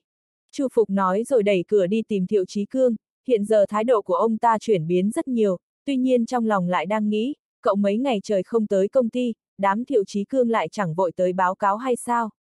Có khi đám chu du cũng đang tăng ca ấy chứ? Mọi người chuyển sang phòng cà phê, mặc dù vẫn có nhân viên trong công ty, nhưng Trương Khắc đích thân pha trà nước gọi người, cùng tán gẫu đợi Thiệu trí Cương. Tương Vi hỏi chuyện tối qua, Trương Khắc tất nhiên lại thuật lời lời nói dối một lần nữa, bọn họ nghe thấy Vương Viêm Bân đột nhiên bị cách chức nghĩ mãi không ra. Thiệu trí Cương đẩy cửa đi vào, nhìn thấy Tống Bồi Minh cũng có mặt, với sự lịch duyệt của hắn, đương nhiên hiểu ông ta gấp chuyện gì, chào một tiếng rồi nói với Trương Khắc. khác thiếu gia, trước khi uống trà, tôi có chút chuyện muốn báo cáo riêng.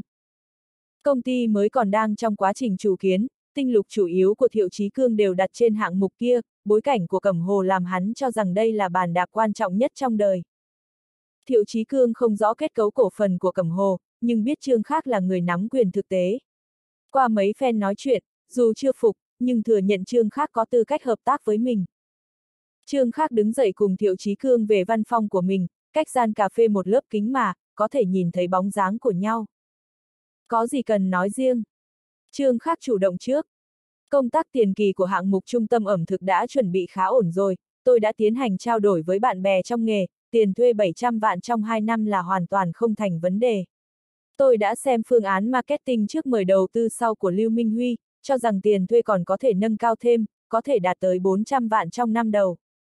Tống Bồi Minh còn đang đợi ở cách vách, Triệu Chí Cương nói trực tiếp luôn.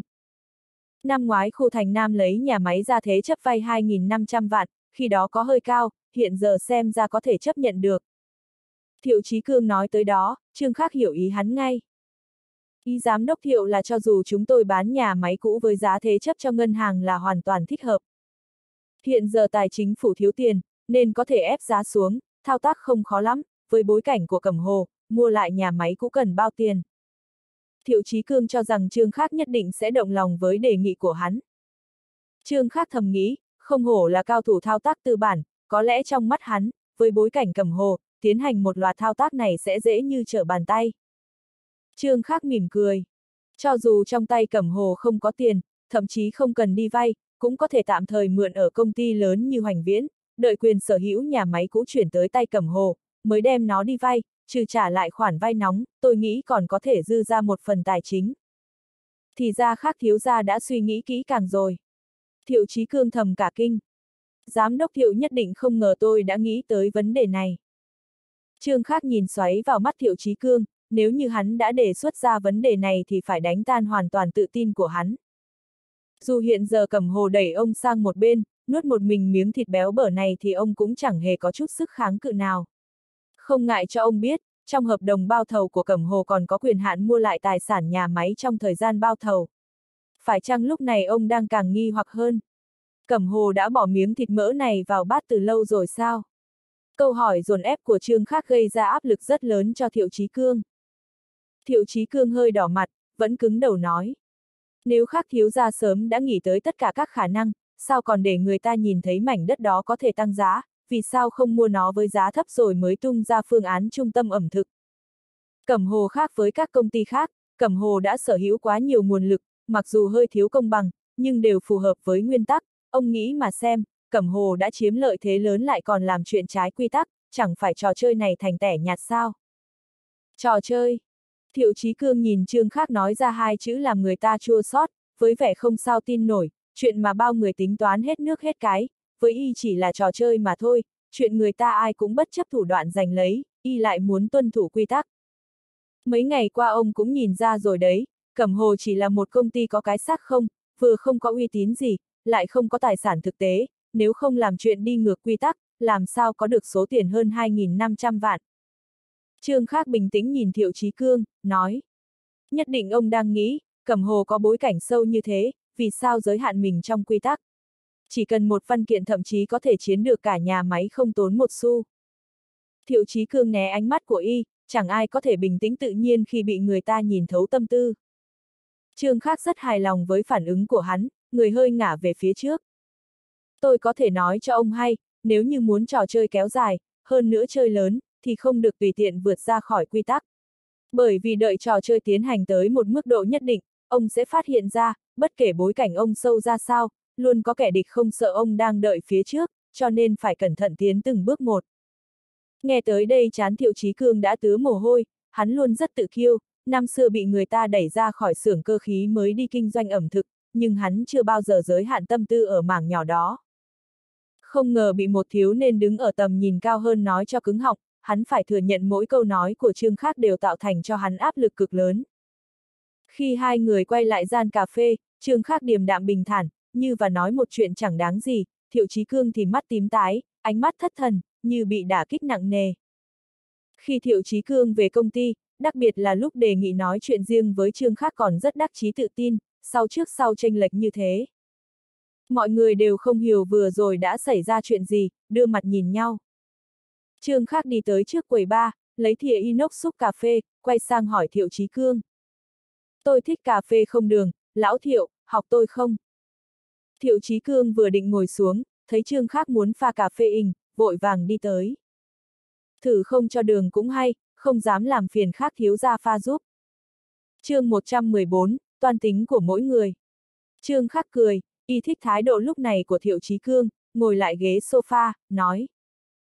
Chú Tống, chuyện trung tâm ẩm thực sẽ do Lão Thiệu phụ trách, công ty chịu trách nhiệm điều hành cũng do anh ta làm đại có đông, có chuyện gì chú cứ tìm anh ta là được. Tống Bồi Minh ngần ngừ một lúc mới nói. Khu cũng đã tìm vài ông chủ nhà hàng hỏi ý kiến, mọi người đều rất tự tin vào hạng mục này, khu cũng đã mở cuộc họp chuyên môn, nếu các phương diện đều có phản ứng tích cực, hạng mục này không nên chậm trễ. Không nên chậm trễ chỉ là đối với Tống Bồi Minh thôi, nếu để qua năm sau, Vương Kỳ Giang vượt qua được thời kỳ bất ổn này, Tống Bồi Minh rất có khả năng phải đợi thêm vài năm nữa. Vương Kỳ Giang không có lý do gì phản đối hạng mục này, nhưng chẳng lẽ ông ta không biết ngầm ngáng chân. Nhìn dáng vẻ nôn nóng của Tống Bồi mình, Trương Khắc nheo mắt lại, không đáp lời ông ta. Trương Khắc không lên tiếng, Chu Phục, Tương Vi, Thiệu Chí Cương không có lập trường nào nói giúp. Thiệu Chí Cương tiếp xúc với chuyện ở tầng cấp này không nhiều, thấy Trương Khắc có thể ngó lơ Tống Bồi Minh, trong lòng cũng bội phục, trước đó có lẽ hắn chỉ cho rằng Trương Khắc dựa vào thế lực đằng sau của Cẩm Hồ để cáo mượn oai hùm nhưng lúc này đúng là về khí thế y áp đảo Tống Bồi Minh. Tống Bồi Minh thấy Trương khác không đáp, đành nói tiếp. Chính phủ khu cũng đã trí thông qua cải tạo môi trường xung quanh cầu Tứ phược, xây khu nghỉ ngơi hai bên. Nhưng gặp chút vấn đề, mỗi khi đến cuối năm, tài chính khu đều thiếu hụt, tạm thời không huy động được vốn. Vương Kỳ Giang lấy tài chính ra phá đám, Trương khác chẳng hề bất ngờ. Sang năm tài chính khu thành Nam sẽ dư giả hơn, xếp vào dự toán năm sau cũng hợp trình tự, cháu thấy được lắm, kế hoạch bên này cháu điều chỉnh một chút là được. Tống Bồi Minh và Trương Khác đã giao phong mấy lần, lần nào cũng bị tóm lấy điểm yếu, không chống cự nổi, trong lòng ít nhiều có chút bất lực, nói. Tôi sớm đã nói khu không can thiệp vào việc kinh doanh của nhà máy giấy, đây chỉ là trao đổi cá nhân, không biết công ty Cẩm Hồ có thể nghiên cứu một chút không? Tương Vi nghe mà giật mình, đây là tống bồi minh hạ mình nhờ vả trương khác. Chu Phục, Thiệu Chí Cương đều không biết có nên tạm thời tránh đi hay không. Trương khác đáp, không thể nói là can thiệp vào kinh doanh, chính phủ khu có quyền đề xuất ý kiến, huống hồ lời của chú Tống, cảm hồ không coi trọng sao được. Trương khác nói thế, trong lòng Tống Bồi Minh dễ chịu hơn một chút. Công ty vận doanh mới lập có chắc gom được tiền thuê 600 vạn không? Chuyện này lão thiệu rõ nhất. Thiệu Chí Cương hơi trần trừ, vừa rồi trong văn phòng trương khác đã tỏ thái độ rất rõ ràng rồi, đành bỏ nỗ lực nuốt gọn nhà máy, nói. Không vấn đề gì, có chính phủ khu cùng thúc đẩy, tốc độ sẽ càng nhanh. Rất nhiều chủ nhà hàng hy vọng chen chân vào hạng mục này, Hải Châu có 80 vạn nhân khẩu, chỉ có khu thương mại chưa tới 4 km vuông ở tiền môn thương nghiệp thịnh vượng, ngành ẩm thực muốn chen vào tiền môn quá tốn kém, huống hồ ở đó thích hợp với thức ăn nhanh hơn, ẩm thực cao cấp không vào được. Còn đâu thích hợp hơn cầu tứ phượng. Vấn đề nhà máy Tân Quang đã kéo dài cả năm trời, không ai nghĩ tới đó là một báu vật, giờ tất cả đã nhận ra rồi, ai ai cũng muốn có phần. Tống Bồi Minh đã biết kết quả này, chỉ là muốn xác định lại, nghe Thiệu Chí Cương nói thế, có thể thấy City Cẩm Hồ khá tin tưởng vào hạng mục này. Tôi sớm đã nói hạng mục này không nên chậm dễ mà, nhưng tài chính khu cuối năm rất căng, khu có thể lấy trước một phần doanh lợi của nhà máy giấy không? Nhà máy giấy mới đi vào sản xuất, có doanh lợi cái rắm, Tống Bồi Minh đương nhiên là nhăm nhe tiền thuê nhà máy cũ. Tống Bội Minh nhìn Trương khác, ông ta biết yêu cầu của mình kỳ thực là khu chiếm dụng tài chính của nhà máy giấy. Nhưng Cẩm Hồ không phải là công ty mà chính phủ khu nho nhỏ có thể áp chế nổi. Được hay không là trong một ý niệm của Trương khác. Trương khác đặt tay lên chán che mắt đi, nếu ai gạt tay y ra, có thể thấy mắt y đang cười. Đường học khiêm hy vọng thí điểm trung tâm ẩm thực để hình thành kinh nghiệm có thể mở rộng toàn thành phố, thúc đẩy điều chỉnh đường lối quy hoạch, có thể họ mới được ủng hộ nhiều hơn. Trương Chi Phi đang thúc đẩy lập hạng mục khai thông sông Sơ Cảng, cũng cần phía hạng mục này phối hợp. Những năm 90, việc cải cách quốc sĩ khiến tài sản quốc hữu thất thoát nghiêm trọng, rất nhiều người dùng giá thấp mua quốc sĩ xong, chuyển nhà máy ra ngoại thành, chiếm lấy mảnh đất có giá trị thương nghiệp cực cao, từ đó thành tỷ phú.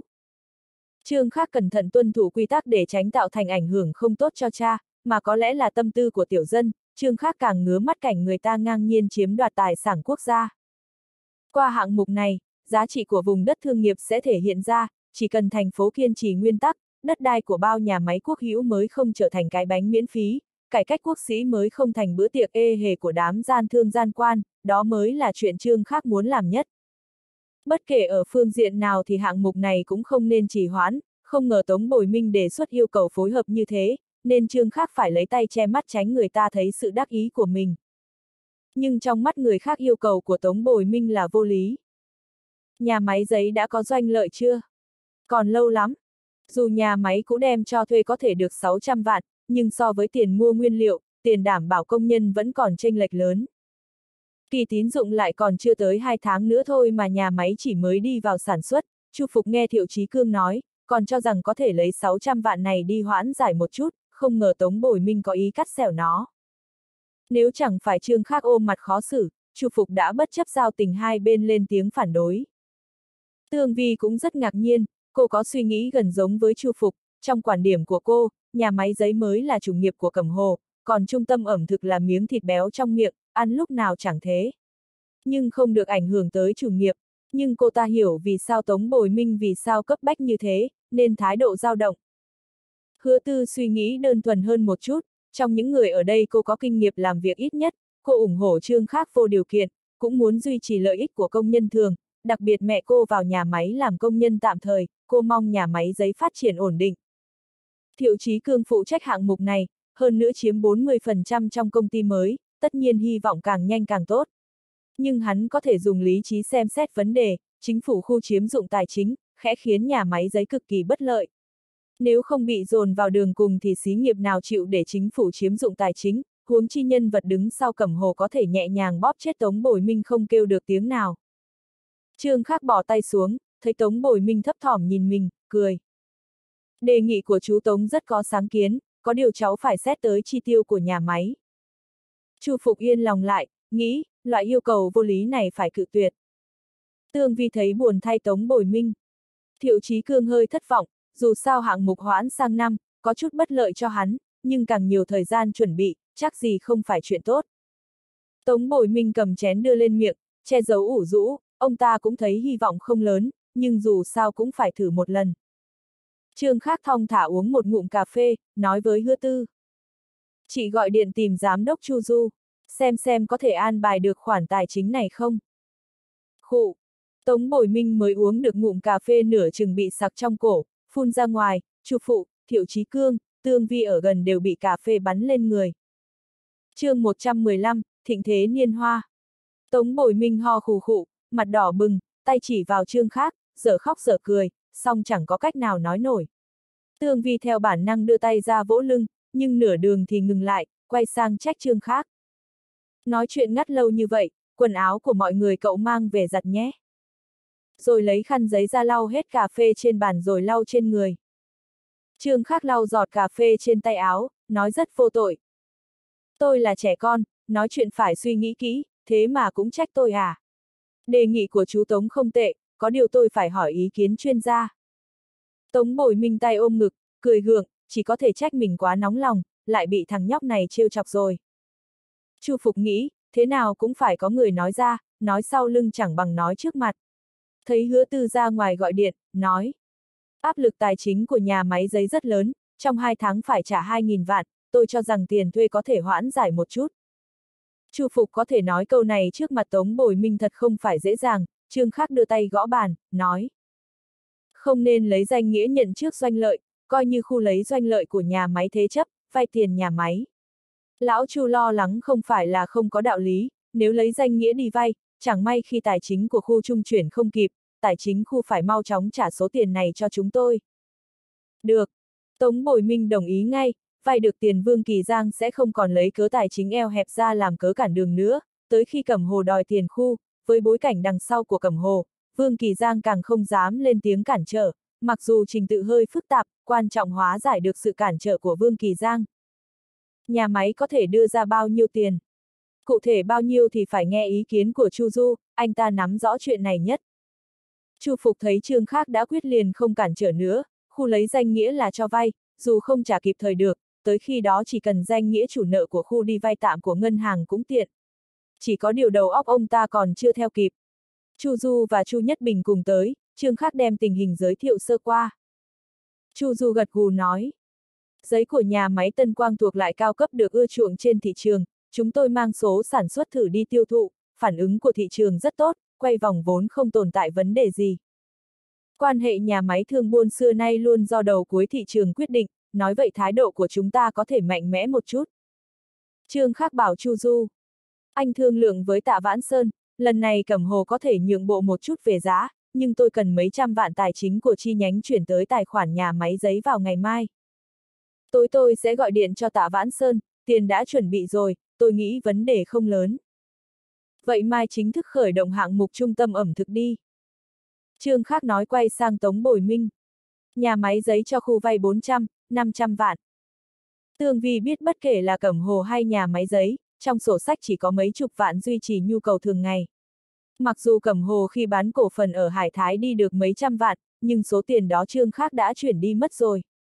Trong tay không có tiền mà quyết định ngày mai khởi động hạng mục hàng nghìn vạn, vậy mà chẳng ai nghi ngờ tính khả thi, Tương Vi thực sự không tưởng tượng được, trước kia cô ta chưa từng tiếp xúc với cách vận hành vốn.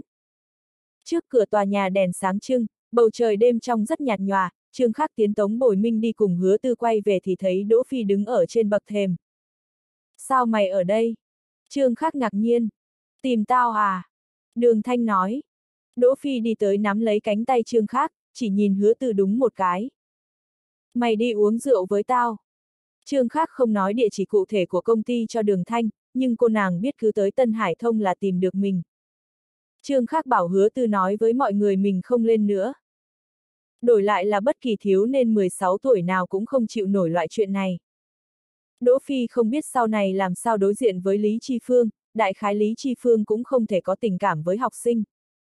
Loạn, Trương Khắc chẳng muốn nghĩ mấy chuyện kiểu này, nếu nghĩ không ra thì cùng Đỗ Phi đi uống một trận là điều quá tự nhiên.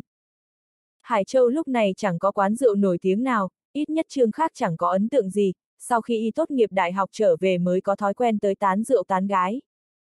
Bên cạnh nhà máy cũng có quán rượu kha khá ở tầng 2 sân trượt băng, nhưng Trương khác không thích ồn ào, mà ở đó có cái mùi khó ngửi, liền gọi taxi tới Bắc Sơn. Tới năm 98 ở Bắc Sơn quán rượu chi chít, Trương Khắc nghĩ lúc này thế nào cũng có vài quán, hỏi lái xe. Gần Bắc Sơn có quán ba nào tử tế chút không? Lái xe quay đầu lại nhìn hai người, Đỗ Phi cao lớn, nhưng trắng trẻo, lại không cố ý ăn mặc già dặn như Trương khác, nên trông rất non, có điều nhìn tướng mạo là biết con nhà có của. Bạn cậu có vẻ tâm tình không tốt. Mời thất tình, chẳng phải đang tìm chỗ uống rượu đấy sao? Quán ba ở Bắc Sơn đắt lắm, các cậu mang bao tiền. Lái xe quay lại, nhưng mắt vẫn quan sát hai người qua gương chiếu hậu. Tôi giới thiệu một chỗ, tuyệt đối là nơi giải sầu thất tình tốt nhất. Trương Khắc mỉm cười, tài xế taxi thường phối hợp các quán bar, viện thẩm mỹ, phòng tắm để bắt dê béo, có điều mục tiêu cơ bản là nhắm vào người làm công tới Hải Châu, không ngờ mình và Đỗ Phi bị coi là dê béo. Dù sao cũng là uống rượu, uống đâu chả thế, dù hôm nay có bị cắt xẻo, kiếm cơ hội gỡ lại là được, còn sợ bị thiệt ở vùng này sao? Trương Khắc chính là hạng chuyên sinh sự có ngán gì, nói. Được, anh thấy chỗ nào hay đưa chúng tôi tới, tôi trả thêm 10 đồng. Xe taxi vào một một con ngõ nhỏ, ánh đèn mập mờ, có mấy quán bar, nhưng biển hiệu không bắt mắt, dưới sắc đêm mông lung thấy nhiều xe công vụ đỗ phía trước, xe taxi dừng lại trước một quán ba trương khác ngẩng đầu lên nhìn biển, giật mình, thịnh thế niên hoa sau này danh tiếng lẫy lừng không ngờ lúc này chen lấn ở chỗ như thế. Trương khác thấy lái xe cũng theo xuống, biết ngay hắn coi mình là dê béo thực sự rồi, ông chủ thịnh thế niên hoa dùng cách này phất lên, cũng hợp với thân phận của hắn thôi, chỉ là chẳng biết hắn bắt đầu học quy củ từ lúc nào. Anh không cần vào. Trương khác lấy 50 đồng đưa cho hắn. Chỗ này là đủ rồi. Cho dù hắn lấy tiền chém khách của quán ba cũng chỉ được 20,30 đồng. Trương Khắc nghĩ sau này còn thường tới đây, không muốn lần đầu đã có chuyện không vui, chủ nơi này về sau là nhân vật có tiếng ở Hải Châu. Lái xe nhận lấy tiền, liếc nhìn ví của Trương Khắc, không nói gì quay lại xe.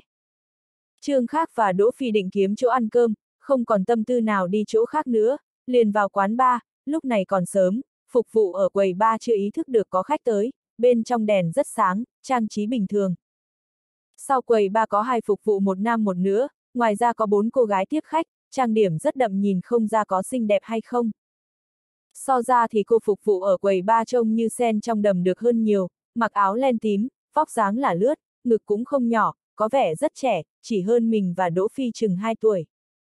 Đỗ Phi đi vào chỉ liếc nhìn mấy cô gái tiếp khách kia một cái, nhưng nhìn cô gái đó thêm vài cái.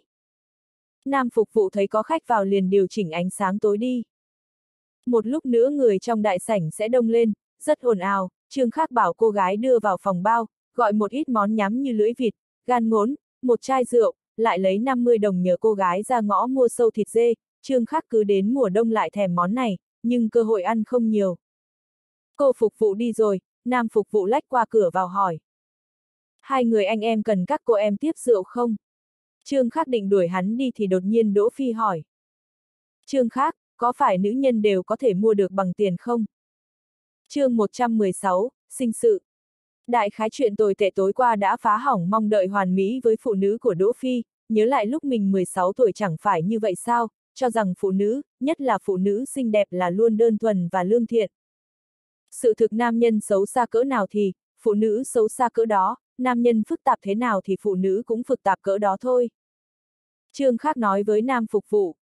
Mấy cô ở đại sảnh không cần, đợi lát nữa dẫn mấy cô bé trẻ tuổi vào đây. Nam phục vụ thấy Trương Khác lão luyện có chút kinh ngạc, song không nói gì thêm, lui ra ngoài. Trương Khác nhìn Đỗ Phi, hắn đã im lặng rất lâu rồi. Có một số cô gái đúng là có thể lấy tiền mua được, hơn nữa còn rất nhiều, nhưng không đáng trân trọng. Một số cô gái thì khác, bao nhiêu tiền cũng không thể có được họ. Còn về quan hệ giữa Lý Chi Phương và Vương Viêm Bân, khả năng không xấu xa như mày nghĩ đâu. Đỗ Phi thu mình trong ghế sofa, mắt nhìn trơ trơ về phía trước. Sự thực là ở đây. Trương khác chỉ vào đầu. Nam và nữ có suy nghĩ không khác nhau là bao, giống như cô bé vừa nãy, nếu ngồi trong đám gái gọi kia, cho dù chỉ là tiếp rượu, thu nhập dứt khoát sẽ hơn bây giờ nhiều lần, cô ấy cần tiền lương còm cõi làm công việc vất vả, nhưng đáng tôn kính hơn đám gái gọi ngồi trong góc. Thức ăn và hồng tửu được đưa lên trước, tiếp đó nam phục vụ dẫn hai cô gái tới, đèn trong phòng rất sáng, có thể nhìn thấy nếp nhăn ở khóe mắt họ, không đợi nam phục vụ nói gì, Trương Khác đã phất tay đuổi ra ngoài. Trương Khác đã không còn hứng thú với đám son phấn dung tục này lâu rồi, nhưng cho dù bầy ở bên cạnh cũng phải trẻ trung xinh đẹp, đỡ chướng mắt, quan trọng là các cô gái trẻ không có kinh nghiệm, mặt mỏng, không ép người tiêu pha, người lỡ cô ta đi thì sẽ được yên tĩnh. Trương Khác thấy Đỗ Phi ngồi ngay ngắn, liếc hai cô gái vào cửa một cái rồi tránh đi, có chút căng thẳng. Chắc là lần đầu tới chỗ thế này, chẳng biết mình dẫn hắn tới đây có phải là đúng không? Đổi lại hai cô gái khác, đúng là rất xinh đẹp, trang điểm không đậm, từ làn da mịn màng mà xét, không thể quá 20 tuổi. Trương Khác thầm nhủ may mắn, nếu không cô gái xinh đẹp thế này sớm bị người ta gọi đi rồi, một tối có thể chạy mấy quán. Trương Khác thuần túy coi họ là đồ trang trí, Đỗ Phi thì cứ như ngồi bên cạnh bàn trông, cô gái thấy hắn như thế, khoác lấy tay hắn, làm Đỗ Phi ngồi cứng ra mất nửa ngày. Trương Khác cười chạm cốc với Đỗ Phi, thế này có thể làm hắn thoát khỏi chuyện tối qua. Một lúc sau nam phục vụ đi vào nói có khách quen gọi hai cô gái này, đây vốn là chuyện không hợp quy củ, nhưng Trương Khác chả buồn so đo, và lại Đỗ Phi ở nhà, không thể về quá muốn, thấy hắn cũng chẳng lưu luyến gì cô gái bên cạnh, liền lấy 200 đồng đưa cho hai cô gái, rồi bảo phục vụ báo cho quầy ba tính tiền. Thế nào? Trương Khác dựa lưng vào ghế, hỏi. Bọn họ chính là các cô gái mua được bằng tiền, đẹp cỡ nào cũng có. Các cô ấy xinh đẹp như vậy, vì sao đi làm việc này? Đỗ Phi ngồi thẳng người tới đau lưng rồi.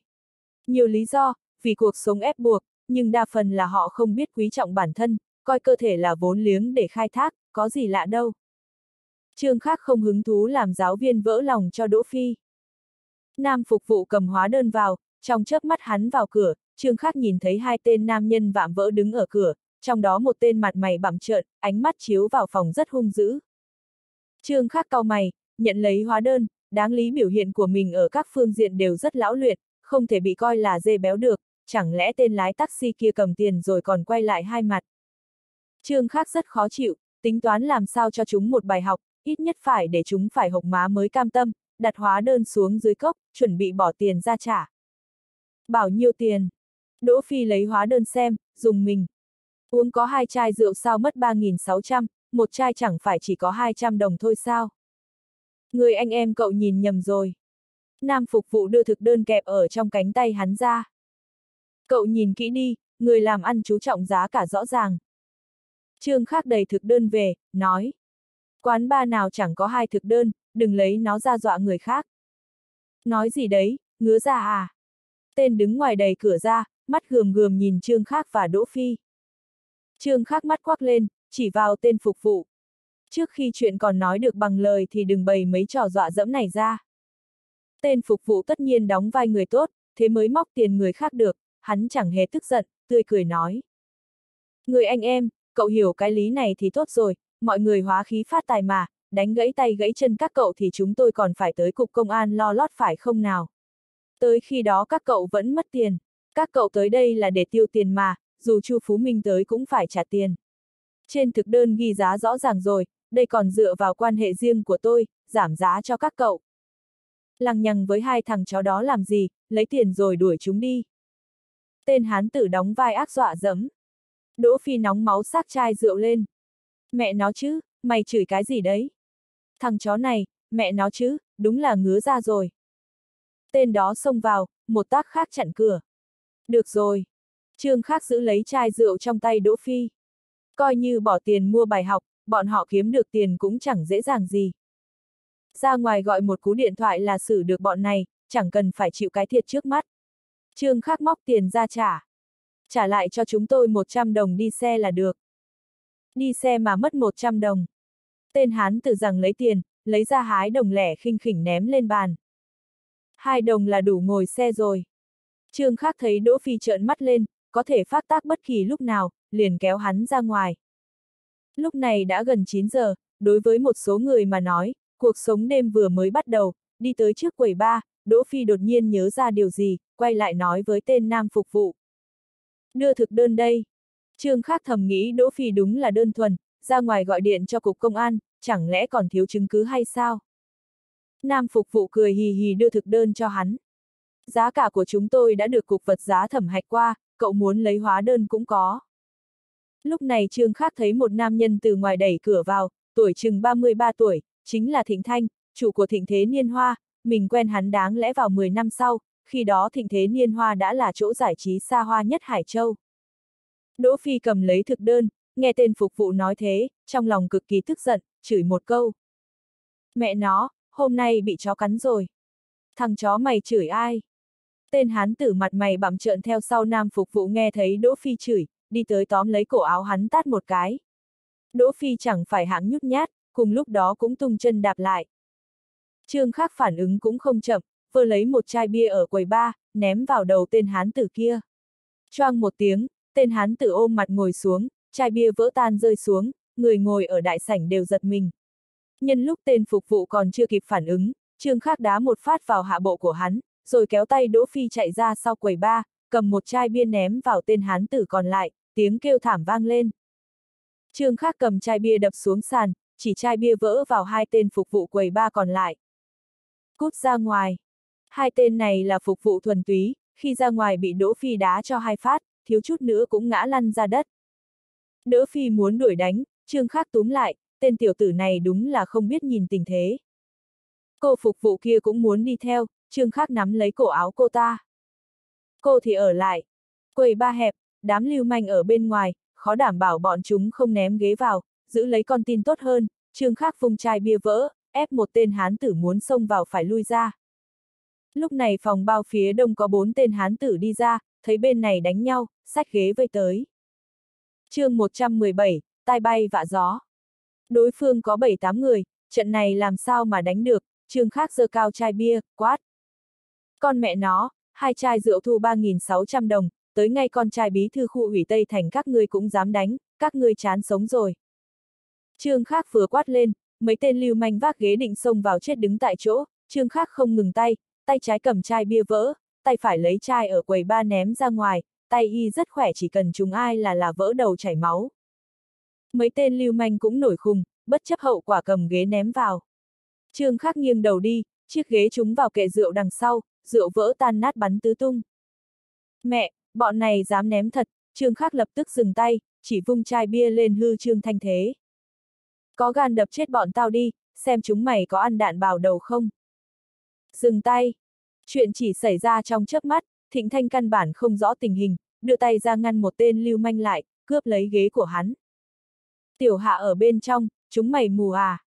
Hắn càng sợ sáu chữ bí thư khu ủy Tây Thành mà Trương Khác nói ra, quán ba dù sao cũng ở trên Tây Thành, nhà nội của Đỗ Tiểu Sơn mà mất một cọng lông nào ở đây thì hắn không gánh vác nổi.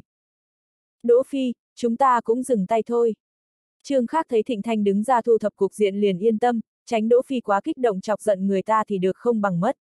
Quay đầu lại giật này mình, Đỗ Phi cao lớn như vậy không hiểu từ khi nào bị cô bé kia bẻ quạt tay ra sau, đau gập mình xuống, má bị xước, chắc là mảnh thủy tinh quét qua. Trương khác không ngờ cô gái kia tinh thông thuật phòng vệ, thức thời ném chai bia vỡ đi, thong dong từ sau quầy ba đi ra, nói.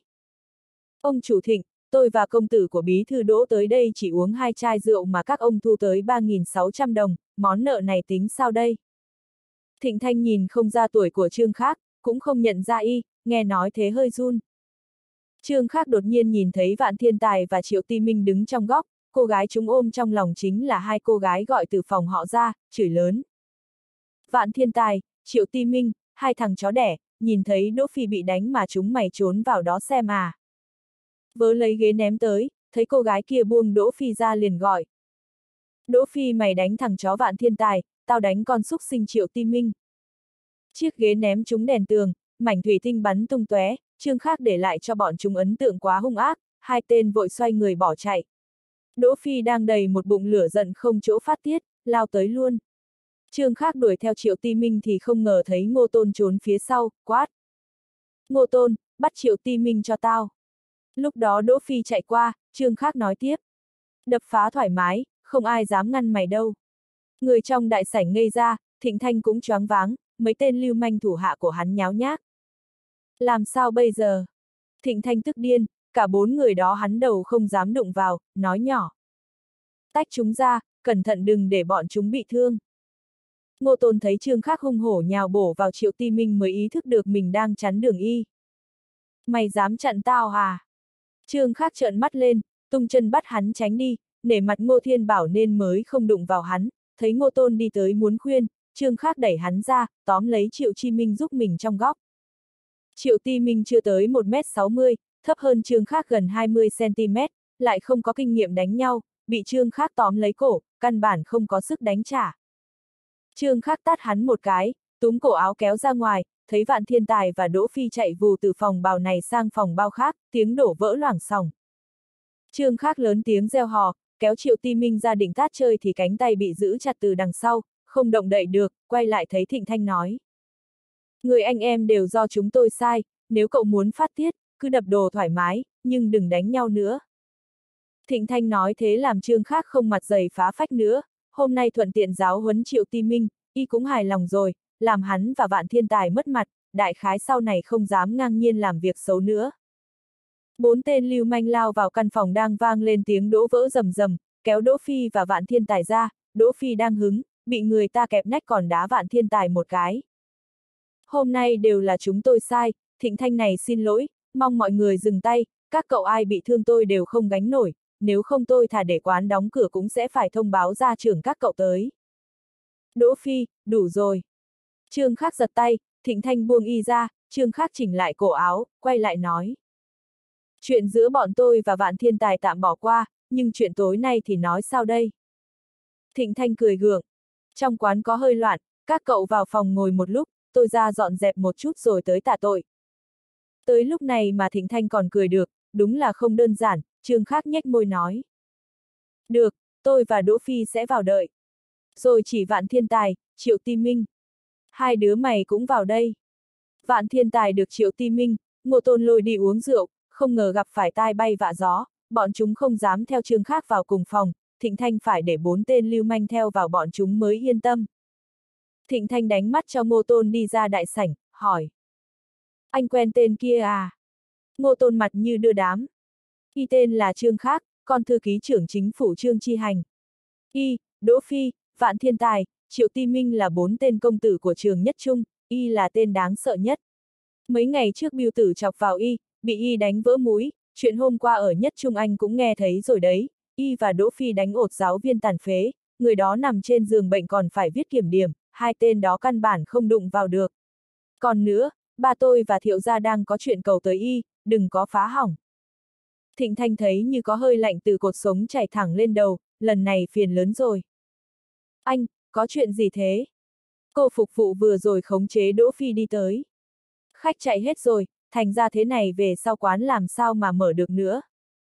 Tiểu hạ, em về chiếu cố mẹ, chuyện ở đây cứ để anh lo. Thịnh Thanh dặn em xong, rồi gọi điện thoại cho Ngô Thiên Bảo.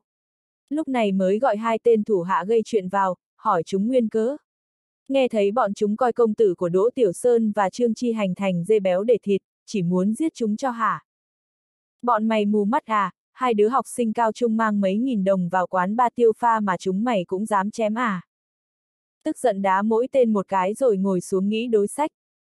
Ngô Thiên Bảo nhận được điện thoại nói Trương Khác đánh nhau ở quán ba, còn tưởng xảy ra chuyện lớn, lập tức gọi điện cho Thiệu Chí Cương. Thiệu Chí Cương dùng tốc độ nhanh nhất lái xe tới thịnh thế niên hoa, tất cả chỉ mất có 10 phút. Khác thiếu ra đâu? Ngô Thiên Bảo thấy đại sảnh tan hoang, có cả đấu máu, hoảng hồn hỏi Thịnh Thanh. Người đâu rồi, chuyện gì xảy ra? Người không sao cả, chỉ quán của tôi là thảm.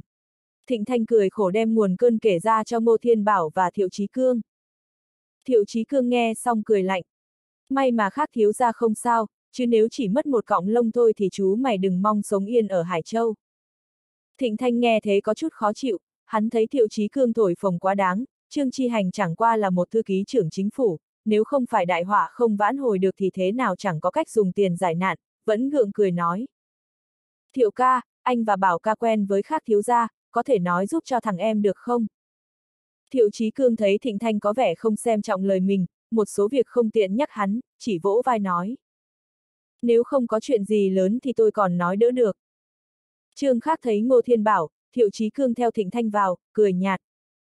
Lão Thiệu, sao rảnh rỗi quản vào chuyện không đâu này thế? Tôi ở công ty nghe được điện thoại của lão ngô, tưởng có chuyện gì lớn, bội vàng bỏ việc đó chạy tới. Thiệu Chí Cương liếc nhìn đám Đỗ Phi bên cạnh, chỉ có trương khác chỉnh tề nhất, không giống tham gia đánh nhau, biết với sự tinh mình của y thì khả năng bị thiệt thòi là nhỏ nhất, lòng nhẹ nhõm không ít. chương 118, Hoàn Khố Trương Khắc hỏi Vạn Thiên Tài và Triệu Ti Minh. Chuyện hôm nay tới đây cho qua, bọn mày ở lại ăn lót dạ không? Hai tên đó còn lòng dạ nào ăn với uống, đứng dậy đi luôn, Thịnh Thanh vội sai người gọi xe đưa chúng về. Bốn tên lưu manh cũng lui ra, Thịnh Thanh, Ngô Thiên Bảo, Thiệu Chí Cương cùng ngồi xuống, Ngô Tôn cũng định ngồi thì Trương Khắc nhướng mày nói. Lần trước tôi đã bảo với Ngô Tôn, tôi không thích Triệu Ti Minh. Ngô Thiên Bảo lòng run lên, nghe Thịnh Thanh kể, Trương Khắc và Đỗ Phi đuổi đánh hai tên Triệu, vạn là vì bọn chúng trước đó nấp ở bên xem báo nhiệt. Trừ khi có thủ với Thịnh Thanh, nếu không sao Ngô Tôn có thể ngồi yên bỏ mặc được. Hoàn toàn là do lúc đó không kịp phản ứng. Thực ra Đỗ Phi và người quán rượu đột nhiên động thủ, rồi Trương Khắc cầm chai bia ném người, Thịnh Thanh đứng ra ngăn cản, diễn ra rất nhanh, đầu óc Ngô Ton còn chưa tỉnh lại thì Trương Khắc và Đỗ Phi đã nhảy ra đuổi đánh hai tên kia. Ngô Thiên Bảo chẳng biết nhiều về Trương Khắc lắm, nhưng ông ta cũng được ngồi chiếc Audi biển quân đội một lần, đoán thế lực đằng sau nhà họ Trương không giống như mọi người nghĩ, mặc dù ông ta quen thân Trương Chi Phi, nhưng khó đảm bảo được gì. Đứng ra đây. Ngô Thiên Bảo quát con, rồi quay sang cười với Trương Khác. Trước kia tôi nói với chú cậu, thằng nhãi nhà tôi bằng nửa cậu là tôi yên tâm, ai, nó còn dám đi chung bọn triệu ti minh, tôi đánh gãy chân nó. Trương Khắc cười, hai tên kia bị đuổi đánh một trận, còn mặt mũi nào tới đây nữa, cũng không bận tâm lắm tới ngô tôn, thanh niên mới 20, làm việc đâu biết nghĩ tới hậu quả. Không cần phải thế, tôi và Đỗ Phi đợi cơ hội đánh vạn thiên tài một trận lâu rồi, sao bỏ qua được. Nói đứng nhìn gì đó chỉ là cái cớ thôi. Tôi thấy ngô tôn khi đó chẳng qua chưa kịp phản ứng, chứ tỉnh rằng cậu ta không đứng nhìn bỏ mặc đâu. Thịnh Thanh thấy ngữ khí như đang giáo huấn Thiệu Chí Cương và Ngô Thiên Bảo, lại còn tỏ ra lưu manh hơn đán lưu manh bọn chúng, lòng thấp thỏm bất an, sợ chuyện này khó dễ dàng qua nổi, người nhích tới, chỉ dám đặt nửa mông lên ghế. Khác thiếu ra nếu đã quen ngô ca, thiệu ca vậy chúng ta thành quân ta đánh quân mình mất rồi. Chuyện hôm nay đều do kẻ dưới tôi mù mắt, muốn xử trí ra sao, khác thiếu ra cứ nói một câu. Mày nói xem, làm sao đây? Trương Khác quay sang hỏi Đỗ Phi. Kẻ nào tát vào mặt tao là tao chặt tay nó, nếu không sợ nó không nhớ. Thịnh Thanh tái mặt, không ngờ Trương Khác ít tuổi mà tàn nhẫn như thế, há miệng ra muốn lấy tay người ta. Thịnh Thanh nhìn Ngô Thiên Bảo và Thiệu Chí Cương, mong họ nói đỡ. Cả hai khoanh tay không nói, nếu họ bị người ta tát trước đám đông, chỉ cần có khả năng thế nào cũng khiến đối phương phải tan nhà nát cả, huống hồ thiếu niên 16 tuổi nóng máu dễ kích động.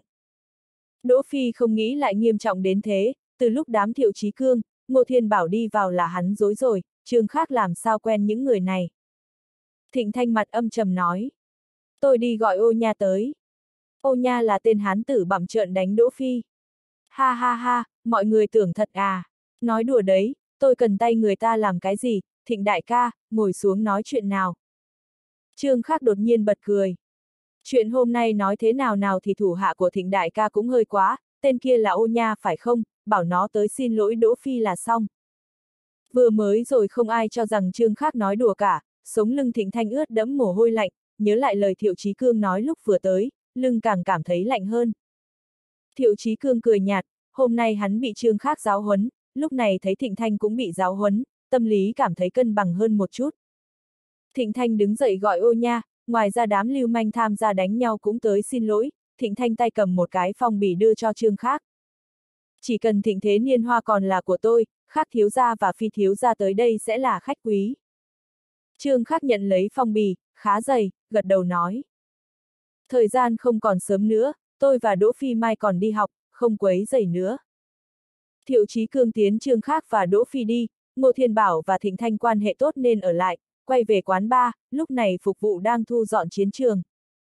Ngô Thiên Bảo hỏi, người anh em, lần này tổn thất không nhỏ hả? Bỏ tiền giải nạn, qua được việc này là yên tâm rồi. Thịnh Thanh cười khổ, chú mày đừng coi thường lời lão thiệu. Ngô Thiên Bảo nhắc nhở, thằng nhóc đó lợi hại lắm, chú mày thấy rồi đấy, nhà nó quan hệ rất tốt với đường học khiêm, bên trên nữa còn có người, chúng ta không đụng vào nổi đâu. Tôi và chú của nó là bạn học sơ chung, nếu không nó chẳng thèm để ý. Mà tôi bảo đừng qua lại với bọn vạn thiên tài, cậu không chịu nhớ à? Ông nội vạn thiên tài là chủ nhiệm hội đồng nhân dân, ba cũng là chủ nhiệm ủy ban mậu dịch, sợ gì trương chi hành. Ngô tôn lẩm bẩm, mày mù à con, trước khi tao tới chỗ này ai đuổi đánh ai. Ngô Thiên Bảo trợn mắt nhìn con trai. Chuyện ở trên thành phố chúng ta không có tư cách xen vào, nhưng không thể lấy lòng cả hai bên, chuyện này khiến người ta ghét. Thịnh Thanh biết Ngô Thiên Bảo mượn giáo huấn con để nhắc nhở mình, lãnh đạo thành phố đấu đá nhau, đám tôm tép bọn chúng đúng là không thể xen vào, nếu không chúng một đòn là tan xương nát thịt, song không thể đắc tội ai, đúng là đau đầu. Trương Khác bảo Thiệu Chí Cương đưa về nhà trọ, Đỗ Phi không bị thương, nhưng mặt bị xước, áo rách mấy chỗ, không thể để hắn về nhà như vậy được.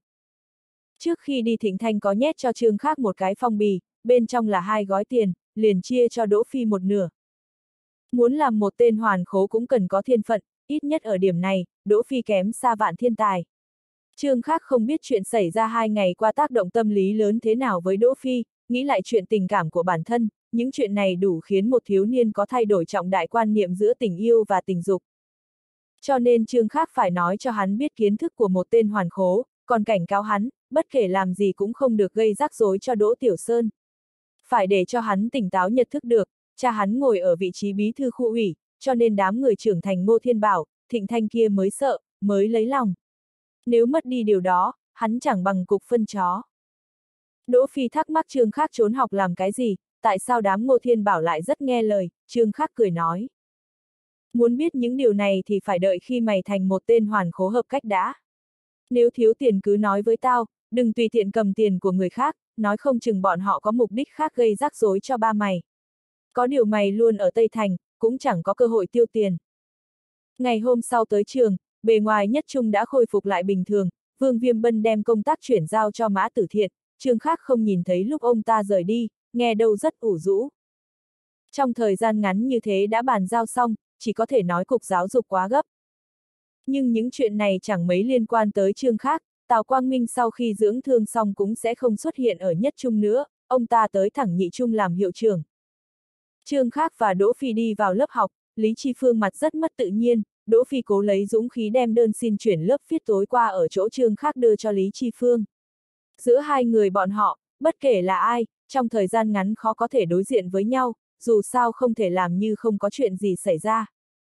Nộp đơn xong, Đỗ Phi rời khỏi lớp học, Lý Chi Phương cứ đứng lặng người tại chỗ, cô ta nhìn thấy hai vết thương dài trên mặt Đỗ Phi, muốn hỏi nhưng không lên tiếng được.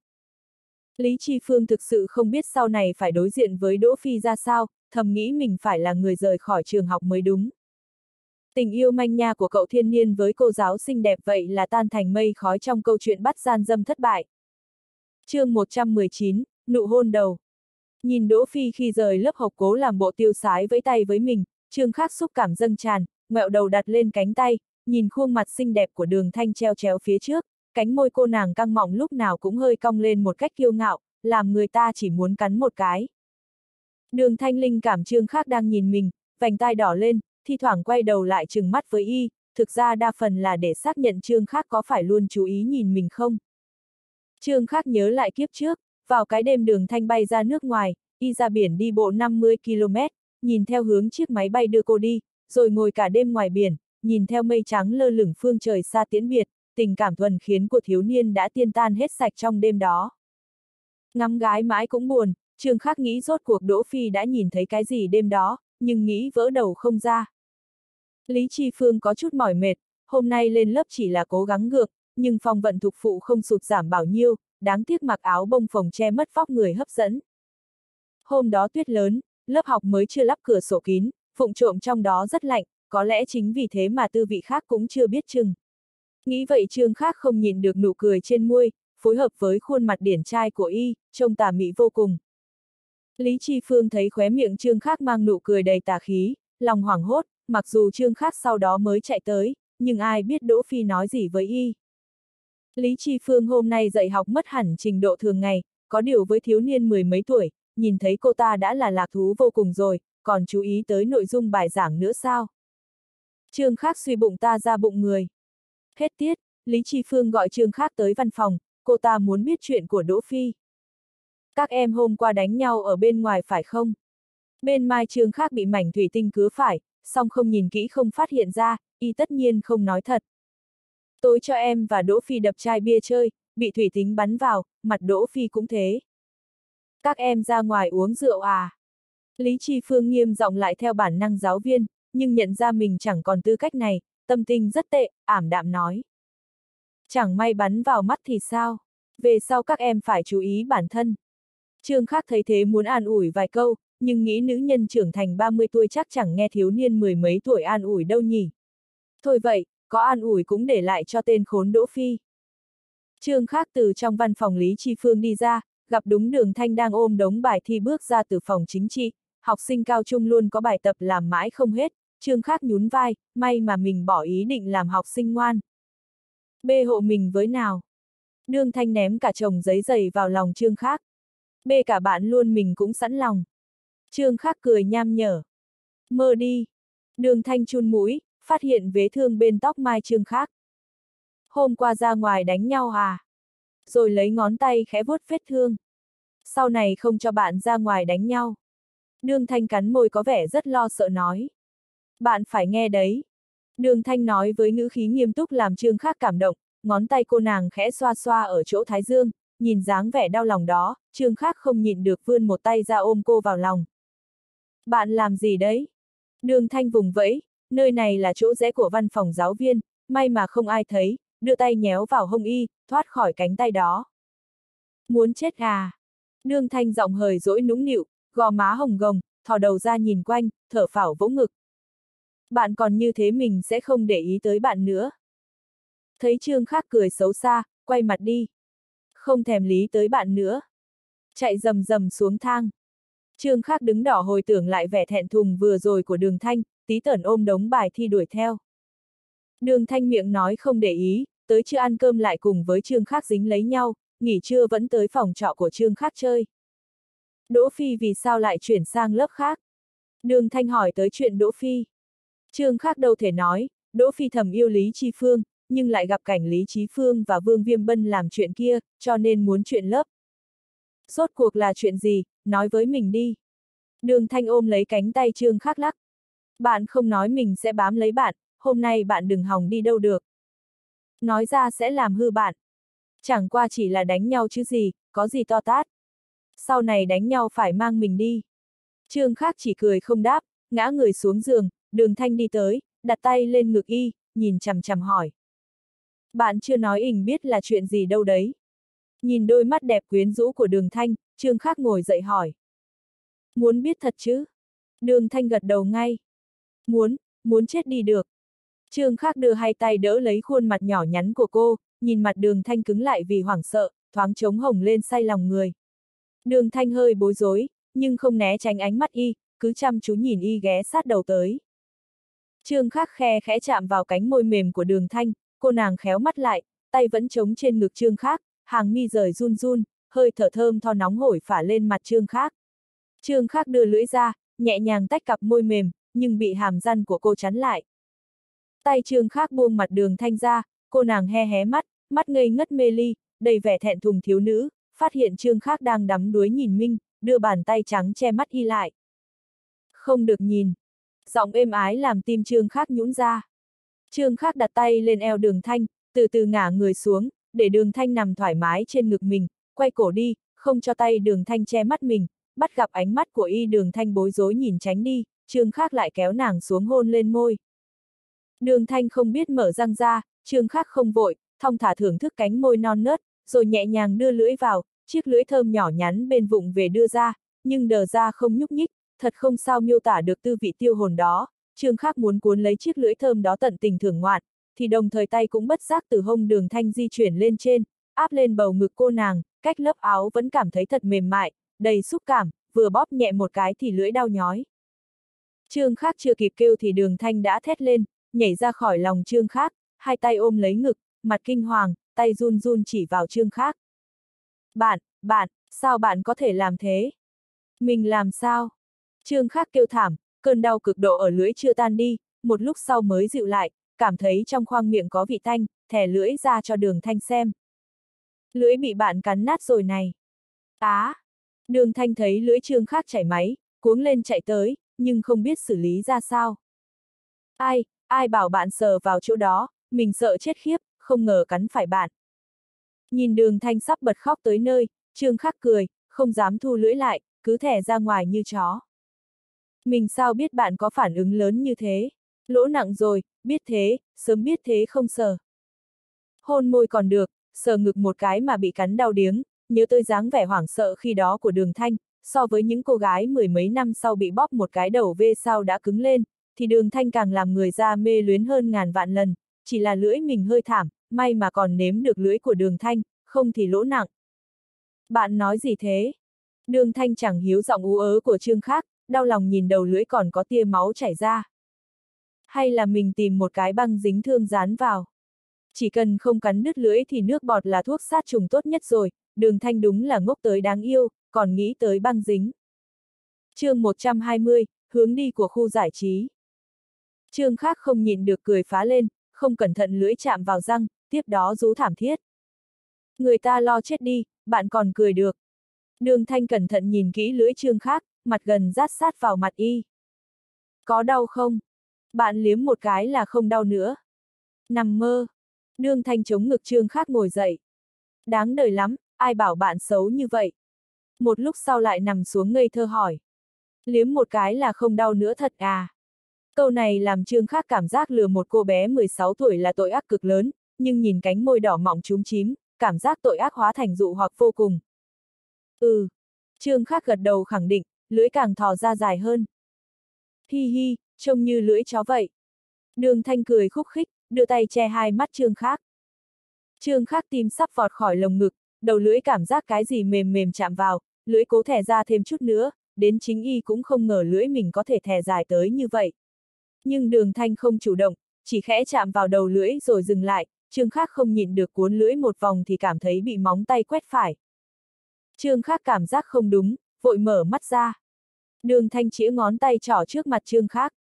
Đồ háo sắc, mình biết ngay mà. Nụ cười xấu xa y trang Trương Khác. Bạn học xấu từ khi nào đấy? Trương Khác không dám hành động bừa, hai tay ôm lấy eo đường thanh để cô nằm úp lên ngực mình, cảm thụ thứ mềm mại phồng phồng trên ngực, tiếc là lưỡi không thể dùng, tay cũng không dám làm bậy, chỉ có thể chăm chú ngắm nhìn khuôn mặt tuyệt mỹ trước mắt, nhìn như bù đắp lại 10 năm xa cách, đến giờ y thực sự hòa nhập lại được tình cảm của thiếu niên với đường thanh. Đường thanh dùng ngón tay trỏ khẽ đè lên lưỡi trương khác, còn không ngừng dụ trương khác nói chuyện. Nói chuyện chừng nửa tiếng, chỗ bị cắn không đau nữa, nhưng cứ cử động lưỡi là lại đau. Trong lớp học, đường thanh tiếp tục dụ trương khác nói chuyện, trương khác đành bày ra vẻ nghiêm nghị, nói chuyện lúc này hậu quả không phải trò đùa, tối lại còn họp ở công ty, thật đau đầu, không biết giải thích ra sao đây. Nếu nói thật không phải người ta cười cho thối mũi sao. Hết cách, hạng mục trung tâm ẩm thực đã quyết định chính thức khởi động, có cả đống việc phải làm, còn chưa biết tạ Vãn Sơn có đồng ý chuyển tiền hay không. Hôm kia trời đổ tuyết lớn, mặt đất phủ lớp tuyết dày trắng xóa, trời phải tạnh vài ngày mới tan hết được, chiều tan học, nhờ có tuyết nên trời vẫn thấy sáng, chỉ là lạnh chết được. Nhiệt độ giảm xuống dưới không độ, đường thanh không ở lại trường ôn luyện buổi tối, Trương Khác đưa cô nàng về nhà trước sau đó mới tới công ty, Hải Châu nhỏ, ngồi taxi thì chỉ mất chưa tới nửa tiếng. Lưỡi vẫn còn đau, Trương Khác đi thẳng vào văn phòng hứa tư nói. Cuộc họp hôm nay chị chủ trì, em không nói gì hết. Cậu nói gì? Hứa tư thấy giọng Trương Khác nói không rõ chữ lắm, nghi hoặc hỏi. Lưỡi làm sao thế? Cuộc họp hôm nay chị chủ trì, em không nói gì hết. Trương Khắc nhắc lại một lượt, thấy hứa tư quan tâm tới gần, chột dạ quay mặt đi. Cắn phải lưỡi à? Hứa tư tò mò hỏi, nhưng thấy thái độ y không đúng, hỏi tiếp. Bị cô bé nào cắn phải lưỡi đúng không? Chưa ăn cơm cắn phải lưỡi. Trực giác phụ nữ thật khủng bố, nhưng Trương Khắc dứt khoát không thừa nhận với hứa tư. Có vài thứ tôi không biết, nhưng tôi không ngốc. Hứa tư cười tủm tỉm hôm nay cậu bắt nạt cô bé nào lại để bị cắn cả lưỡi, thè ra cho tôi xem. Thấy hứa tư chẳng hề ghen, trong lòng trương khác có chút thất vọng, thè lưỡi ra cho cô xem. Hứa tư giống đường thanh, đưa ngón tay ra chạm vào lưỡi y, hỏi. Có đau không? Đau. Trương khác gật đầu rất tội nghiệp. Đáng đời, xem sau này cậu còn dám lăng nhăng nữa không? Đừng nói nữa, ngày mai sẽ ổn thôi. Vậy buổi tôi em phải ăn gì? Trương Khắc thè lưỡi ra nói chuyện. Khó coi chết đi, mau rụt lại. Hứa tư nhịn cười, đè ngón tay lên lưới Trương Khắc, không cho y nói nữa. Cho đói một bữa. Á! Tương Vi đẩy cửa vào, nhìn thấy cảnh đó, khẽ kêu lên, rồi cười hỏi. Không làm phiền hai người chứ? Trương Khắc ăn cơm cắn phải lưỡi. Hứa tư đỏ mặt, vội nói dối giúp Trương khác, còn bổ sung thêm cho thật. Lớn chừng đó rồi còn cắn phải lưỡi. Nói ra thực kỳ quái, trong lòng hứa tư đột nhiên hy vọng sự thật đúng là như thế. Tương Vi cười ám muội, hỏi Trương khác, Vậy có họp không? Trương khác vẫn phải lè lưỡi nói.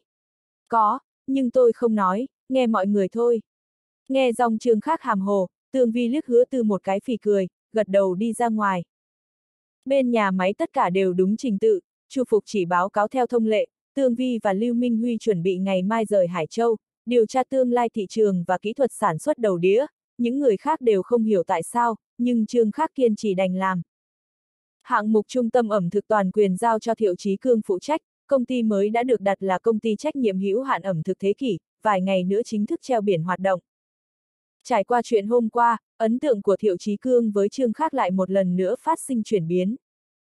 Trương Khắc chẳng ngại chuyện đó tạo ảnh hưởng xấu tới mình, đối với thiếu niên mà nói, tiếng xấu càng được người khác chú ý.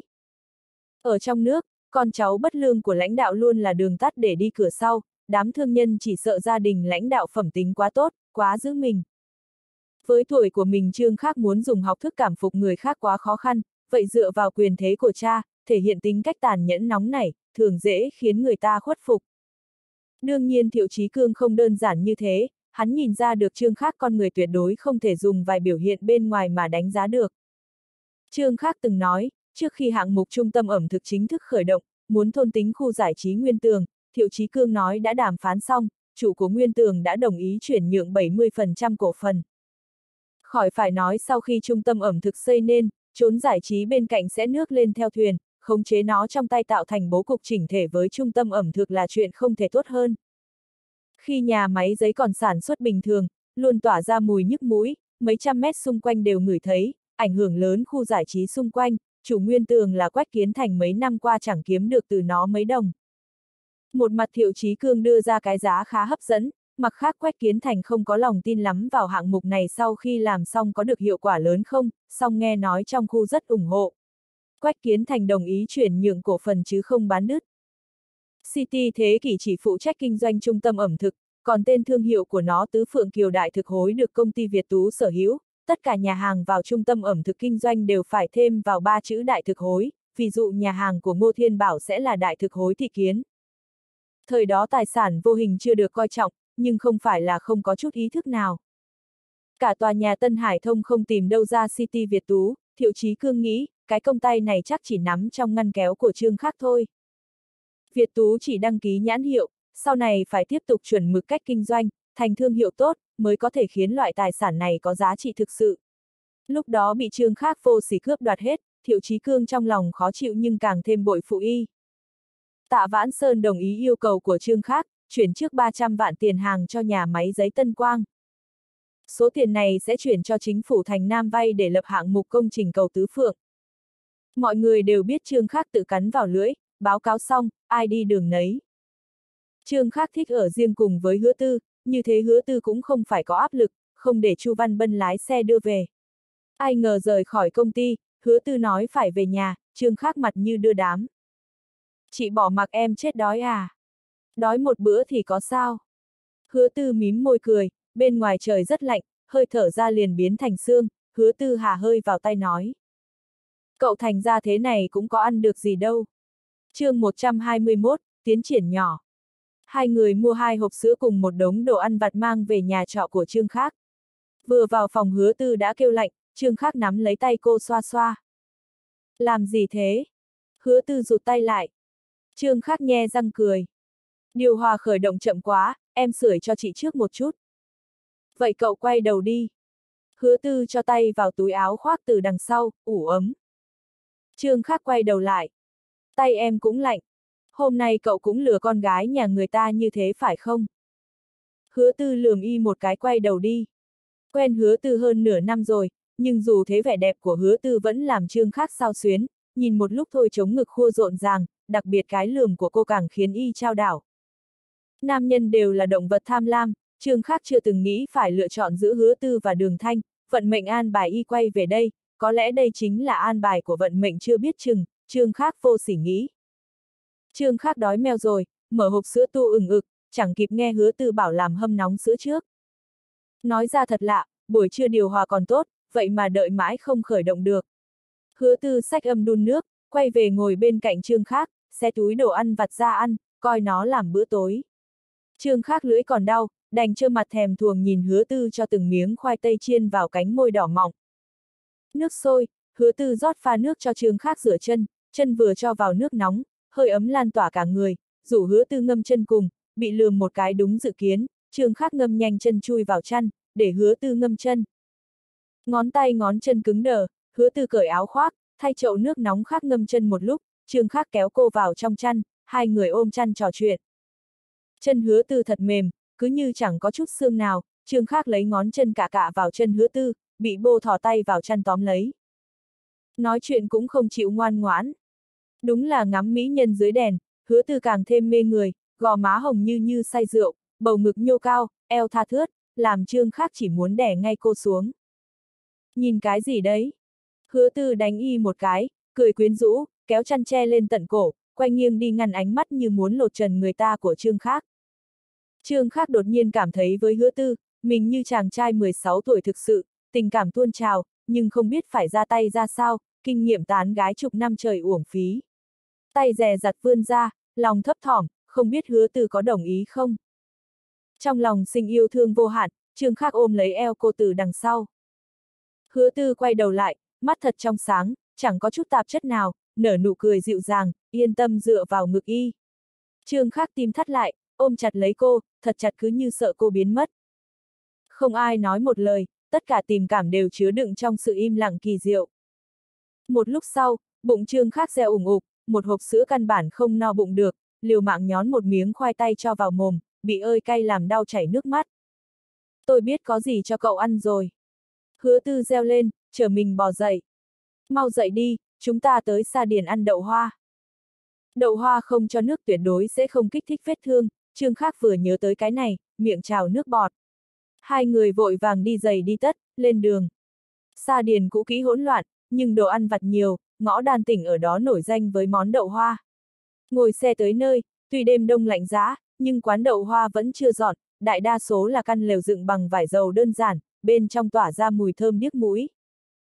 Vào mùa đông, buổi tối 9-10 giờ rất ít người ra đường, nhưng trước quán đậu hoa thực khách vẫn không ít, Trương Khác và Hứa Tư chọn chỗ sạch sẽ ngồi xuống. Hứa Tư gọi hai bát đậu hoa, Trương Khắc bụng đói meo, mặc kệ 3721 bưng ngay bát lên gịnh ăn, Hứa Tư hỏi. Cậu không sợ nóng à?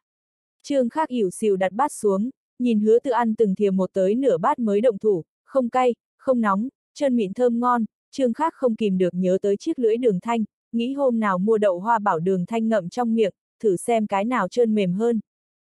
Nghĩ cái gì đấy? Hứa tư thấy trương Khắc mắt ngơ ra cười ngốc nghếch, xua xua tay trước mặt y. Trương khác tỉnh lại, liếc nhìn thấy ngô tôn và hai tên thanh niên đi vào, có một tên hôm nọ trêu ghẹo Trần Phi Dung. Vừa nhìn thấy trương khác, hắn tái mặt, tên thanh niên còn lại chỉ nhìn thấy hứa tư, huyết sáo định sán đến. Ngô tôn vội vung tay tát cho tên đó một cái trời giáng, không thèm nhìn bộ dạng ủy khuất của hắn, cung kính đi trước mặt trương khác. Khác thiếu ra hôm nay rảnh rỗi tới đây ăn ạ. À. Trương khác không muốn thẻ lưỡi ra nói chuyện với người khác, phất tay bảo hắn xéo càng xa càng tốt. Nhìn ngô tôn và hai tên lưu manh rúm gió lui ra ngoài, hứa tư hỏi. Cậu quen bọn chúng khi nào thế? À, đó là con trai ngô thiên bảo, còn một tên lần trước bắt nạt Trần Phi Dung. Trương Khắc giọng hàm hồ đem chuyện đại náo thịnh thế niên hoa kể cho hứa tư. Vết thương trên mặt trương Khắc không rõ, hứa tư lúc này mới nhìn ra, qua chuyện hồi tối quan hệ giữa hai người âm thầm tiến tới giai đoạn mới, hứa tư rất tự nhiên đưa tay ra sở vết thương của trương Khắc, giọng lo lắng dặn. Sau này ít đánh nhau thôi, chẳng may bị thương thì làm sao? Ừ. Trương khác lòng êm ái, gật đầu ngay, ăn hết đậu hoa trong bát lại gọi thêm bát nữa, định chuẩn bị cho bữa sáng mai. Để đến ngày mai sao còn ăn được nữa? Sáng mai tôi mang tới cho. Trương khác lòng lâng lâng tiến hứa tư về nhà, sau đó mới về nhà trọ, lưỡi vẫn còn đau, lại nhớ tới dáng vẻ thẹn thò đáng yêu đường thanh.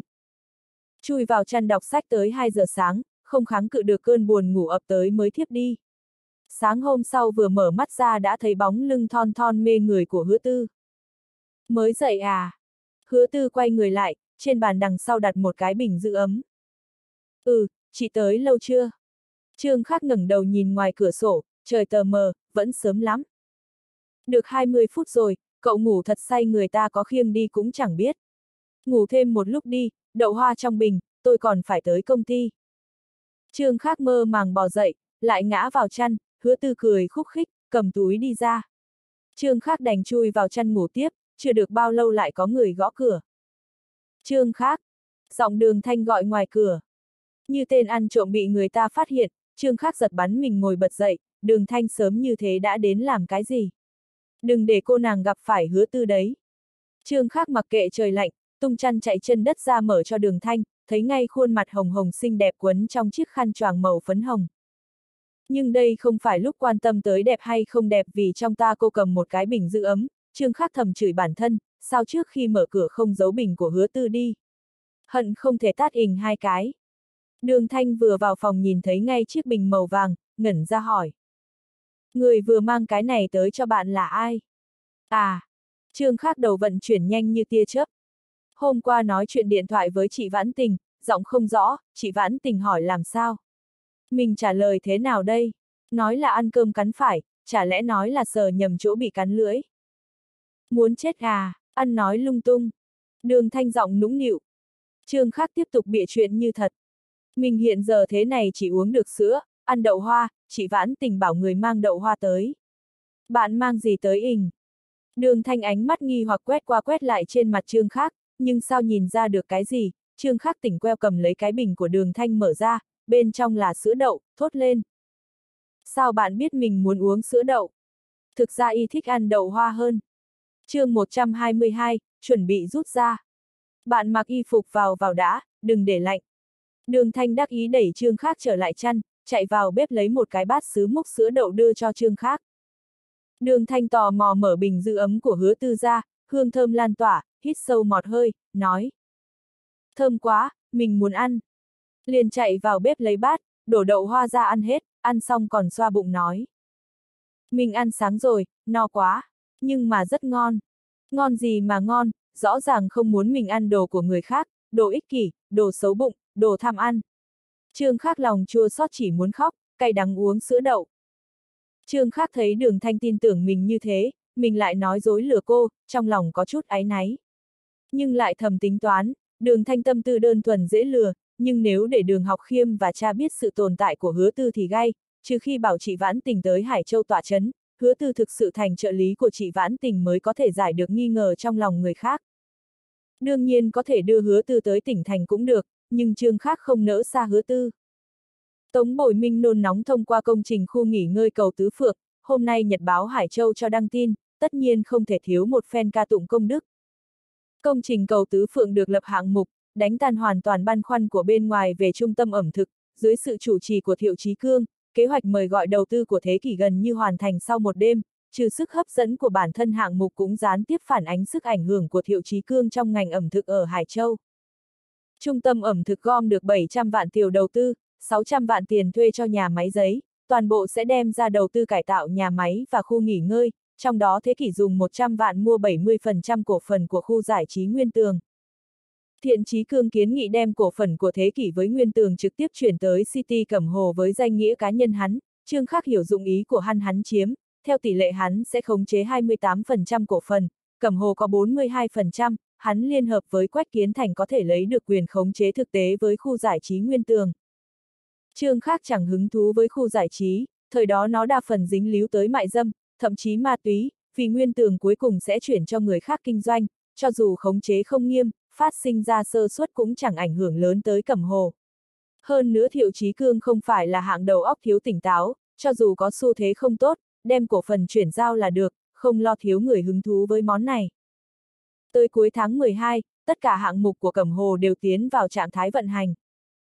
Suốt cả tháng 12, Tạ Vãn Tình rất ít quan tâm tới phía bên Hải Châu, tới cuối tháng, công ty Hải Dụ hoàn toàn điều chỉnh xong, tài sản chủ yếu là 20% cổ phần ở Hải Thái, một tầng lầu ở tòa nhà Cẩm Hoa, một ít tài chính không nhiều, số nghiệp vụ ít tới đáng thương và chẳng còn mấy nhân viên. Dùng lời của tạ vãn tình là, Hải Dụ hiện giờ còn giống công ty ma hơn cả Cẩm Hồ. Xử lý xong chuyện của City Hải Dụ, tạ vãn tình mới có tinh lực chú ý tới Hải Châu. Nhà máy Tân Quang sau khi được bao thầu bùng lên một sức sống hoàn toàn mới, sau khi đợt giấy thứ nhất đưa ra, Chu Phục tìm Trương Khắc kiến nghị nâng cao giá tiêu thụ, Trương Khắc thông báo cho Hải Thái nâng giá, Hải Thái là nhà tiêu thụ cấp 1, nhận tiêu thụ toàn bộ sản phẩm của nhà máy giấy, chỉ cần thương nhân tiêu thụ cấp dưới không có ý kiến, bọn họ cũng không ngại nâng cao giá bán. Với nhu cầu dùng giấy cao cấp của thị trường quốc nội hiện nay, Tạ Vãn Sơn biết Hải Thái không thể lũng đoạn tiêu thụ của nhà máy giấy, ngược lại với tình hình hiện tại nhà máy giấy có thể đá đít Hải Thái tổ chức tự tiêu thụ, hơn nữa hắn cũng không muốn quan hệ với Tạ Vãn Tình quá cương. Tống Bồi Minh thì bắt đầu suy tính làm sao để miêu tả thành công lớn của việc cải tạo nhà máy giấy, mặc dù Cẩm Hồ mới là kẻ thu được lợi lớn nhất, nhưng không ai có thể phủ nhận chính tích trói mắt của Tống Bồi Minh. Đường học khiêm quan tâm tới nhà máy giấy từ khi hạng mục trung tâm ẩm thực xuất hiện, cho ông ta một phương án giải quyết vấn đề thua lỗ kéo dài của quốc sĩ, trước đó ông ta nhờ Trương Chi Hành dụ lời của Trương Khác. Đêm mưa tuyết đỗ phi đánh Tào Quang Minh, Trương Chi Hành đã hỏi Trương Khác chuyện này, nhưng vì thời gian quá muộn, đề tài này chỉ hoãn mãi chưa có thời gian tiếp tục. Đường học khiêm từ phía Tống Bồi Minh biết được một số tình huống gần đây của nhà máy giấy, tình thế cổ vũ lòng người, hơi sốt ruột muốn biết thêm chi tiết. Tạ vãn tình lần này tới Hải Châu, ông liền thông qua Trương Chi Hành, mời cô tới nhà hàng Tây Thành dùng tiệc, còn gọi Tống Bồi Minh tiếp. Trương Khác biết ý đồ mời khách của đường học khiêm, nhưng Trương Khác lo vấn đề khác, lần trước ở nhà trọ, đường Thanh đã nhìn thấy hứa tư, hứa tư không lưu ý thấy đường Thanh, vấn đề này thế nào cũng phải giải quyết. Tạ vãn tình vừa tới công ty, Trương Khác liền hỏi. Chuyện bên phía Cẩm Hồ, liệu có thể giao cho chị vãn tình được không? Sao thế, em đang làm tốt lắm mà. Tạ vãn tình lấy làm lạ. Chị mà quản lý chắc chắn sẽ hỗn loạn hơn em. Tương Vi, Chu Phục, Thiệu Chí Cương bị em chấn áp không động đậy được, nhìn bề ngoài thì rất yên bình, nhưng trong lòng bọn họ không phục một thằng nhóc, tất cả là nhờ bác tử chống lưng cho em. Trương khác rất rõ, Tống Bồi Minh, Thiệu trí Cương, Tương Vi tất cả chỉ mong qua y có liên hệ với Từ Học Bình. Cách làm này không lâu dài, tuổi tác của em không thể làm bọn họ tín nhiệm. Sao lại không, Tương Vi lần trước tới tỉnh thành có nhắc tới em, tỏ ra rất khâm phục. Dù Chu Du, Thiệu Chi Cương tâm lý có chút không thoải mái, nhưng bọn họ sẽ mau chóng bị thực tế cảm phục thôi. Nếu mục tiêu của Cẩm Hồ lớn hơn nữa, nhân viên phức tạp hơn nữa, bọn họ sẽ lại nghi ngờ. Trương Khắc tiếp tục khuyên. Nhà máy giấy cải tạo tới mức này coi như đã thành công, tiếp tới là chỉnh đốn vấn đề quản lý còn tồn tại, điều này nhắm vào cao tầng quản lý, chỉ dựa vào chút thủ đoạn cáo mượn oai hùng của em sợ là không ăn thua. Đêm cùng hứa từ từ tỉnh thành về, ba em đã hỏi tới chuyện nhà máy giấy, hy vọng cầm hồ tổng kết kinh nghiệm, tối nay khẳng định sẽ bàn tới việc này. Ừ, hiện giờ đang đẩy mạnh cải cách quốc sĩ, ông nội chỉ đồng nói kinh nghiệm nhà máy giấy rất có giá trị tham khảo. Trương Khác thất vọng lắc đầu. Kinh nghiệm của Cẩm Hồ không thể tham khảo, mô hình của chúng ta chỉnh thế là phải để quản lý xí nghiệp chuyên nghiệp hóa, nhưng người khác không nhìn thấy cái này, bọn họ chỉ nhìn thấy việc nhà máy bắt công nhân đóng tiền đảm bảo gom tài chính, lại dụng tín dụng thời gian ngắn. Điều này hoàn toàn đi ngược dụng ý ban đầu của Trương Khác, lý tưởng thì rất đẹp, nhưng nửa đường y mới nhận ra không xong. Lúc này chuông điện thoại vang lên, dục họ tới nhà hàng Tây Thành, Trương khắc đành lên xe nói đại khái suy nghĩ của mình. Tới nhà hàng Tây Thành, được phục vụ dẫn tới phòng bao, Trương khắc đẩy cửa nhìn, đường học khiêm, Tống Bồi Minh đều ngồi trong, hít sâu một hơi, hỏi. Tam đường hội thẩm đây mà, ba cháu đâu ạ? À? Ba cháu xuống gọi món rồi. Đường học khiêm đứng dậy mới tả vãn tình vào chỗ, Tống Bồi Minh cũng không dám ngồi yên. Dì cố và đường thanh hôm nay bận ạ. À. Trương khắc ngó quanh. Lần này lấy danh nghĩa chính phủ chiêu đãi bà vãn tình và cháu, chỉ có năm chúng ta thôi. Đường học khiêm cười nói. Trương khắc kéo ghế ngồi xuống, nói với tạ vãn tình. Chị vãn tình, tiệc chẳng có gì ngon, bác đường đuổi hết quần chúng vô tội rồi, chúng ta đi tìm chỗ khác ăn cơm thôi. Trong lòng nghĩ, đường thanh không tới cũng tốt, nếu không đột nhiên hỏi tới chuyện hứa tư thì nguy to. Trương khác đoán nhất thời đường thanh không nhớ ra hứa tư, nhưng có khi một lúc nào đó sẽ nhớ ra, dù sao vẻ đẹp của hứa tư là độc nhất vô nhị, dù nam hay nữ nhìn một lần là rất khó quên. Trương Khắc kéo tay tạ vãn tình làm bộ muốn đi, Trương Chi Hành từ ngoài cửa vào, đưa tay bóp cổ Trương Khắc. Thằng nhóc, bao nhiêu ngày không về nhà rồi, giờ còn định trốn đâu? Có phải hơn 10 ngày nữa là thi cuối kỳ, lần này định làm ba mất mặt thế nào nữa đây? Trương Khắc vội xin tha, vài ngày nữa Tương Vi và Lưu Minh Huy, đúng là không còn thời gian lo chuyện thi cử, mặt dày nói. Con đang nỗ lực, sau này càng nỗ lực hơn. Mọi người cười vui vẻ nhập tiệc, nửa buổi tiệc, chủ đề chuyển sang đề tài nhà máy Tân Quang. chương 123, chặn tài lộ của người khác. Trương khác trước đó đã trao đổi với tạ vãn tình trên xe hết cả rồi, tạ vãn tình nói. Về quản lý có nhân sĩ chuyên nghiệp, phương án cùng tiểu khác tham khảo, bên phía chính thái cũng khá quan tâm, hiện giờ xem ra được tính là thành công. Nói thế giảm công lao trương khác đi một nửa, tạ vãn tình không hiểu sao trương khác kiên trì muốn làm thế, lại nói. Tiểu khác cũng rất quen thuộc việc vận hành cụ thể của cầm hồ. Trương khác làm thế một là tránh bản thân quá nổi bật, hai là cho đường học khiêm và tống bồi minh có ấn tượng tạ vãn tình luôn khống chế vận hành cẩm hồ từ xa, cho dù chuyện hứa tư ở cẩm hồ bị phát hiện, đường học khiêm cũng sẽ tin hứa tư là trợ thủ của tạ vãn tình tại Hải Châu. Đường khiêm đâu biết mưu mô trong lòng trương khác, nói.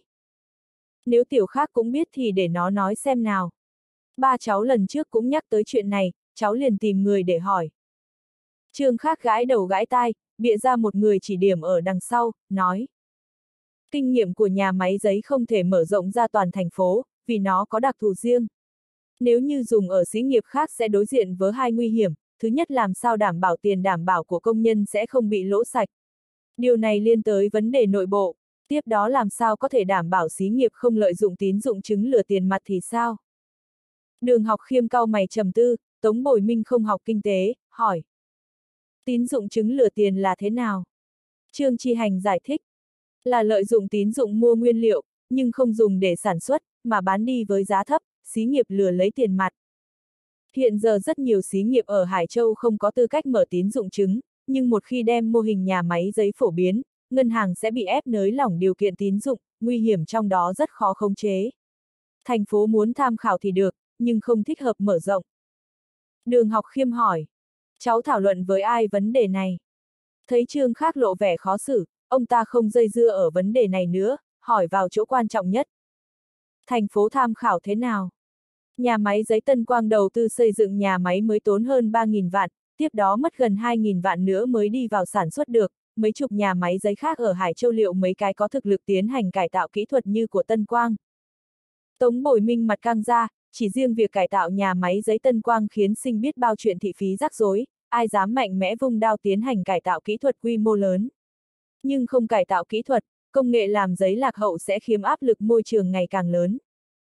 Tống Bồi Minh không nói, ông ta gần như đoán được tiếp theo chương khác muốn nói gì. Chỉ cần thí điểm của Cẩm Hồ ở nhà máy giấy Tân Quang thành công, là có thể bao thầu các nhà máy giấy khác ở Hải Châu, hưởng ứng yêu cầu của thành phố.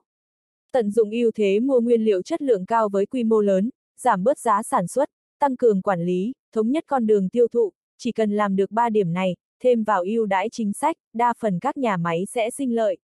Sau đó tiến hành cải tạo kỹ thuật, cho dù một số nhà máy không cải tạo thành công, Cẩm Hồ cũng có năng lực hóa giải nguy hiểm, dù một số nhà máy đóng cửa phá sản, cũng có thể giải quyết được vấn đề đau đầu nhất là nhân viên mất việc, đó mới là mô hình của Cẩm Hồ. Tạ Vãn Tình chưa từng nghe Trương Khác nhắc tới kế hoạch này, không ngờ y phóng tầm mắt nhìn khắp ngành làm giấy ở Hải Châu. Đương nhiên vì hạn chế địa vực, chỉ có thể chọn nhà máy trọng điểm tiến hành chỉnh hợp, do dùng hình thức bao thầu thêm ước định thu mua, cầm hồ ban đầu sẽ không cần bỏ quá nhiều tài nguyên, chỉ cần nắm chặt hai mắt xích nguồn nguyên liệu và con đường tiêu thụ là có thể thúc đẩy toàn bộ nhà máy giấy ở Hải Châu. Mục tiêu của Cẩm Hồ lớn thật. Đường học khiêm chỉ coi trương khác tham gia lập nên phương án này, nếu có thể thực hiện, sẽ mau chóng giải quyết được vấn đề ô nhiễm, liền tỏ thái độ với tạ vãn tình. Chỉ cần bên nhà máy giấy Tân Quang Thu được thành công, thành phố sẽ tích cực ủng hộ Cẩm Hồ thực thi kế hoạch này.